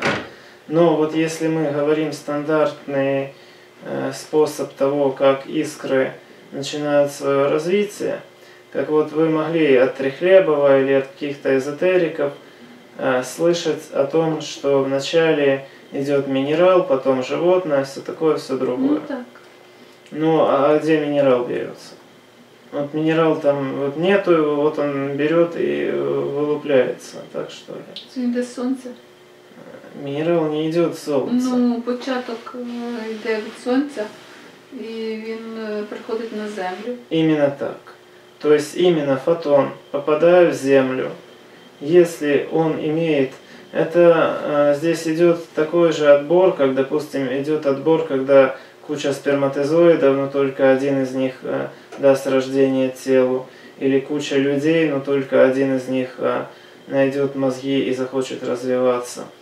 В какой-то степени здесь такой же идет отбор, что куча фотонов, и только один из этих фотонов в конце концов э, начинает какое-то развитие. И вот получается, что э, фотон преломляется через земную почву и начинает, э, он имеет намного больше энергии, он имеет намного больше сил, чем те искры, которые а, образуют окружающие какие-то объекты. Поэтому фотону а, легче вокруг себя начать создавать что-то. И вот эта искра, которая в фотоне прилетела на Землю, начинает формировать вокруг себя а, такое образование, которое позднее становится кристаллом. Ну и дальше вы уже знаете эту систему также. ж. Мгм. Так вот, когда заводится Куруншатаяна чакрана? Как вы думаете? Ну, це саме перша чакра. Ну да, ну когда она заводится? Когда этот э, фотон сходить на землю. А взагалі-то, наверное, ні. Ще, наверное, коли він підходить до під благословення до Всевишнього Ра. Ну, не совсем. А, предпосылку дает, конечно, Всевышний. Но по-настоящему она заводится уже, когда фотон начинает формировать кристалл. Коли він починає діяти. Да. Снова вот, э, есть же куча сперматозоидов, которые просто умрут и ничего с ними не будет. И только один начнет там делиться с яйцеклеткой. А, Так и тут. Тобто він же починає діяти на землі, коли він попадає в цю е, середовище, таке до- для нього благоприятне. Ну да. Выбирает какую-то часть искр окружающей природы, которые э, готовы развиваться. Ну, вернее, это еще все неосознанно. Все это контролируется не самим э, вот этим индивидуумом, не самой вот этой искрой, а все это контролируется сверхдухом. Но у э, искры, которая там развивается, э, начинают уже формироваться какие-то бессознательные склонности к чему-то. И вот эти склонности, сонные желания Всевышний исполняет. Так формируется кристалл. И для формирования кристалла нужна Куруншатаяна чакра. Приблизительно понятно? Угу. Идем дальше? Или еще здесь что-то ковыряем?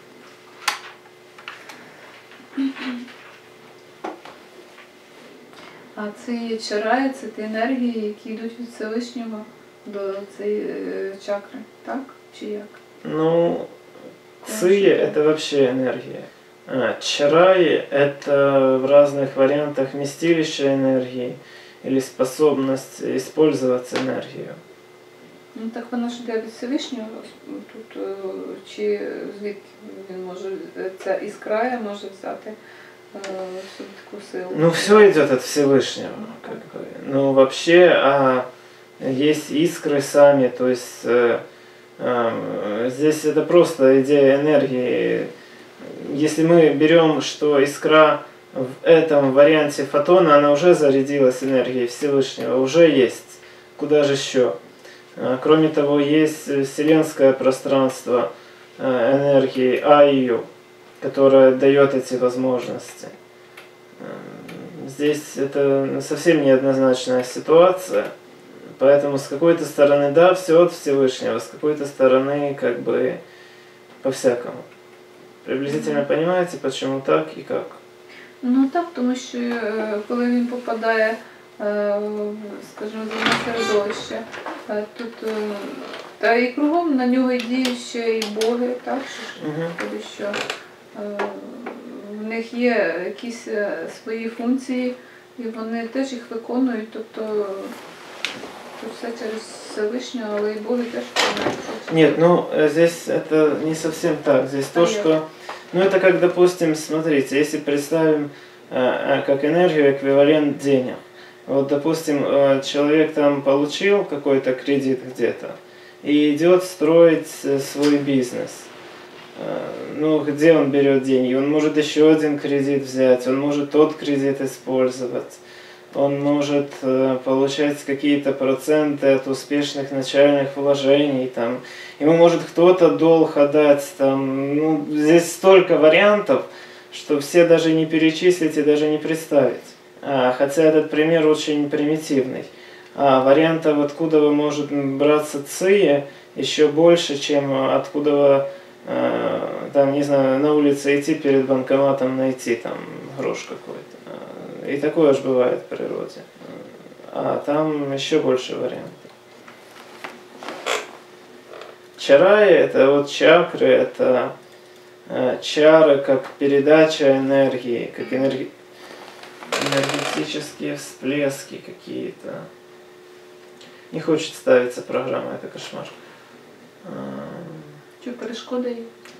Ну да, так, ну в общем, не важно. А, Получается, что вариантов много. И просто надо понимать, что это энергия и, э, возможно, не привязываться к э, тому, откуда она берется. Ну, хотя вы приблизительно идеи поняли, или как? Ага.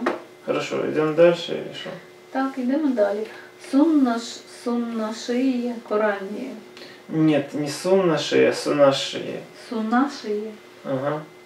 То есть э, сунна чакра, э, если мы вот шанаблыва ставимся, э, вообще буквица шана, почему вот э, здесь используется? Угу. Она используется потому, что она с одной стороны имеет в себе идею шаны, э, то есть уважение, почтение, с другой стороны имеет и идею последствий шаны. А последствия шаны – это духовное развитие. То есть если человек с уважением достойно относится к другим живым существам, то он духовно развивается. Вы же это понимаете, так же? ж? Угу. И таким путем э, другая грань э, это то, что э, шана в китайском варианте обозначает э, конкретно э, верх, гору, духовность, развитие и так дальше. Ну, практично те ж саме, що ви сказали. Ну да, В розвитті це ж є духовний розвиток. я же говорю, Ну но так. В Аум Ар-Асе в первую очередь подчеркнута идея шана. Шана как уважение. Угу. А в китайском варианте подчеркнуто последствия. А, тобто рух до, до вгору йде як послідствие того, що Ну да, но если мы осознаем, если мы вот э, качественно к этому подходим, то, конечно же, развитие. И вот э, если на уровне э, первой чакры, вернее, даже будем сказ- говорить первой прачакры или до чакры, предчакры, э, человек достойно ею пользуется, там, вернее, это еще не человек, это кристалл. Если кристалл хороший, вообще, э, как камни на древнеславянском языке называются, как вы думаете? Эм, А в словаре вы не помните? мені не пам'ятаю. Плохо. Погано, я зараз подивлюся. Нет. Я, чтобы сэкономить время, скажу, но вам следует это все перечитать. Там дополнительные грани понимания приведены. А, Используется слово точно. Мани отсюда, допустим, в английском деньги, потому что кристаллы, камни э, в некоторых вариантах э, в некоторые времена были мерилом ценности. И мани это также, если мы берем э, один из вариантов буквенного написания, то это идет ман, э, и, то есть э, объединение некоторых ман. В одном из значений это человеческое сознание, в другом из значений это а, как бы а, проекция сознания уже более а, более какая-то узкая проекция. К примеру, сейчас э, я могу сказать, что есть проекция моего сознания, которая привязана к вашему голосу, другая проекция моего сознания привязана к монитору, и еще э, около 10 проекций в памяти э, там занимаются своими делами. И понимая эту идею, вы можете понять, что проекций сознания у человека может быть огромное количество. Понимаете идею? Ну так, це духовно розвинутої людини може. Не обязательно у каждого человека, даже у самого превентивного. Даже, э, допустим, э, часто люди это не контролируют, Ну, и так не э, часто у них, у самых примитивных, я замечал, что еще больше может проекций, созна- вот таких вот э, временных проекций сознания быть еще больше, и они э, в них путаются, и вообще кошмар происходит. Ну ви ж усвідомлюєте це, а в них це хаотично все Ну, да. Так що то Э, Ну, здесь вопрос не в том, э, насколько я усведомлю, они не усведомливают. а Вопрос в том, что это есть. Мани э, э, в ведическом значении этого слова это э, как... э, Ну, сказать, что это мысль неправильно, потому что это вот как интерфейс, можно сказать. Ну, для вас слово интерфейс не совсем не дуже умісно. зрозуміли. так как вы... эм, ну, где-то так. Это ну, проекция, проекция ума. Э, Краткосрочная проекция ума. Так будет короче и точнее всего. И э, камни, они э, и являются такими краткосрочными проекциями ума. Единственное, что они существуют э, тысячелетия и даже миллионы, миллиарды лет. Если у нас вот эти краткосрочные проекции ума а, могут за несколько секунд их э, там тысяча изменится, а у этих э, камней оно может существовать так неизменно десятки тысяч лет, сотни тысяч лет. Также мы можем, поскольку наша э, вот эта проекция ума а, сильнее, даже самая слабая наша проекция ума, она, как правило, сильнее среднестатистической проекции ума из э, центральной искры камня. Поэтому мы можем вносить свои мысли в камень. А, И это тоже одна из э, методик, как делали с древние береги. А, Это как такая природная миллиардолетняя флешка. И даже, собственно говоря, современные флешки это тоже кремний, это тоже камень. Хотя туда идеи внес- вносятся электрическим путем, это на уровне атомов взаимодействия. А, допустим, э, с- древневедический это на уровне искр и э, ну, уровень Орши, э, Гана и искр. А це що за іменно? В смысле? Оршигана. Э, Гана это один из глуб- глубочайших уровней материального устройства. Тобто е, камні вони можуть зберігати е, ту думку, яку їм, яка їм внедря- внедряється, кажем, скажімо так, е, багато ну, вікам. Эм, А- Да, но нет. То есть не ту мысль, которая им внедряется веками, А що? а они могут сохранять ту мысль, э, которая им внедрена на протяжении тысячелетий. То есть мысль в них не надо внедрять э, тысячелетиями, а просто э, как бы м, внедрить эту мысль, и она уже там будет сохраняться тысячелетиями. Але ж камні теж не, не, не тисячоліття ж е, бувають такі цілі свої. В смысле? Ну вони ж все роз- розрушаються. Но э, руйнуется, разрушается все. Вопрос в другом. Вопрос в том, что минералы могут существовать миллионы лет, даже миллиарды лет. Здесь э, вопрос в том, где они сохраняются, какой это минерал. Э, Вопрос сложный и неоднозначный, конечно же. А Известняк, допустим, он э, намного более податливый к разрушению. А, К примеру, какой-то гранит, там, базальт, они намного более стойкие к разрушению. Здесь есть варианты. А, И, в принципе, если, а, допустим, алмазы, они еще более живучие. Ну це самі міцні. То есть, по сути дела, мінерали. э, здесь зависит от нас. насколько мы качественно к этому подойдем. Если мы выберем качественный кристалл, постараемся так, и качественно в него внесем нужные нам мысли, то он может на протяжении сотен тысяч лет, миллионов лет или даже миллиардов в зависимости от внешних обстоятельств. Потому что, допустим, смотрите, одно дело, если э, какой-то минерал будет лежать в грунте, э, защищенный грунтом или защищенный другими Ну так. э, камнями. А другий буде під вітром, дощем і Да. під всякими природними е, такими. То есть ну, ситуация неоднозначная совершенно. Хотя мысль можно внедрить там за несколько секунд, лишь бы качественно это сделать. Но с камнями, что еще интересно, что, допустим, в отличие от э, серебра, э, вот э, серебряные священные знаки, которые делаются, э, в них изначально уже вставляется определенная э, идея, и она там уже будет, э, пока его не переплавить. Его можно внешне запачкать, но внутренняя идея, которая в серебре там глубоко э, вставлена, она все равно будет существовать.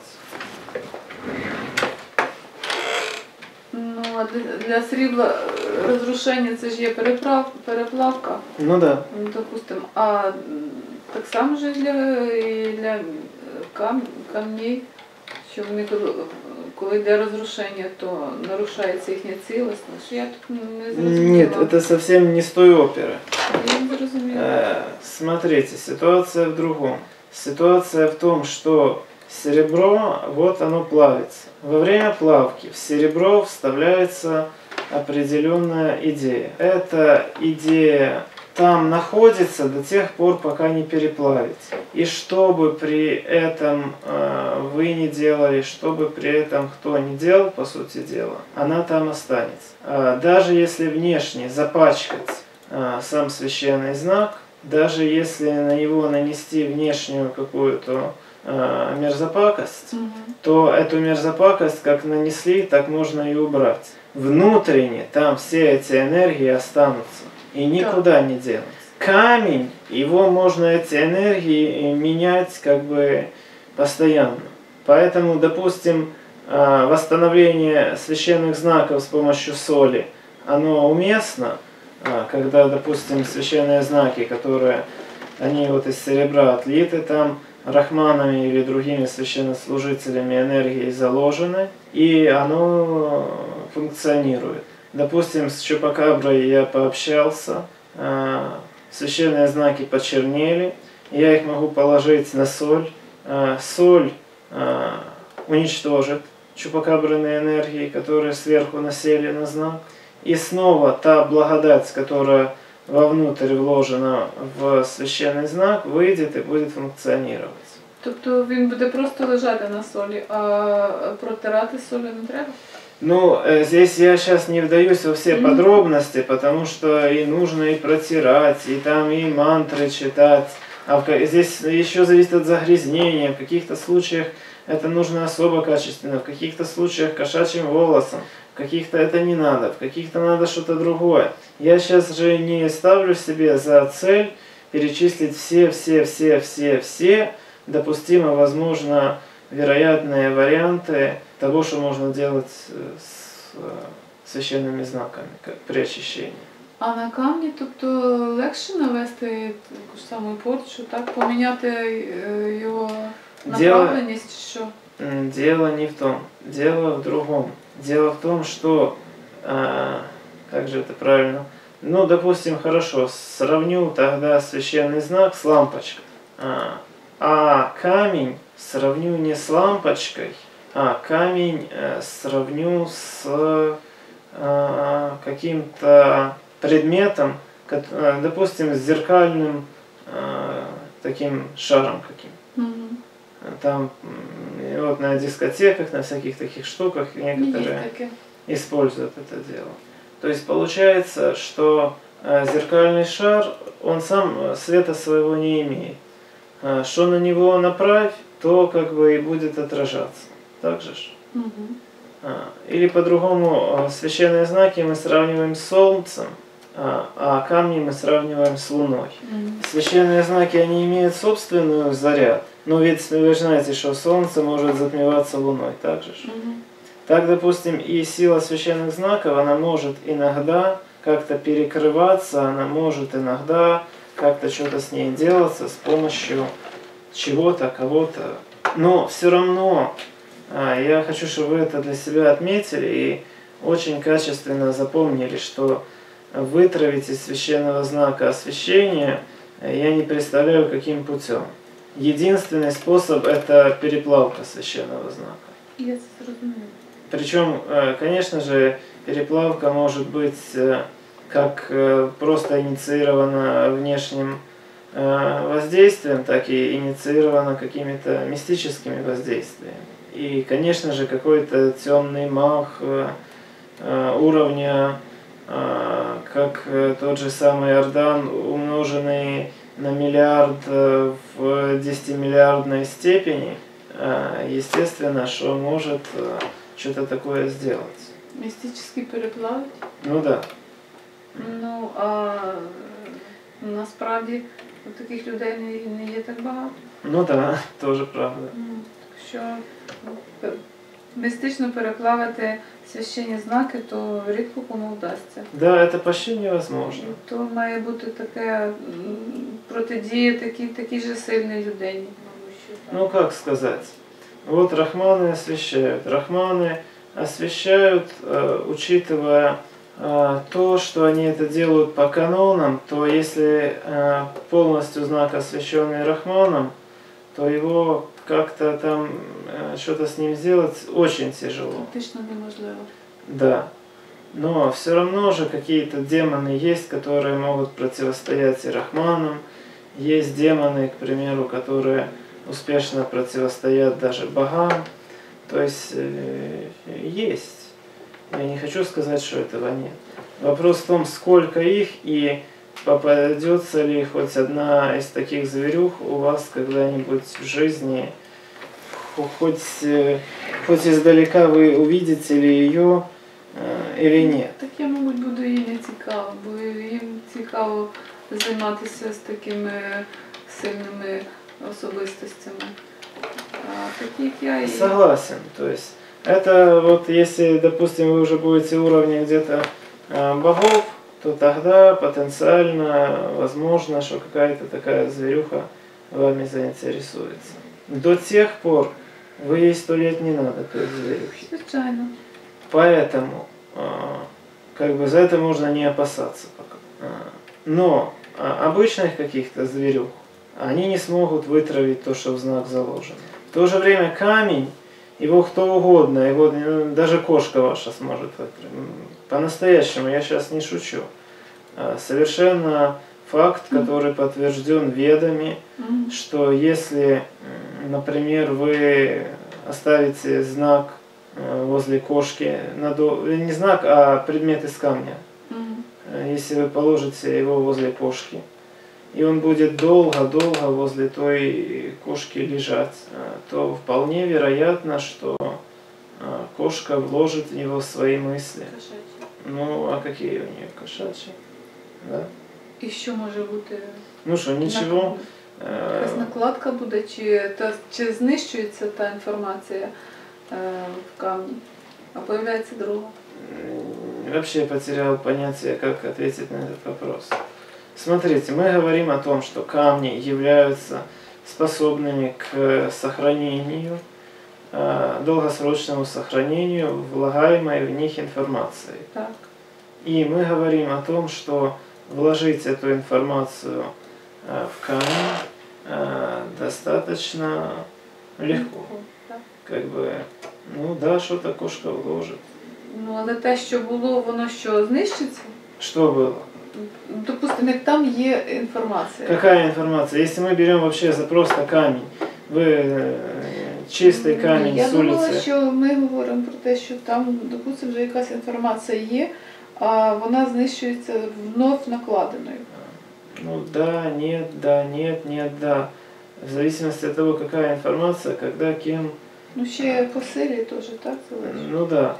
Ну, вопрос, какая информация. Если, допустим, отдать какому-то специалисту, так, чтобы он там э, сделал вплоть до того, что там молекулярное преобразование. Здесь еще э, один такой нюанс, что э, металл это не надо быть даже особым э, специалистом, чтобы сделать, потому что металл его расплавил, и молекулярное преобразование, вот оно готово. Что вам там надо? Ничего не надо. Так же ж? А что вам надо для того, чтобы э, камень расплавить? Это уже сложновато. Мабуть, скоріше розбити, чим розплавити. Нет, я сейчас не за то, чтобы вообще расплавить, а за то, чтобы расплавить жидкое состояние. На жидкий металл наносятся мысли. Помните же Ну, эти? це так. Я А- все это говорю в контексте внесения информации, что металл легко превратить в такую субстанцию, на которую максимально легко записать информацию. А, но она запишется до следующего расплавления металла. На камень можно записывать, но она будет сверху записана. Глубинную информацию туда записать вообще почти невозможно. Глубинно у камня есть свое вот это протосознание, которое имеет какие-то свои идеи и которому э, вы не особо интересны. Оно даже вас понять не может. Для него вы, как э, для вас планета. Вот можете ли вы осознанно там с планетой общаться? М. Причем у вас хоть какие-то, допустим, там представления есть о том, что такое планета, там, и на основе вед вы можете как-то там себе что-то об этой планете представлять, а камень, что он о вас будет представлять? Ну, він про мене Ну, какие-то будут чувства, что вот что-то там рядом с ним есть. Есть что-то большое, что-то светлое, вкусное и все. А, но вы на него сверху написать можете много чего. И это также легко все списывается. Со священного знака, даже у священных знаков есть много вписанных алгоритмов а, самоочищения. Другой вопрос, что если священный знак будет очищаться на теле человека, то тогда вся эта ж гадость пойдет в человека. Поэтому это не особо хорошо. Ну, Тобто треба періодично чистити, не дивлячись на е, Ну, стан. как чернеет, нужно чистить. М, Це, ж- це вже мені як. І з камнями дуже цікаво. Ну, это мы чуть-чуть отклонились. Ну так, але все рівно. Все это в контексте духовного развития искры.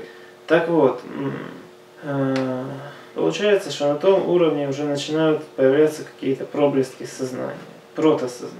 Идем дальше. Угу. И дальше идем. Зараз йдемо И, і далі. Коліні є, буя є.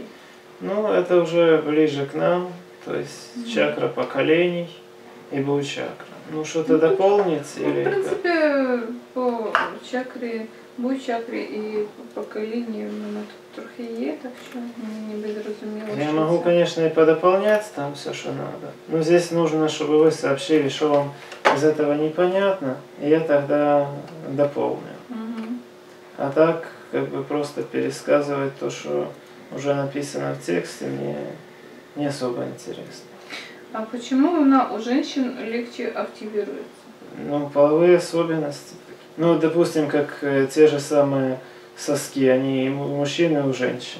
Но у мужчин, можно сказать, как спящие, а у женщин активные. Мгм. И, в принципе, можно сделать, чтобы у женщин борода росла, если захотеть. Потому что тоже, ну, можно сказать, что зачатки к бороде у женщин в спящем состоянии. Ну, это я такие биологические примеры привел. А с чакрами так же самое. Снова, если надо что-то по этому детальнее объяснить, я готов. Э, Ну, Ну, я поки що не знаю. що если можна коротко, детально, примитивно, коротко. приблизительно, то Мгм. именно так. Понимание, что такое отосыла Е у вас есть. Є, співала я теж є. А, Ну, це загально. Что дальше? Далі йде сирая, белджа, цирная. Понимание, что это и зачем оно надо есть. Ну, це сараса чакра і чакра білого і чорнового. И понимание, что с ними делать есть. Ну, розвивати Это хорошо. ні чорнобожу, ні білобожу чакру.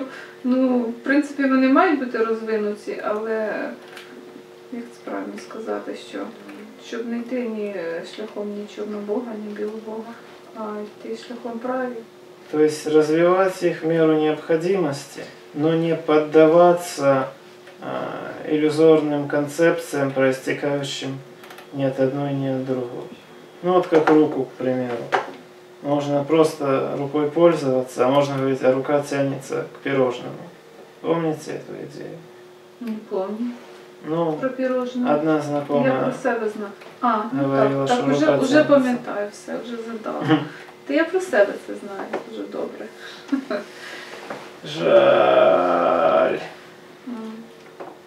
Але я борюсь. Вот, це вже добре. На, на даному етапі я практично ну, такого всякого не вживаю. Ну, я сейчас говорю даже не о самих пирожных, Ну я розумію. а говорю вообще о идее, которая стоит за этим, когда человек а, говорит, ну что, рука тянется, я бы сама это не ела, а вот рука тянется, что же я сделала? Или как э, про э, мужчин, которые э, хотят со всеми женщинами спать, про них говорят, что они членом думают. Ну. Хотя там, тем искрам того члена совершенно думаю, что э, неинтересно э, то, что ими чрезмерно часто пользуется человек. Все мысли, какими бы они ни были, они формируются в сознании человеческом. И обвинять руку, член, э, живот, там, или как некоторые говорят, о, все проблемы от языка. Вот язык такой плохой, взболтнул то, что не надо, и это так плохо. Но Всі проблеми з голови. да, проблема же не в языке как таковом, а именно в голове. Потім йде Дандартхаї, Даршакраї. Ну, Дандартха мы чуть-чуть разбирали, что она такая. Але мені треба записати. Хорошо. Дандартха. Что? Треба записати.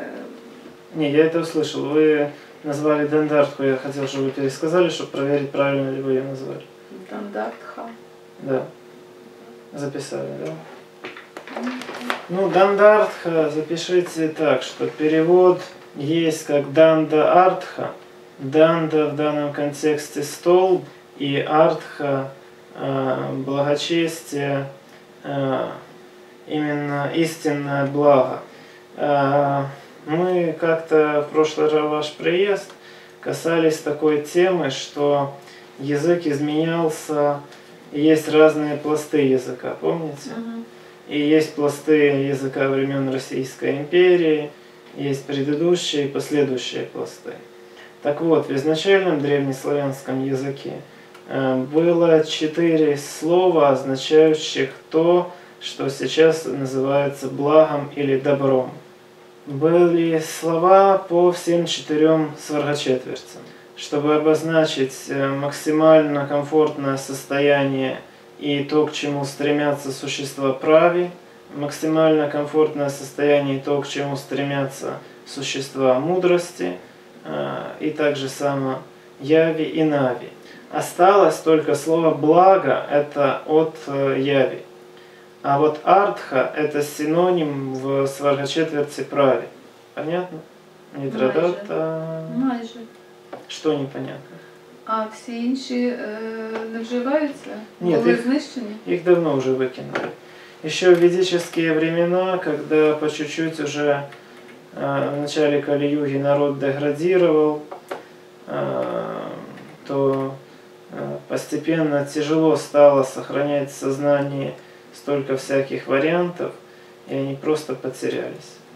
Ну, є ж е, певні якісь ем, розуміння цього блага для всіх, тому що е, всякі е, істоти вони по-різному для себе розуміють. Ну да, благо. поэтому, соответственно, есть и отображающее, что одно отображает а, именно понимание того, к чему стремятся, и то, как удобно существовать существом праве. Э, Есть другое для мудрости, для яви и нави.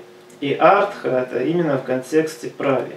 А, допустим, э, повеление твои пам'ятаючи, помните гимн? Так, А, я її пам'ятаю, але я його не дуже читала. Помните э, фразу, которая чаще всего там повторяется? Истина лучшее благо. Помните такое? Митридата. Ну, як вам сказати, чи я пам'ятаю? Ну, а Просто пометьте, ця молитва. е, хорошо, это не надо воспринимать как молитву, просто которую Ну, надо помолиться да. и забыть. Это нужно понимать, что там имеется в виду. И там есть фраза «истина – лучшее благо». Так вот, в оригинале эта фраза э, звучала как э, а, «артха бельдже». И э, получается... Э, Нет. Получается, что артха это благо в контексте прави и бельджа благо в контексте яви, учитывая то, как это было написано. И показывалось, что артха выше, чем благо. То есть показывалось, что вот идея, можно, если расширенную философскую э, э, фразу для современного языка сказать так. Концепция восприятия идеалов э, свархочетверти прави превосходит идеалы существ в свархочетверти яви. То есть правь как справедливость. То есть там уточнение, что правь как справедливость, она превосходит э, и все то, что мы приобретаем в контексте духовного развития и прави, оно превосходит э, идеи какого-то материального блага, удобства и так далее и тому подобное. Це зрозуміло. Но при переводе, видите, уже чуть-чуть исказилось, что истина лучшее благо. Хотя благо это именно в контексте э, яви, сама фраза. И она получается уже ну, не совсем как-то лучшее благо. Значит, все блага это благо. То есть, ну, глупость уже получается отчасти. Хотя все это обусловлено только несовершенством современного языка. Так вот, данда – это столб или труба. И данда артха – это эм, труба, передая, передающая божественную энергию, энергию прави. Еще другой вариант, как дан, дар, дха. То есть то, что нашему бытию, нашей жизни э, дает истинные э, цели, истинный смысл и так дальше. То, что Да. дает нам жизнь в контексте высшего смысла. То, что нас перерождает. Мається на увазі так, щоб дар чи як? Дан, дар, тха. Э, Дан здесь, с одной стороны, потоковая энергия, которая нам дается. Дар, ну дар. И дха, как дыхание жизни. А В совокупном своем соединении эти фразы также порождают некоторые другие значения, общей сложности которых э, я пересказал вам. Это канал, который врастает в горловую чакру. Тобто, то в кого він добре розвинутий, то йому добре, певно, проповідує. Ну, здесь не вопрос, что у кого-то... Снова, это страшный идиотизм, когда сейчас говорят, что вот все мы рождаемся типа по-разному, и как бы из этого и исходим. А, Если разумно подходить, то станет понятно, что мы можем развить что угодно. Вот вы знаете, что есть физик, который там по миру ездит, проводит конференции, который мыслит, изучает и так дальше. Но при этом он на кресле и даже говорить не может. Он говорит с помощью синтезатора электронного. Но он ведет более активный образ жизни, чем, к примеру, Ольгин друг алкаш, который э, э, имеет ноги, имеет руки. Но но он сидит у себя там в квартире и не вылазит. И он меня даже просил, чтобы я пошел ему водку купил. Хм. Потому что говорит, я еще на этой неделе не выходил на улицу. Представляете, до чего доходит? Так. А, а, а что? Ну я не понимаю, а что? Что мешает выйти на улицу? Я это вообще еврейское. Я ему этот вопрос задал, он как-то так это, ну, и то ли застыдился, то ли что. А, ну, І відповів щось. внятного нет чего. Я не понимаю, что мешает выйти. Ну, ну что, ну он ж- живет там на третьем этаже, там, что, тяжело спуститься там. Кошмар. То есть это в любом случае проблемы психологические, а не физические. Поэтому если все это понимать, то станет понятно, что все зависит от нас. Хотим что-то уметь, э, э, будем уметь. И вопрос, насколько хотим. И Так как вы знаете, что есть многие люди, вот как та же Чупакабра, которые хотят, чтобы все, но и сразу. И ничего для этого не делать. Так что, видите, все кто-то что-то хотят и сами не знают, чего хотят. А и, и практически все Ну да, есть те люди, которые как-то еще это делают, то, что хотят. А есть, э, которые просто сидят и хотят. Но при этом они сами не честны с собой. Вот, к примеру, тот же друг, он для того, чтобы водку иметь, он все-таки э, работает на эту водку. Ну, Он- все життя це покладено. ну да, он чинит компьютеры, он там, э, нельзя сказать, вот относительно водки он идет к этой цели. Нельзя сказать, что относительно водки он такой есть, э, пьет, не, не есть, не пьет. У него это продумано, у него там есть идея, что если нет водки, то он накупит спирта, э, накидает туда дрожжей, э, там что-то витамины какие-то накидает, и вот эту дрянь будет пить. Я только это представляю, уже э, тошнотворный рефлекс э, готов к труду и обороне. Тут жахливо з цією горілкою. Ну, то есть, видите, у него вот та цель, которая для него по-настоящему важна, он эту цель и добивается. Просто о других целях, когда, допустим, я ему говорил, что ну, он мог бы быть э, э, вообще богачом, он мог бы быть э, одним из незаменимых э, людей. Э, помните вчера, чтобы исправить э, те изменения, которые вы внесли в компьютер, э, я не сразу это смог.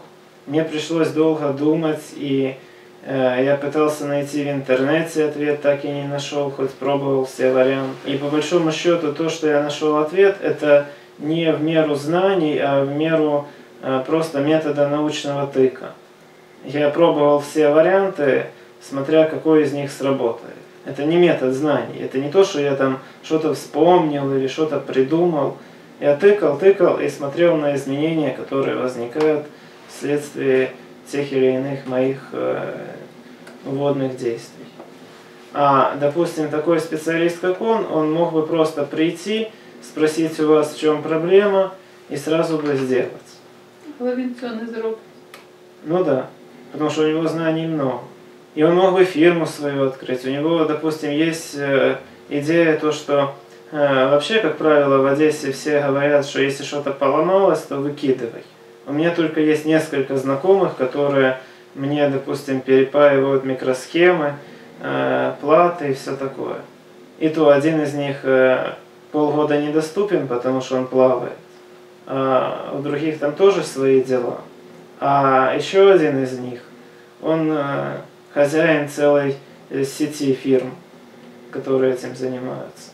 И хотя как бы за э, 8 лет, что я с ним общаюсь, э, и что я ему предоставляю те или иные знания, он так и не соизволил э, хоть как-то, хоть чем-то помочь, но вообще у него, ну как, он, допустим, иногда советами помогает, иногда, если я там э, приношу к нему какую-то деталь и говорю, вот, пока не починишь, не сообщу то, что ты хочешь, то еще на таком он, допустим, что-то делает.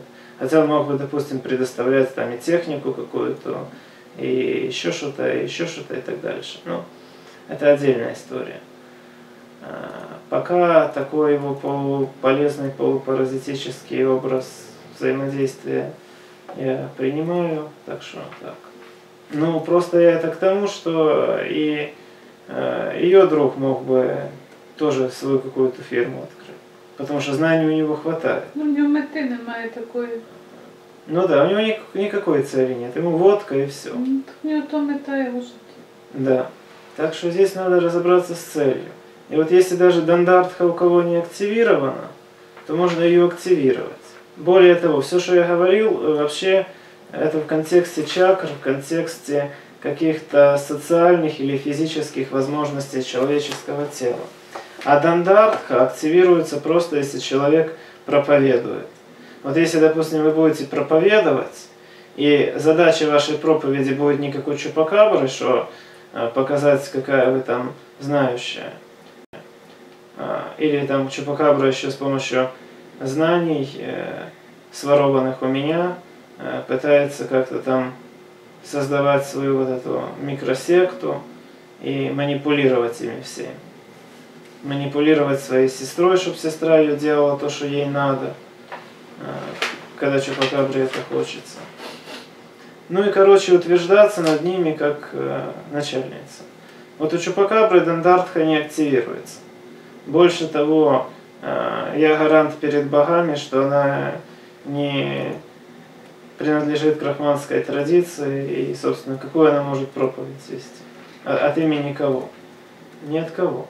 А вот те люди, которые конкретно от имени традиции и готовы, и, собственно, ведут какую-то проповедь, то непосредственно боги через канал Дандартха э, могут направить этому человеку э, в чакры и в мозг те или иные знания, необходимые для того, чтобы человек э, ну, вел ту проповедь, которую ему нужно вести.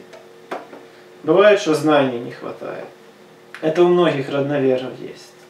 Вот пока родноверы начинающие, пока они еще идут отчасти на энтузиазме, э, они надеются, что все-таки ведическая традиция это то, что надо, они надеются, больше того, родноверие, оно изначально же все-таки как бы от Маркияна Вепшицкого исходит. Мгм. Поэтому здесь есть предпосылки, исходя из которых э, есть предпосылки к тому, чтобы э, активировалась Гандартха. То есть Мгм. можно сказать, что они даже в меру своего, своей неосведомленности все равно иногда кое-что полезное и справедливое говорят, и исходя из этого боги им добавляют э, данные, дабы они все-таки развивались. Можно сказать, що они как такую искаженную версию проповеди М, осуществляют. Тобто, чим більше людина працює, тим більше буде розвиватися над собою мається на увазі, так? Ну да. Но здесь еще важно, если этот человек э, правильно это делает. Ведь можно ж, э, э, к примеру, там гадости какие-то говорить. И тогда богам зачем это нужно? Ні, ну це Богам зрозуміло, это не нужно. коли йде проповідь про А когда именно идет проповедь, то есть воспроизведение ведических знаний, то, собственно, боги дадут такому человеку те знания, которых ему не хватает, дабы человек смог их воспроизвести. И Дандартха, а, она является тем каналом, по которому эти знания не сходят в человеческое тело. Понятно приблизительно? Мгм. Понятно. Вот, относительно Даршакрая я воздержусь. Вкратце я кое-что вам на эту тему говорил. Но на самом деле тема эта настолько э, далекая пока от того, что мы перед этим разбирали, что лучше и не касаться, чтобы... Видите, и про это мы все говорим очень так отдаленно, очень так э, издалека. А вот относительно Даршакрая это вообще из очень далекого далека будет. Дар, ша, кра, є. Так? Да. Це дуже якась висока штука. Ну, можно и так считать. По крайней мере, далеко от э, обыденных э, тем человеческой жизни нынешнего времени. Идем дальше. Угу. Деснаві є, і шуйці є. Шуйці ще є. Ну, это те энергетические центры, которые есть у глазной чакры. Под чакрой. Це под чакри е, глазної чакри. Ну да. Вернее, здесь даже это, э, ну как, ну пока да, пока можете считать так. И, ну, ну, тому що е, двоє очей, тому і дві чакри такі. Чи чому? ну, вообще у каждой подчакры, вернее, у каждой чакры подчакры именно две. Ну, в человеческом теле вс- всего так. Собственно, и сердце состоит из двух частей, Ну, и мозг состоит из двух частей, и легкие из двух частей. Э, В каких-то случаях, вот как с сердцем эти две части почти сросшиеся, в каких-то случаях, как с, сердц- как с легкими, э, там почти три части. Есть еще всякие варианты. Однако, по большому счету, как бы так, это тот алгоритм, по которому устроено человеческое тело. Деснаві є, шуйці ще є. Но это даже не название чакр, это просто указание как бы на их местонахождение скорее. Вони по-другому називаються. Э, Классическим названием считается, считаются другие. Э, Ну, можно пока считать и так. Нехай буде так. Ну, просто чтобы не за... э, Снова, если по какой-то причине вы хотите особо глубоко углубляться, то можно и глубоко. Вопрос, что тогда мы не разберем. Ну, мені просто, знаєте, в цьому плані цікаве те, що, допустимо, в мене е, з дитинства е, близорукість, тобто я е, погано з дитинства бачу. І е, мені б хотілося б мати якийсь е, ну, по- по- з зором таких е, ну, покр- е, покращення не тільки е, з таким зором, звичайним фізичним, а й з тонким зором, то ці штуки вони е, відносяться до того, що я Относятся. так? Еще там ряд штуковин относятся, которые вы сможете изучить, э, э, изучив э, соответствующие видеозаписи по тонкому строению. Мгм. Треба знайти їх. Надо. Ну, це вже я буду після празднества шукати. Подивлюся, продивлюся, що мені треба записати. Так, і що, все по цих штуках? Ну, можно все, можно еще. Здесь снова зависит от того, насколько вам оно надо и насколько глубоко э, вы понимаете зачем и готовы туда продвигаться.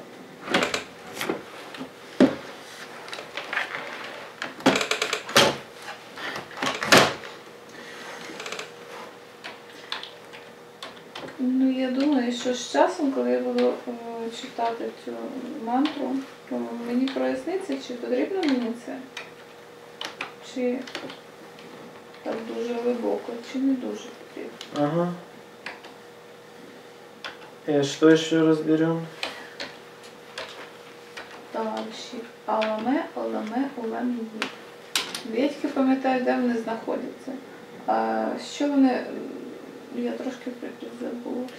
Ну, энергетические центры. Энергетические центры, связанные с э, конверцией мозга, мозгом воспринимаемого. э, По сути дела, это все в контексте того,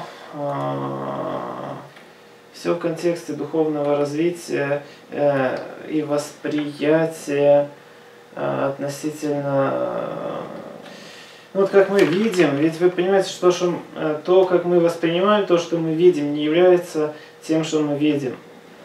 То есть сигналы от зрительных нервов приходят одни, и мозгом они уже интерпретируются в то, что мы видим. Часто на этом строятся магические разные штуки, когда идет обман.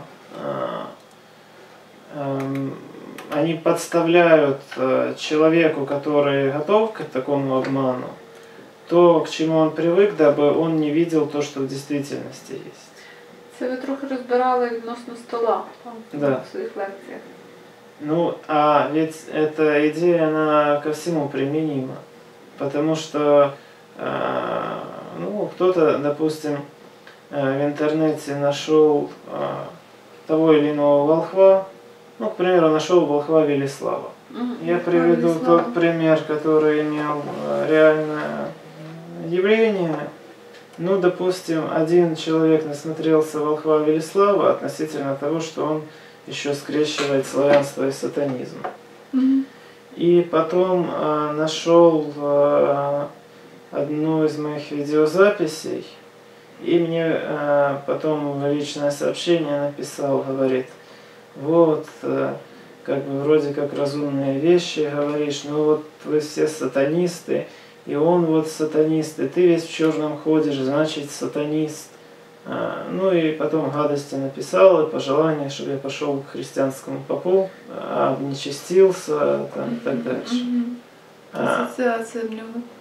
И в основном его все, что он мне писал, а, базируется на двух аспектах. Первое – это представление, что э, славянство как направление э, является однородным, и что, соответственно, если Волхв Велислав скрещивает с сатанизмом, то значит я так же сам. А, и, соответственно, второй столб – это то, что если человек, э, допустим, носит черное, то он является сатанистом. Хотя по его же аналогии тогда всех христианских батюшек ну, вообще в такие И сатанисты монахи. нужно записать, что, что прямо даже гиперсатанисты. А, Так как, к примеру, а, я не всегда черное ношу, а христианские батюшки есть, которые вообще только лишь черное и носят. Ну, монахи ці вони взагалі завжди чорно Ну, носять. да не важно, даже батюшки многие чисто в черном ходят. Так что какие-то представления очень глупые. А, Ну, даже вот второе представление о черном, это скорее э, в его фразах было уже как вспомогательное доказательство. А главное то, что он вот посмотрел волхва, а если я, значит, э, из славян-язычников, значит, волхв для меня это главное, наверное. А, ну, я же там не пишу, что я волхв, а если я не волхв, а, значит, для меня волхв это главный. А, А если для меня Волхв это главное, а вон он смотрел Волхва Велислава. А Волхв Велислав за сатанизм. Ну, значит, я тоже должен быть за сатанизм. То есть здесь, э, вообще, если детальнее разбираться, то и глюк относительно того, что э, в ведической традиции волхвы это главное. Это тоже глюк, который не исторически никак не подтверждается. И дальше просто э, глюк относительно того, что он первого попавшегося волхва заметил, и то снова, а кто Велислава назначил волхвом? Волх Велислав себя назначил волхвом. Ну и что дальше? Ну да, там не только сам, там еще его небольшая вот эта группировка, где он э, является э, лидером, его признала волхвом. Ну и что дальше? Я здесь причем, я его не волхвом, как бы, я не против, пусть хочет считаться волхвом, хоть Бен Ладеном. Лишь бы э, он мне взрывы никакие не устраивал, как Бен Ладен. А так пусть считается хоть Бен Ладеном, мне все равно. Я ему как бы, да, я с ним общался, и я считаю, что то, какой он есть, и то, что он делает, это лучше, чем если бы он просто был алкашом. И, конечно же, то, что он как-то о славянстве говорил и говорит, уже ему спасибо. То, что он сатанистом скрещивает, это, конечно, глюк, так как в ведической традиции э, десятки сотен тысяч лет, а сатанизм это всего лишь э, антиверсия христианства. Ну, христианства и иудаизма, то есть авраамических религий. Но авраамические религии это э, очень незначительное явление в контексте истории. Да, сейчас они одни из популярных, но они даже не самые численные, потому что э, есть шаманизм, к примеру, который исповедуют э, многие народы Азии. Есть буддизм, синтоизм, индуизм, джайнизм там. Да и христианство как таковое, оно также много чего переняло. То есть по факту христианство и иудаизм, ислам это временное явление, которое вот как пена на воде что-то тут из себя пытается представить. Но я не считаю, что это настолько аж стоящее, что становиться в противовес этого. А сатанизм это именно антихристианство. Ну, анти это все равно мы тогда признаем христианство как что-то, если мы анти этому. Допустим, вы же понимаете, что человек, который очищает свое тело от глистов, не является антиглистом. Так же? Угу. Он является, допустим, борцом за здоровье, и поскольку для здоровья глистов выкинуть надо, то он их и выкидывает. Так же само, как бы, я не являюсь борцом с христианством, просто поскольку я считаю, что мне нужно развиваться, я не придерживаюсь никаких христианских штук э, и развиваюсь так, как э, имею на это возможности, право и так дальше. Хотя если ранний христианский, именно основа христианства, то там все ведическое. Только то, что уже добавили э, мясоедство, там алкоголь и все, вот это уже искажение христианства.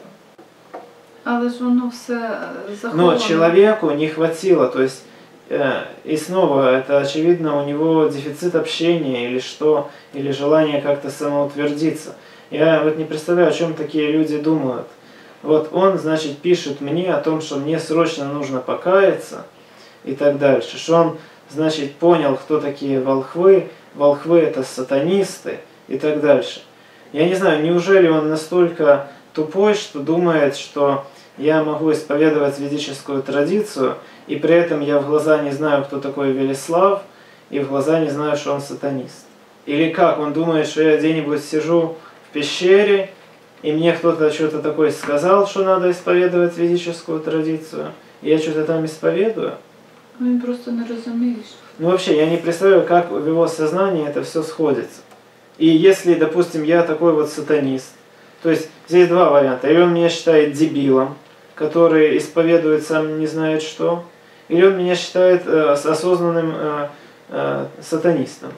Значит, если я осознанный сатанист, как тот же Велислав, то как бы что для меня его слова?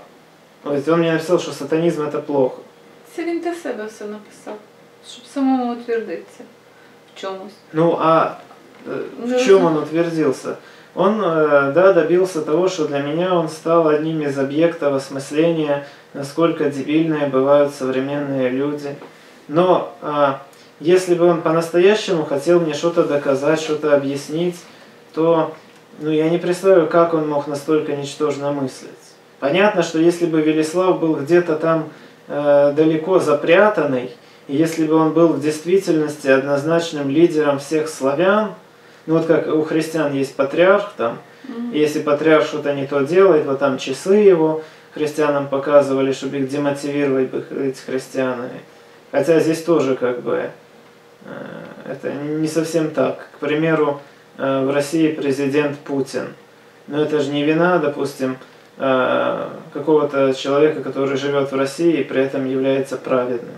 Также и в христианстве может быть какой-то человек, который в меру каких-то обстоятельств туда попал, но что, он будет свергать этого патриарха или что?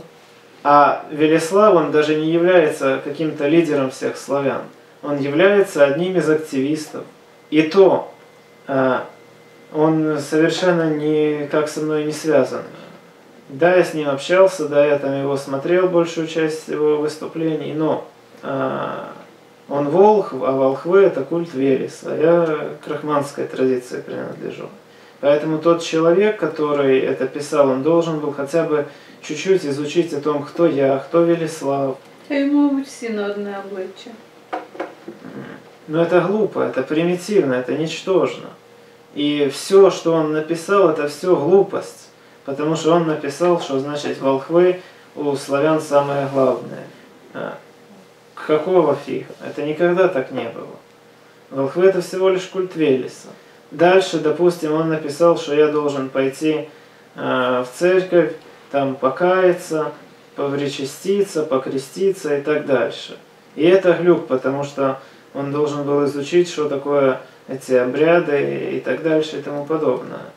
Получается, это человек, который ничего по-настоящему глубинно не изучил, э, схватил какие-то куски непонятно чего и мне эти куски скинул. Понимаете, бывает, что когда э, те или иные люди мне что-то пишут, я некоторым отвечаю.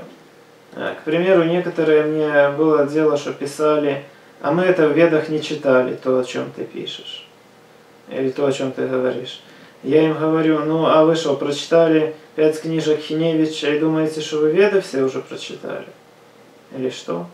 И для некоторых это как оскорбление, они говорят, да, у Хиневича самые ведические веды, всех веды и ведов, а другие, а, вообще один воспринял, что я, наверное, мах какой-то. Говорит, а откуда вы ты знаешь, что я прочитал веды Хиневича? Ну это же просто разумно вычисляется, что если он мне говорит, что он прочитал веды и такого не нашел, если по его значку его аккаунта виден славянский знак, значит я прихожу к выводу, что скорее всего он прочитал веды Хиневича. При этом изначально, если бы он вообще ничего не написал, то тут у меня еще был бы вопрос. Ну, во-первых, значок, который у него на аккаунте, это из книги Хиневича. а во-вторых, он использовал фразу «богов и предков наших». А, данная фраза, она характерна именно книгам Хиневича. И она практически не встречается в книгах Асова или в так называемой Проведа. Там тоже этого нет. И тем более в Болгаропомакской веде. Хотя вообще понятие, что боги наши, предки наши, ну вот именно такого, э, такой формулировки, что слава богами предкам нашим, это наиболее характерно как раз для последователей Хиневича. Я тоже это знаю. Посему, просто исходя из э, значка его аккаунта, из фразы, что он прочитал все веды и такого не нашел, э, и из того, какие там фразы у него были, я пришел к выводу, что он прочитал веды Хиневича. И здесь не надо какие-то мистические штуки там. Ну, причем по-настоящему тоже даже ведами не является, то книги по ведам. Это как если я назову тайную книгу Иоанна Ведой, или Вимана Шастру назову сейчас Ведой. Но это же не так. Это книги по ведам. И э, люди часто в это не вдаются. Вот даже тот же, он мог бы проанализировать, что я использовал информацию, которую он вел, и на основе этой информации пришел к выводу, что он именно из англингов. А он решил, что я там наколдовал на него, і мені там відкрилось, що. Тобто Та, люди. мабуть, простіше всього не дуже думають щось там сказати. Но вопрос в Не другом, зачем шукают. тогда это все вообще нужно? То есть, если что-то говорить, то нужно же говорить, э, чтобы слово было твердым, чтобы и самому понимать, что говорить, и чтобы это пользу какую-то несло, и чтобы это подтверждалось, иначе это нарушает и аспект э, правды, это нарушает и аспект э, э, э, того, что нельзя искажать истину, это ну, много чего нарушает и нарушает заповедь богов, какой людей мыслите. И зачем это надо? То есть вот для меня уже эти люди обозначены как слабоумные. И по большому счету есть вероятность, что я даже не буду а, отвечать на какие-то дальнейшие их сообщения, просто изначально уже думая, а, ну что мне этот дебил еще напишет, что мне на него тратить время. А ведь э, они могли бы, если им в действительности от меня что-то надо, они могли бы детальнее изучить, посмотреть другие видео, почитать там. И если х- хотят прокритиковать, почему? Я же даже не против этого. Может, кому-то интересно там совершенствоваться в критике, то могли бы там конкретно прокритиковать там э, за то, что есть. Э, я не говорю, что как бы у меня все настолько идеально, что мне нет за что меня критиковать. Есть. Но э, если бы они прокритиковали за то, что есть, то я бы наоборот был бы благодарен им, я бы как-то с уважением, что да, вот разумные люди там подметили тот или иной недостаток, Э, а так, что смотрю, ну, быдлота какая-то там, э, которая лень даже разобраться, и они уже э, берут и калякают что-то. Зачем это надо? А, поэтому надо, я считаю, что во всем разбираться. Так же ж? Так, це правильно.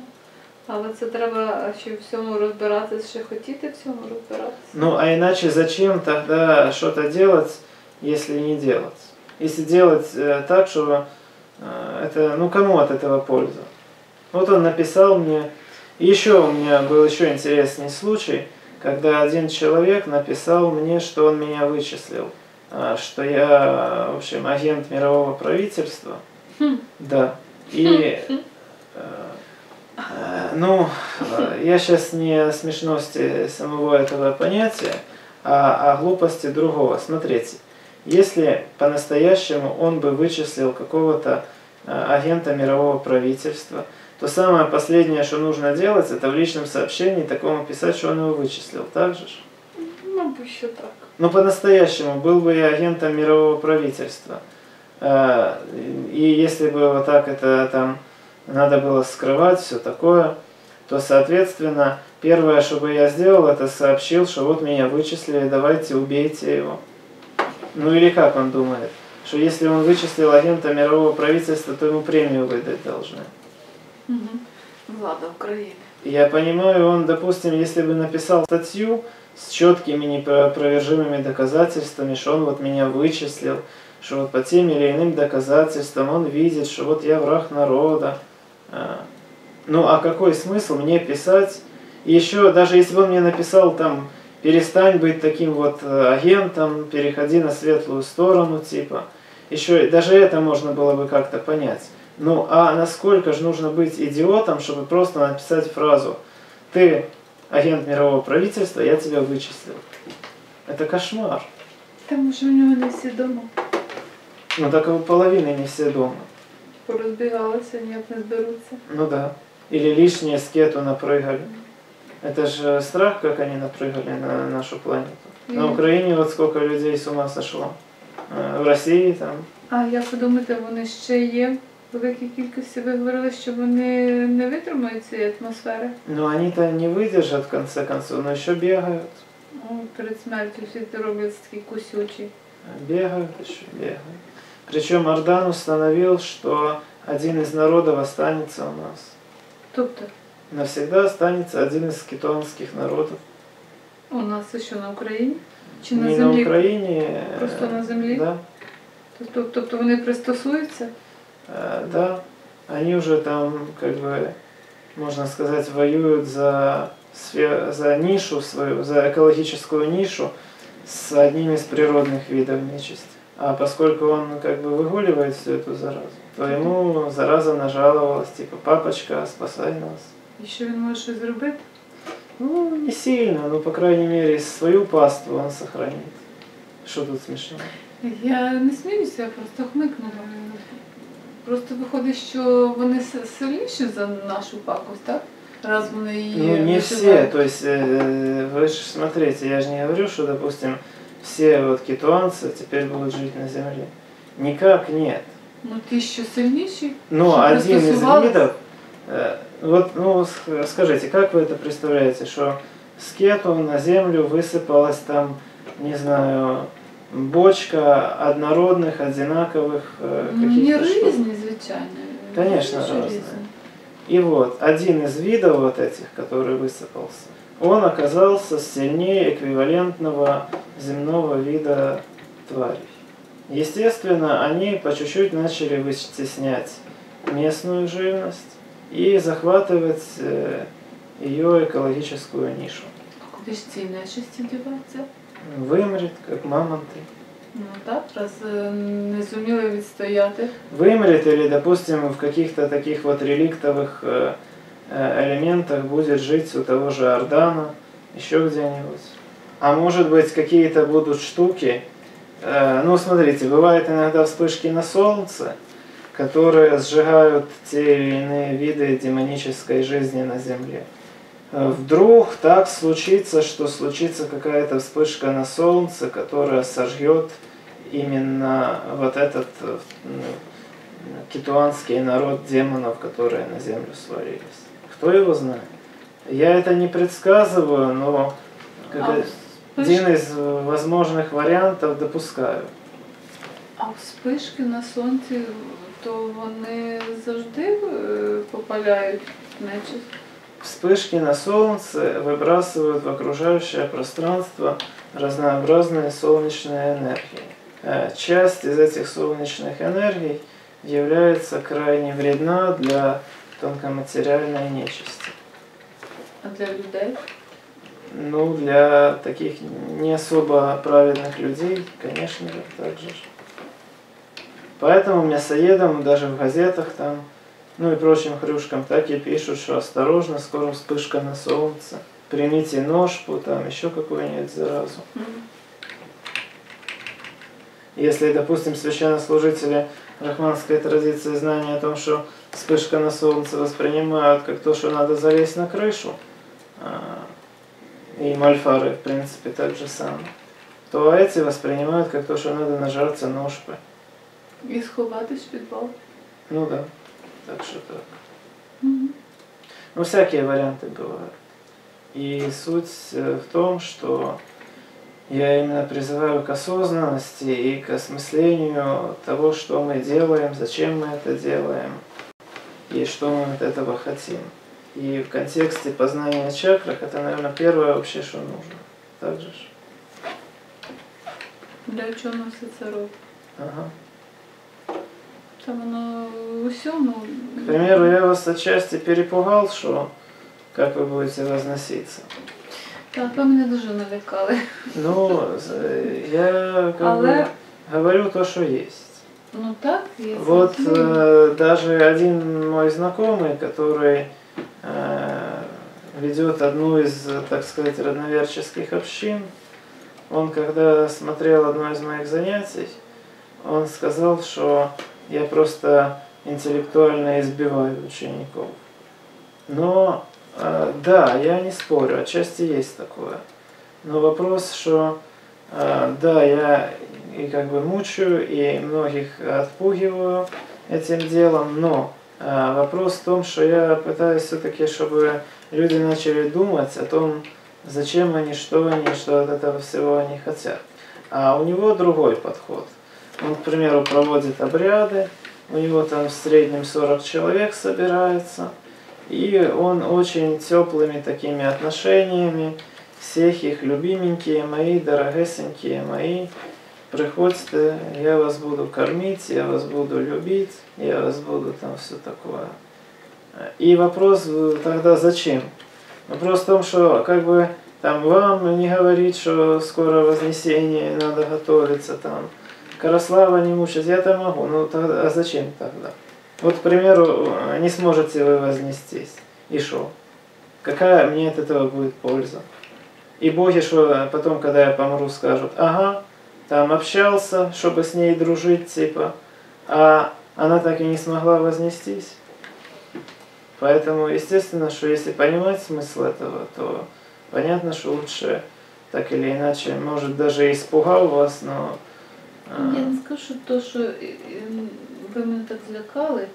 а Я просто розумію, що це необхідна е, взагалі така. Не все так плохо, э, и реально, если, допустим, вы а, как-то так э, будете действовать, к примеру, стихи, стихами проповедовать или еще как-то, что э, боги будут осознавать вашу чрезвычайную качественность и полезность, то есть и вероятность, что за вами прямо придут и прямо вас отвезут на высшие А може планеты. вони мені дадуть розуміння і сили на це все, щоб зробити.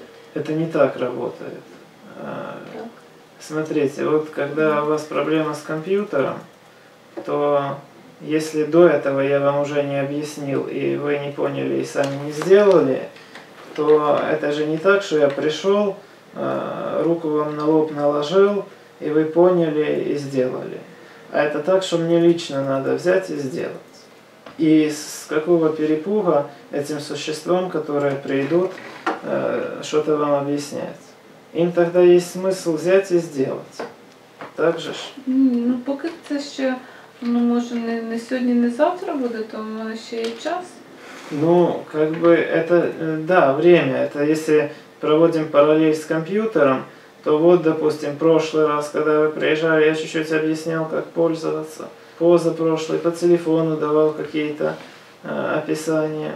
Ну, это вам не хватило, чтобы понять, что там перенастроить. Поэтому пришлось это делать лично мне. Так же? ж? Мгм. Вот так же и боги. Они, допустим, и, возможно, свели именно нас, чтобы я вам помог в этом деле. Может быть, и будут делать так, чтобы освободить ваше время, чтобы вы изучали. Э, Может, я не знаю еще, какие они пошлют ситуации и как они будут помогать, давая возможность. Но в конце концов, а, они, если вы сами не сможете, но при этом качественно будете действовать, то э, высшие существа придут и возьмут. Ну, тобто надія є. Нет, ну, надежда есть всегда. А, Вопрос, что все-таки же лучше самостоятельно. К примеру, вот если бы, допустим, вы знали, как э, отменить те изменения, которые вы по случайности сделали, то вы бы уже в селе могли бы набирать тексты какие-то. А так пришлось ждать, пока вы привезете, там, пока я на него посмотрю и так дальше. То есть это э, чуть сложнее, чем если бы вы знали, так же? Звичайно, коли людина сама може А скажем так, если бы у вас не было такого знакомого, который может прийти это сделать, пришлось бы идти в мастерскую. Мгм. А пришлось бы идти в мастерскую, пришлось бы платить за это дело. И вот видите, как ситуация с телефоном, это чревато тем, что могут попасться те, которые заменят камеру, а потом и не скажут, что сделали. Поэтому, ну, к примеру, придут высшие существа, вы-то откуда вы будете знать? Запросят вас на какую-то планету, а окажется, что они себе войска набирают, чтобы с демонами воевать.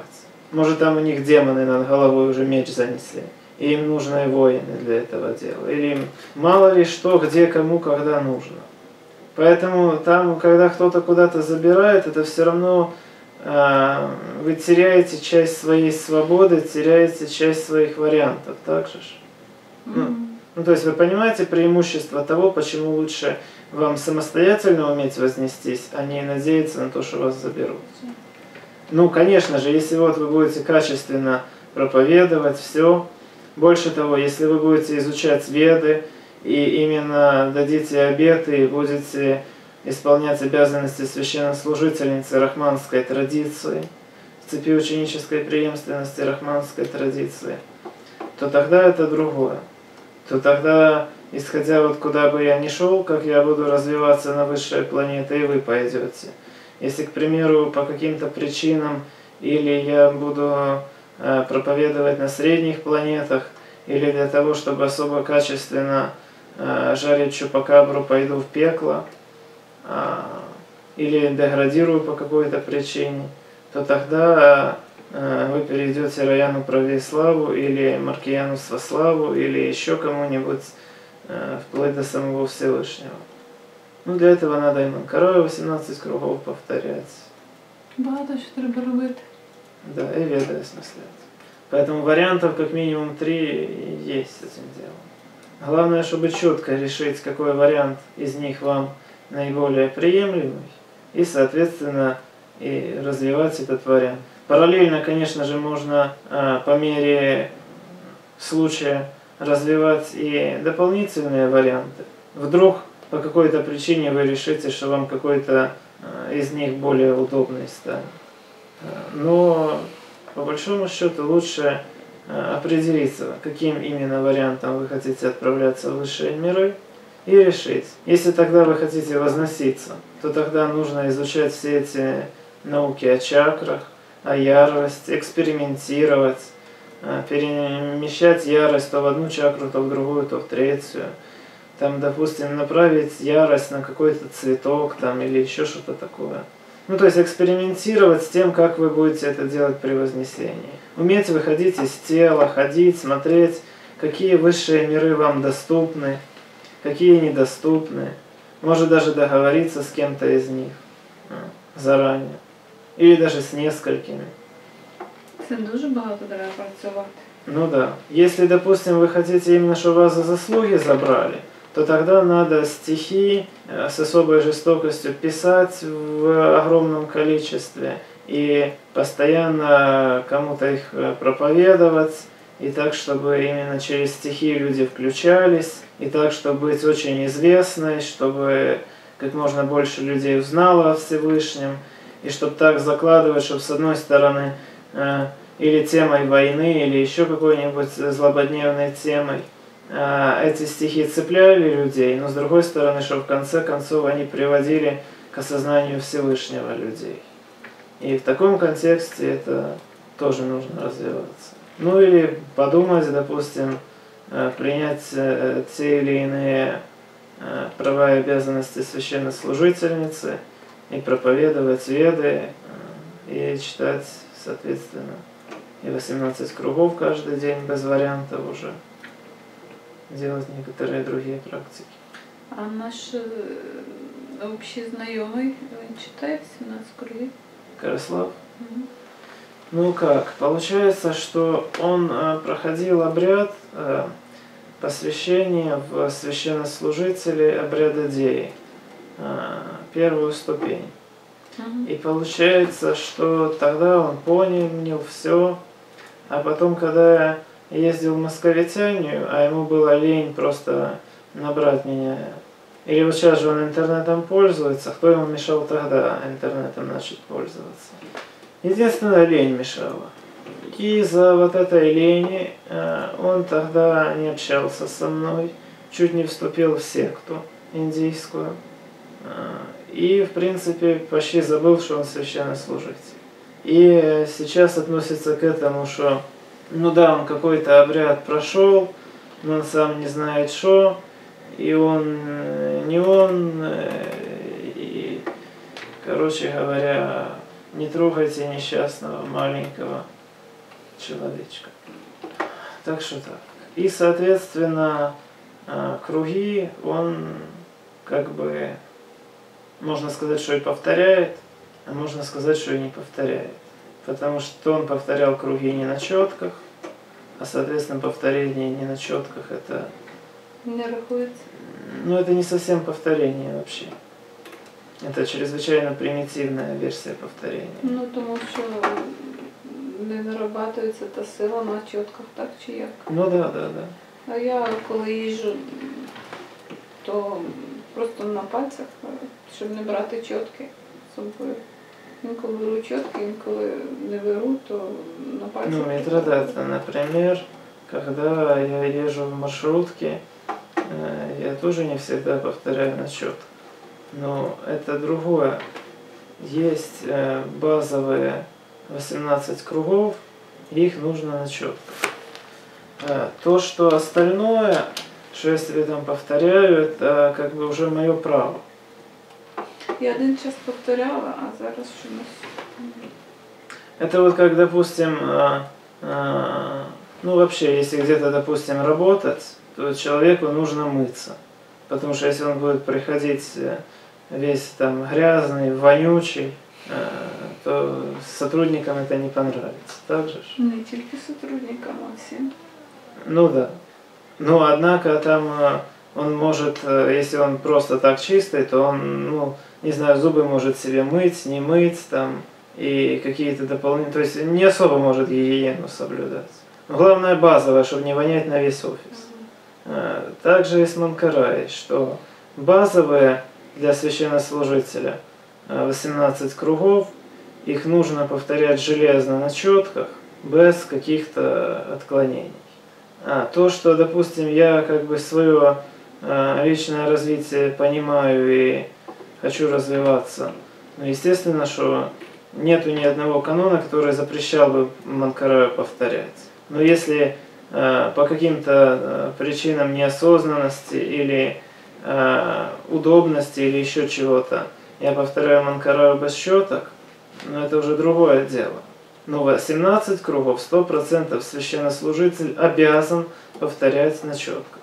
И у него это исполняется так, что почти не исполняется.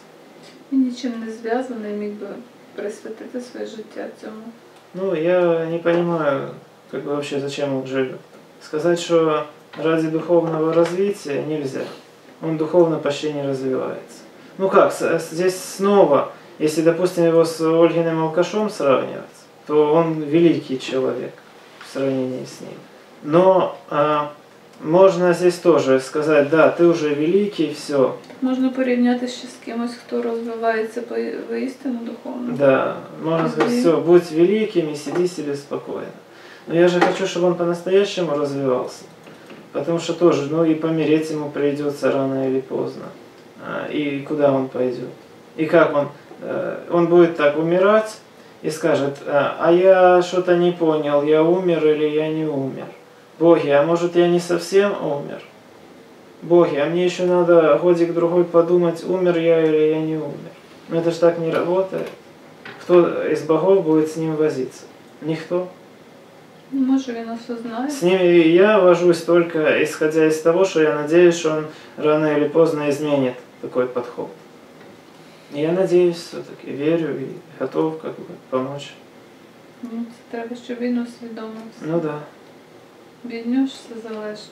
А вже інше, то ваша готовність є з вашої сторони завжди. Есть. Так вот, получается, что осознанность, она важна.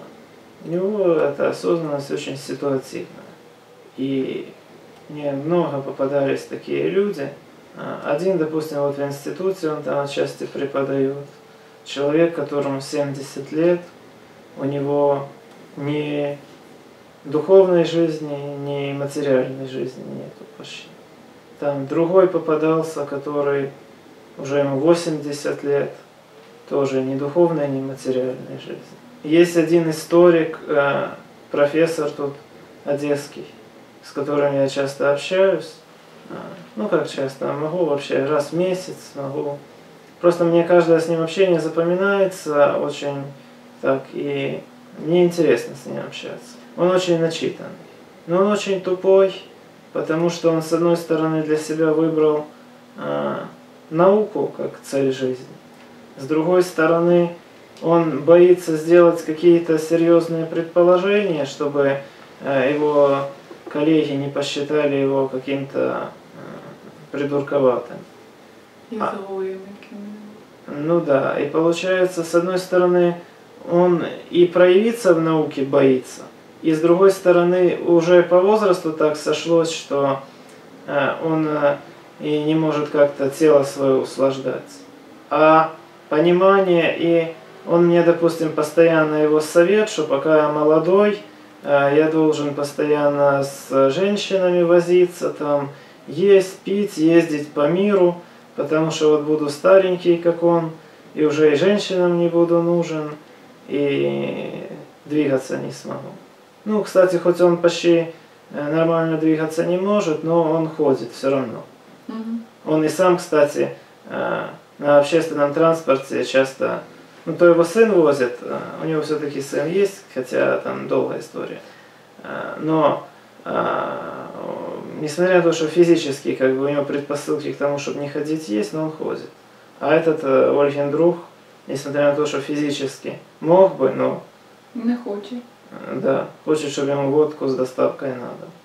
Так вот, он, получается, это человек, который сам считает, что он жизнь прожил впустую. Потому что он недоволен не тем, как он проявился в истории, то есть он не смог проявиться там как какой-то выдающийся ученый, а та ситуативная какая-то, ну для кого он известный только для своих студентов и то чем, что он там у них отметку э, поставит, э, э, и все, по сути дела, возможно, когда они закончат учебу, они не вспомнят даже, что такой человек был.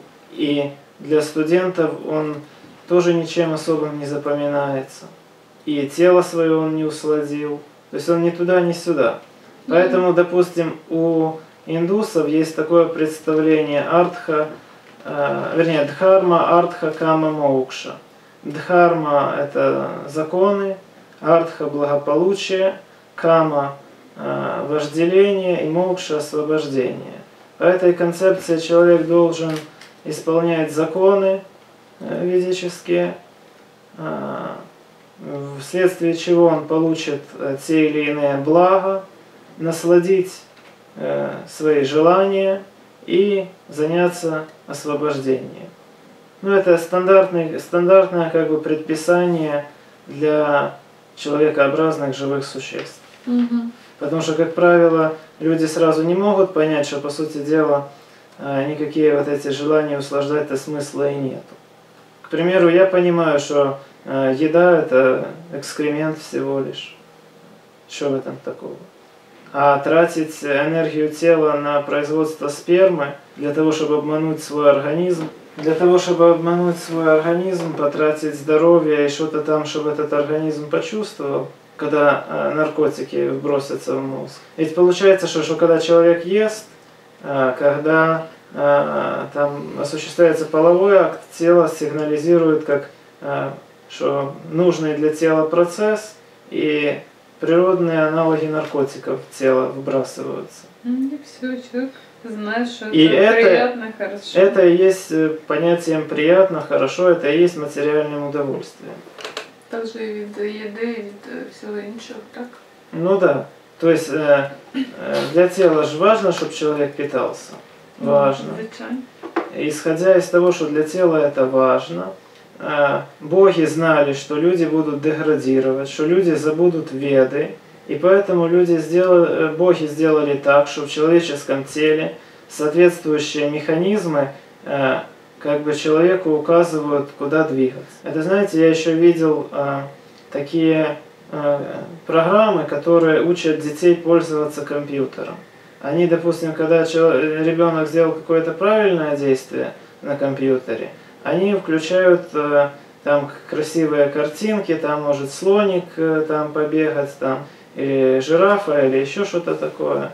И, э, допустим, если ребенок неправильно сделал, то появится э, там какая-то зверюха и всех поест. Ну, то есть это так наглядно, полумультипликационно э, учат, чтобы правильно пользоваться. И с другой стороны, игры э, компьютерные, они также само, по сути дела, имеют тот же самый принцип, что интуитивно дети в это втягиваются. Так, по сути дела, и человеческое тело, оно сделано, чтобы... Ну или даже вот те эксперименты с мартышками всякими, что им э, могут э, голову провода вживить и поставить педаль. И один раз обезьянка на эту педаль нажала, электроды у себя в мозгу замкнула и получила наслаждение. И дальше она опять на эту педаль. Она, то есть, ну, отследила закономерность, что на педаль нажала наслаждение и дальше нажимает. По сути дела, боги так сделали с человеческим телом, чтобы даже неосознанные тупые хрюк, хрюкоидные живые существа все равно а, ели и размножались. Ну, для того, чтобы было потомство. Для того, чтобы было потом где воплощаться. Ну, так как в Творі. Ну да. Тварин теж так само ж. Вони ж теж. И это а, именно обуславливается а, веществами, которые попадают в мозг. Я колись знала, як ці віщ- вещества речовини Да називаються. там их целая Ну, куча. так, Там и ну, эндорфины, и такие, и Ну, всякие. Там, а, и еще есть, э, что при одних реакциях это замыкаются именно электрические соединения в человеческом теле, а при других именно вещества попадают в мозг. Это тоже чуть разные ситуации. Так вот, получается, что а, если понимать, зачем это все надо, то от этого можно сразу отказаться. Ну, а если не понимать, то чтобы хоть как-то развиваться, чтобы хоть как-то осознавать, э, что, зачем и как, то, э, конечно, можно сначала там и семью какую-то завести, и потом понять, что не в этом счастье, и э, так далее, и тому подобное. Дело какое-то создать, э, где самоутвердиться, чтобы понять, что перед хрюшками-то и самоутверждаться не стоит. Перед кем самоутверждаться, перед кем что-то показывать. Если они все равно забудут, если они все равно оценят только дерьмо, а то, что по-настоящему для них полезно, они не оценят. Ну вот э, наш знакомый, он мог бы э, как-то или э, двигаться в направлении чисто духовного развития. Вот я гипотетически и на практике понимаю, что ни какие-то вот эти э, элементы в строении тела не являются смыслом жизни. И мне даже лень э, лишний раз есть, э, несмотря на то, что я понимаю, что да, э, химические эти вещества в мозг попадут, ну и что, ну мне лень ради этих веществ э, просто есть. Я ем просто, чтобы тело не развалилось, к примеру. И можно, конечно же, я советую всем таким путем вот развиваться, чтобы понять, что не в этом э, гипотетически подумать, осмыслить и понять, что не, не в этом счастье, не в этом дело. Но э, Караслав же полностью не отрешился от каких-то таких привязанностей. Он хочет, чтобы тепло было, и чтобы удобно было. И вот про женщину у него какие-то мечты есть. Но с одной стороны он ничего не делает, чтобы это все как-то э, исполнить, а с другой стороны не отказывается от этого, и это самое страшное. Завис. Да, это приведет к тому, что его будущее может быть как у этого ученого. Но этот ученый, он хоть как-то самоутвердился. У него там есть э, хоть какое-то признание, хоть какая-то семья, и то ему мало, и то как бы он понимает, что не в этом счастье. А у этого что будет? Мне его очень жалко. Правіє, карає і свершання. Е, Що тут означає е, слово правіє? Ну, у головной чакры есть центры, которые отвечают за осознание правил, М. и есть за то, чтобы сонастраиваться со славой Всевышнего, ну и направляться к Ра. Ну что, Ну, і ця- чакри є центр. Які... э, в рамках, вы же понимаете, что чакры это не точки, чакры это не круги, чакры это узлы. чакры – это узлы, чакры – это особые такие а, механизмы энергетические. Вот, к примеру, компьютер можно, если человек не знает, что такое компьютер, он одним словом скажет, да, компьютер. Но если подходить э, к этому осознанно, то понятно, что компьютера как чего-то монолитного нет. Есть совокупность, э, допустим, системного блока, монитора, а системный блок тоже состоит из материнской платы, жесткого диска. Ну, все різні штуки. Вот. Так и головная чакра. А, У нее есть свои вспомогательные структуры. Є. И в Хорошо, частности, одна из вспомогательных структур головной чакры отвечает за четкое осознание правил. А, Поэтому любой человек знает, что такое хорошо, что такое плохо. Я не знаю, возможно, в молодости или в детстве, или еще когда-то вы замечали такое, что вы знаете четко, как правильно поступить, ну или вследствие привязанности, или вследствие каких-то социальных штук, или чужого мнения поступаете не так. Було таке. И вот я часто замечаю, а, и тому же Караславу, да, кому угодно, даже Чупакабре, я могу вот при встрече а, объяснить все как следует, и в конце сказать, ну что, не так? Опровергни. И человек, пони- ну, как бы соглашается и понимает, что да, вот оно так. Но уходит и делает в точности да наоборот. Ну, у мене таке в молодості було, звичайно. Зараз м, трохи є розуміння. І багато чого я вже не роблю, звичайно. Лучше допустим, э, с другой стороны подойдем. Скольких людей вы знаете, которые умерли от вегетарианства? Ну, Я ні одного не знаю. А знаете ли вы ужасные примеры того, как вегетарианство склоняет людей к жестокости и к садистскому отношению? Ну, Абсолютно не знаю, тому що все е, навпаки. Вот.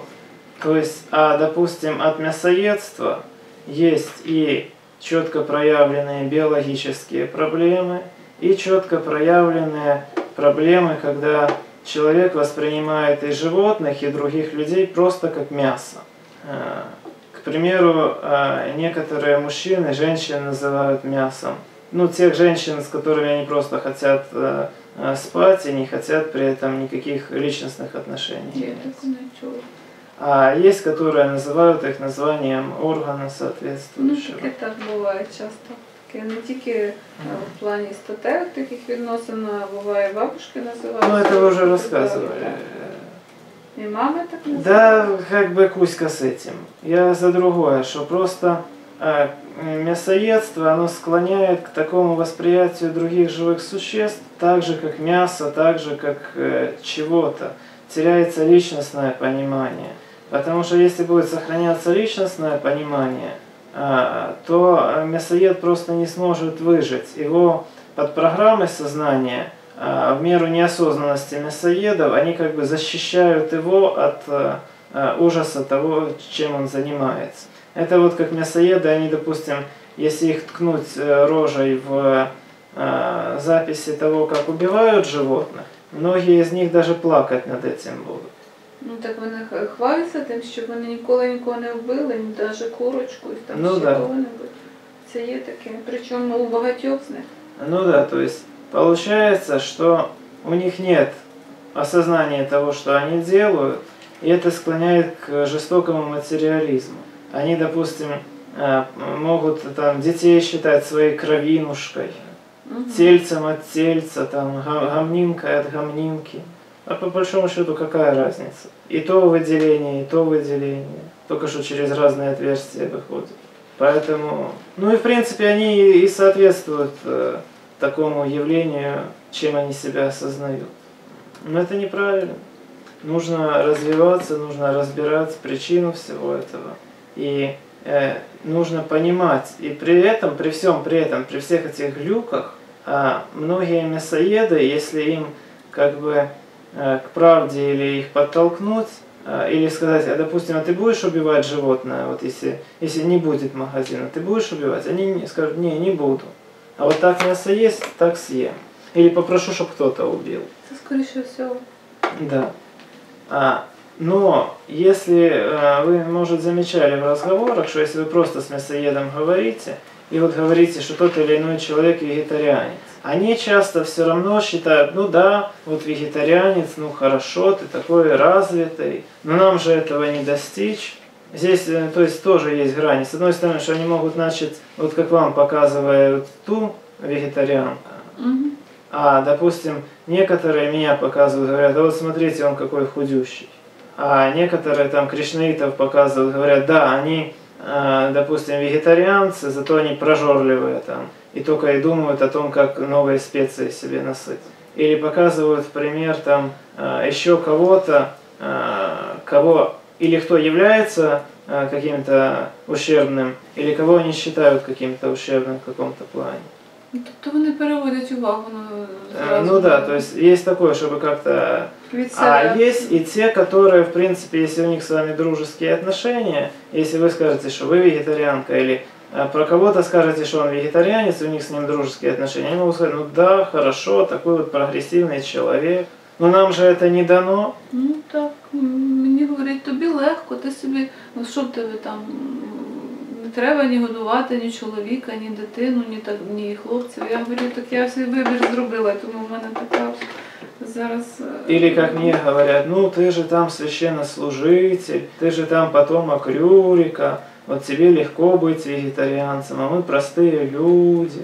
Ну, это на самом деле все в то, что подсознательно они даже, э, когда они это отрицают, они все равно понимают, что вегетарианство лучше мясоедство. И среди таких людей, в принципе, даже доктора. Э, Вот э, общался как-то с доктором, Мгм. И, допустим, с ним у меня был такой диалог, что он рассказывал, что с медицинской точки зрения мясо нужно жрать, это однозначный факт. Все. Так наш, наш разговор. Что все, без вопросов. Но я ему разные контраргументы и там доводы всякие, и он не смог опровергнуть в конце. И в конце один из аргументов я ему говорю, ну вот, э, ты, допустим, видишь меня, и э, есть как бы некоторые другие люди. Можешь ли ты вот конкретно сказать, что физически я как-либо пострадал и за вегетарианство? Но он э, сослался на то, что он видит, что я слишком худой. Я ему тогда напомнил, что я слишком худой, потому что я просто мало ем, и потому что мне так удобно. Я, в принципе, мало ел еще, даже когда по глюкам родителей ел трупятину. Все равно для меня вот э, как-то с раннего детства есть эта лень, э, потому что я понимаю, что еда э, это экскременты, ну и просто вообще ну, накидывать чего-то в рот неинтересно, а потом еще экскременты заводятся, тоже неинтересно. Для меня всегда это как-то, ну да, ладно, поем, чтобы не помереть, но неинтересно. Поэтому как бы я всегда был худой, и вот я ему, к примеру, дальше говорю, а вот как ты думаешь, э, я что, мне был бы худой или э, как-то по-другому было бы, если бы я столько же ел, но еще ел бы мясо.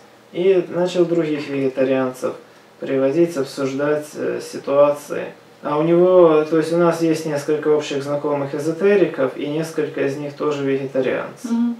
И я говорю, ну вот, к примеру, разбираем ситуацию. Этот человек там до 38 лет а, жрал трупятину, потом стал вегетарианцем, а, и так до сих пор не жрет трупятину. И говорю, ну вот что, ты можешь хоть один назвать а, пример, что у него в теле ухудшилось из-за того, что он а, перестал жрать? Ну вот хоть один, ну, ну вот что, ну вот человек. Потому что когда он ссылается на научные книги, то тут тяжело оппонировать. Он ссылается на то, что он доктор, а я просто себе. Он ссылается на то, что там есть научные книги великих ученых, и тут как-то это, ну, и мне тогда нужно или альтернативные сразу кучу книг натаскать, или я тогда просто по реальным фактам, по себе, по других знакомым. Говорю, ну вот, ну что, не так. И в конце он ничего не смог мне нормально оппонировать. И дальше мы разбирали те ситуации относительно того, что э, как э, тот же мясной жир забивает э, э, артерии, забивает вены, забивает там кучу всего, как э, он вреден для внутренних органов. Э, Разбирали вопрос относительно того, что э, в принципе отчасти э, часть ресурсов организма просто тратится на то, чтобы побороть генокод животного. Хотя можно было бы это брать... Здесь сложный вопрос, если относительно аминокислот и вот таких глубин питания говорить. Ну, восходит это все к тому, что на то, чтобы усвоить растительную пищу, организму нужно сделать э, достаточно много рутинной работы. Нужно из э, растительных белков формировать, из аминокислот формировать именно человеческие а, что касается животных, то они отчасти уже сформированы. Их просто нужно разломать и переформатировать. Но а, там а, есть еще остатки животных а, а, механизмов самосохранения. И таким путем нужно частично переломать а, остатки животного иммунитета, можно сказать. То есть, по сути дела, а, поедая мясо и тратя ресурсы своего иммунитета на победу остатков животного иммунитета, мы создаем больше возможностей для того, что тот или иной вирус прорвется через наш иммунитет. Потому что иммунитет э, э, задействован на то, чтобы бороться с э, животными последствиями. Тепер зрозуміло механизм. И вот за эту штуку мы говорили, еще за много чего. В конце концов, единственный его довод, который у него остался, это то, что жрать мясо нужно, потому что это вкусно, и все люди жрут. А я вот одно такое что-то вот непонятное, которое ему говорит, что не надо это делать. Вот и все. То есть... І він не згодився з тим, що бути вегетаріанцем це добре. Нет, естественно, он не согласился. Э, но проблема не в том, что он не согласился, а вопрос в том, что под конец у него не осталось медицинских Аргумент. доводов. Мгм. То есть, когда он издалека так, что он великий ученый, а я так себе просто какой-то невежда в области биологии, э, ему что-то пытаюсь сказать, то тогда тяжело ему что-то доказать.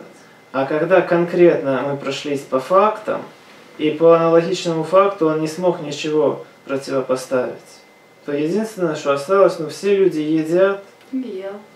и больше того, это вкусно, это приятно, и все. А Взагалі тут і запаху не можна. А я читал еще исследования ученых, где там целая куча ученых исследовала о том, э, насколько мясо вредно, и при этом все они сами жрут мясо. Для чого ж не проводили це іслідування? Може, щоб доказати е, зворотні? Один Кузька. Вопрос не в том, вопрос в том, что а, правду люди-то знают. Правда, вон она доступна всем и всегда. И с точки зрения информации, которую можно изучать, и с точки зрения даже энергетических особенностей, кстати, не у всех народов есть э, э, правый центр. А, а у Аревичей есть, потому что Аревичи это народ правый. И у Аревичей есть... Тут э, чорнобожичів нема. а, У чернобожичей нету. Но А у в чернобожичей есть другие преимущественные там особенности. А, Не будем там лазить. Э, э, Допустим, у евреев есть э, целый ряд механизмов, которые помогают им э, вот ситуативную такую выгоду и выживаемость. Ну це взамін того, Сохраняється. що в них чакри не роз... Ну не все, то есть у них особая структура. Не хочу там лазить, не Мгм. надо. Мы а именно я по так і мантре знаю про лазим. них. И именно в контексте мантры.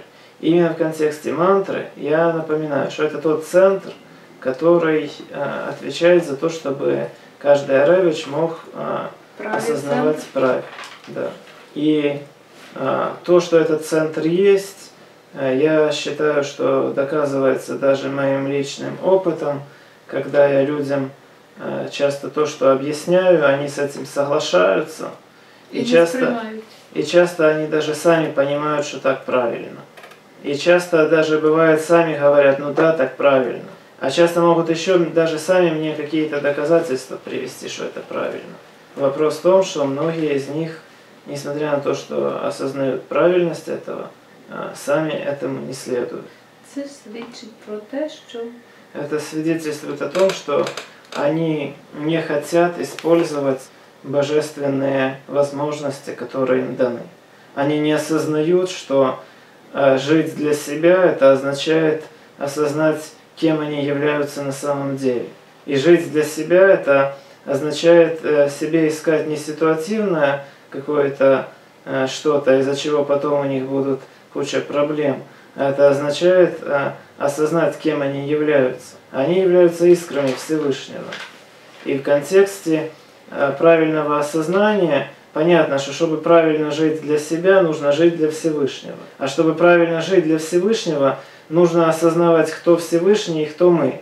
То есть нужно правильно осознавать себя, то есть правильно жить для себя. Но при этом нужно понимать, кто мы, кто Всевышний, а, что нам нужно, что не нужно. Как, к примеру, а, Датаяру я один раз советовал некоторые методы, как можно а, откидывать глюки и как можно развивать сознание. Он говорит, ну так же неинтересно, но это же все иллюзия.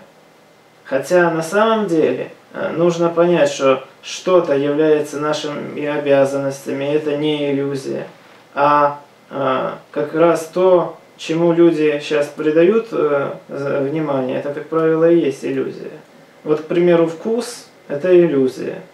А понимание того, что тело должно быть здоровым, это не иллюзия. Это наша обязанность. Мы получили это тело от предков и должны дать тело потомкам. Или если мы по каким-то причинам не можем дать тело потомкам, то, по крайней мере, составить какие-то социальные или культурные предпосылки, чтобы потомкам лучше жилось. Еще оно служило долго. Ну да. Поэтому обязанности это не иллюзия. А вкус, удобство, предпочтение, вернее, как правило, у людей не предпочтения, а привычки, привязанности. Вот это все иллюзия. Идем дальше, Гриша. Ну, тобто, у кого розвинутий цей правий центр, той можна надіятися, що в кінці кінців зрозуміє. Не, ну надеяться можно на все. Я говорю не за то, на что надеяться, а за то, что факт. Факт, что у Ревича этот центр есть. Развит, не развит, от а, разных а, обстоятельств это зависит. Но если не развит, мы можем развить. А даже те многие, у кого развит, они не прислушиваются к нему. Поэтому снова вопрос а, как с Хокінгом і Віктором. А Ревичі в процентному відношенні до інших людей? Що? Багато? Мало. Пару Мало. процентов. По разным подсчетам 7% или 2%. Mm.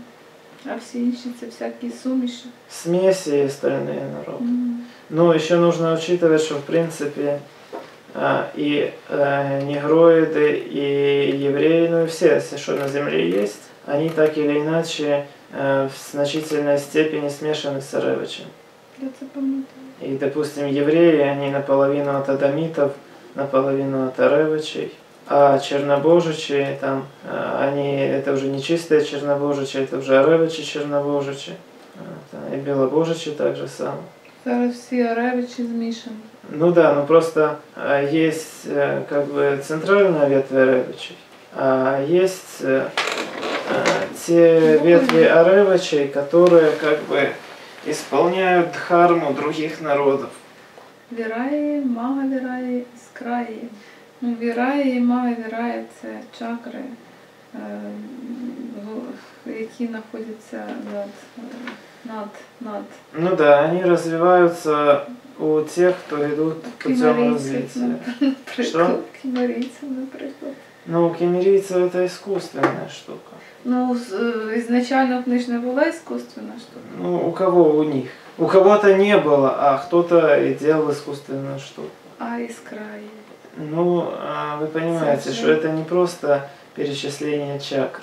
Это комбинация названий чакр с определенными понятиями и определенными явлениями. То есть в данном контексте идет такое, что вот мы начали путь развития, который начался, к примеру, с ну, начался фактически с того, что... Спочатку сам. Да, с того, что мы ну, воплотились в материальном мире, получили от Всевышнего и богов те или иные благословения, и дальше, дальше, дальше э, завелась Куруншчатая чакра, завелась Буй чакра, и все, все, все, все, все. Это дает нам предпосылки к тому, чтобы развиваться дальше, и чтобы в конечном итоге мы развили высшие чакры, и чтобы в конечном итоге а, получили возможность осознания себя собой. Ні, це так і розумію.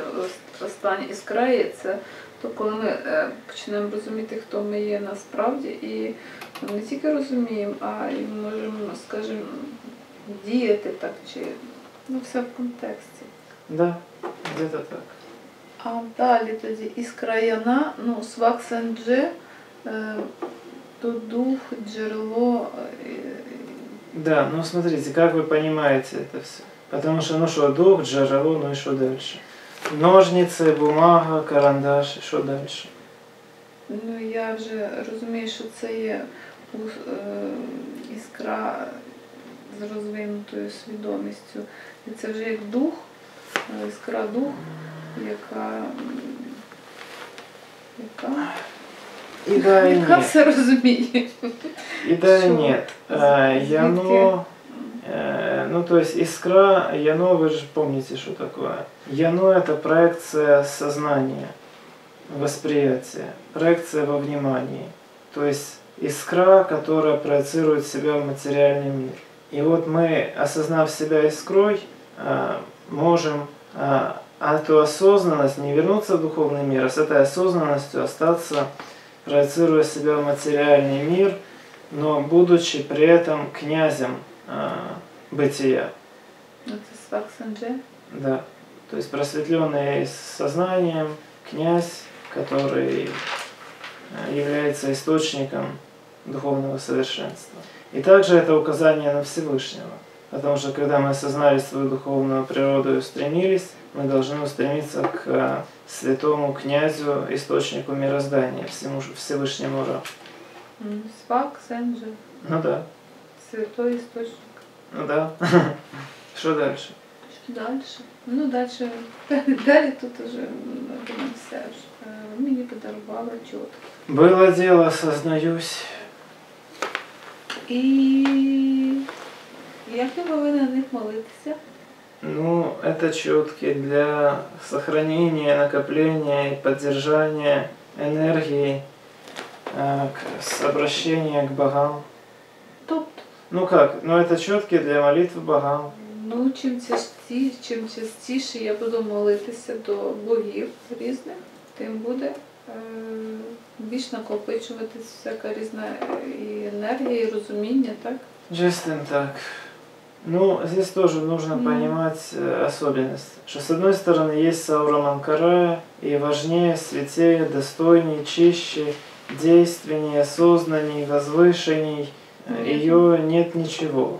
А с другой стороны, понимать, что такое Саура Манкарая, тоже нужно качественно. И в первую очередь Манкарая это не только и не столько звуки, сколько направленность. Но живя в материальном мире, мы видим и богов, и мы имеем долги, имеем какие-то взаимоотношения с этими богами. И поэтому почему бы не обращаться иногда и к ним. Это не так, что я вам эти четки предоставил, чтобы вы не читали Манкараю, а обращались к богам. Это будет совсем не тем, чем надо. И м, Ну, это... я це розумію. Але ви ще говорили, що е, ці чутки зв'язані з, пи- з нашою письменністю, з Ну, аумарацією. четки, которые 64 бусины. Так. Также, ну, по сути дела, это не еще, это не как противовес, а как дополнение тому. Потому что вы же знаете, как называется письменность? Аумарація. А, и да, и нет. Аум Ар-Аси – это ее собственное название, а ее классификационное название как? Може, не знаю. Боуговитиана. От я, я знаю, хотіла сказати, а потім щось. Или сокращенная поздняя примитивно-простолюдинская буквица. Боуговиця. Ну так. Э, Боуговитиана Боуговиці ям. А, от слова а, Ну, я ну, богов, оставлю. вмещающая а, энергию а, трансцендентных знаний, утверждающая и передающая а, сознание, очищающая и настраивающая. И таким путем каждая, каждый из знаков Аум Ар Аси называется Боугова, та, в которой Бог. А, То есть э, идея того, что э, четкие на 64 предназначены для чтения мантр богам и чтения мантр по буквице, эти идеи никак не противоречат друг другу. Но вы можете читать, допустим, мантру «Ам в первоуне на имя Гаи», а А можете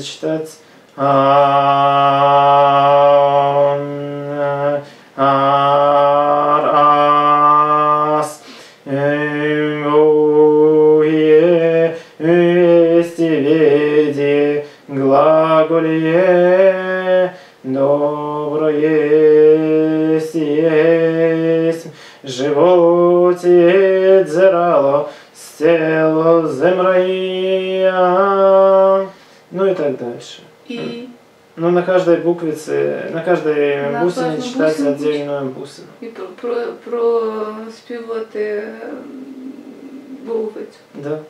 Заодно и лучшее понимание строя буквицы. И если это в голос по порядку читать, то Так. это и разновидность э, как бы а, автовосстановления мозга, можно сказать. Запам'ятовується, запам'ятовується Ну, как в все, компьютер все. есть Так. встроенная система как бы оптимизации, встроенная функция, встроенная программа оптимизации системы в операционную систему. Иногда бывает встроена или можно установить такую программу. Аналогом такой программы является мантра Аум Ар Аси. А ще я хотіла запитати. Ви говорили, що мантру по чакрах треба читати ну не кожен день, а взяти скільки днів. Можна і кожен день, а скільки днів там зможеш. Да. Ну, я так думаю, якби, допустимо, 4 дні виділити, щоб читати обов'язково, то це ж буде непогано, правда? Чи то Я считаю, и я скажу из ведических текстов, что вы, исходя из собственного осознания и желания развиваться, э, единолично должны для себя решить, что и как вы хотите осуществлять. Ну я ж для себе вирішила.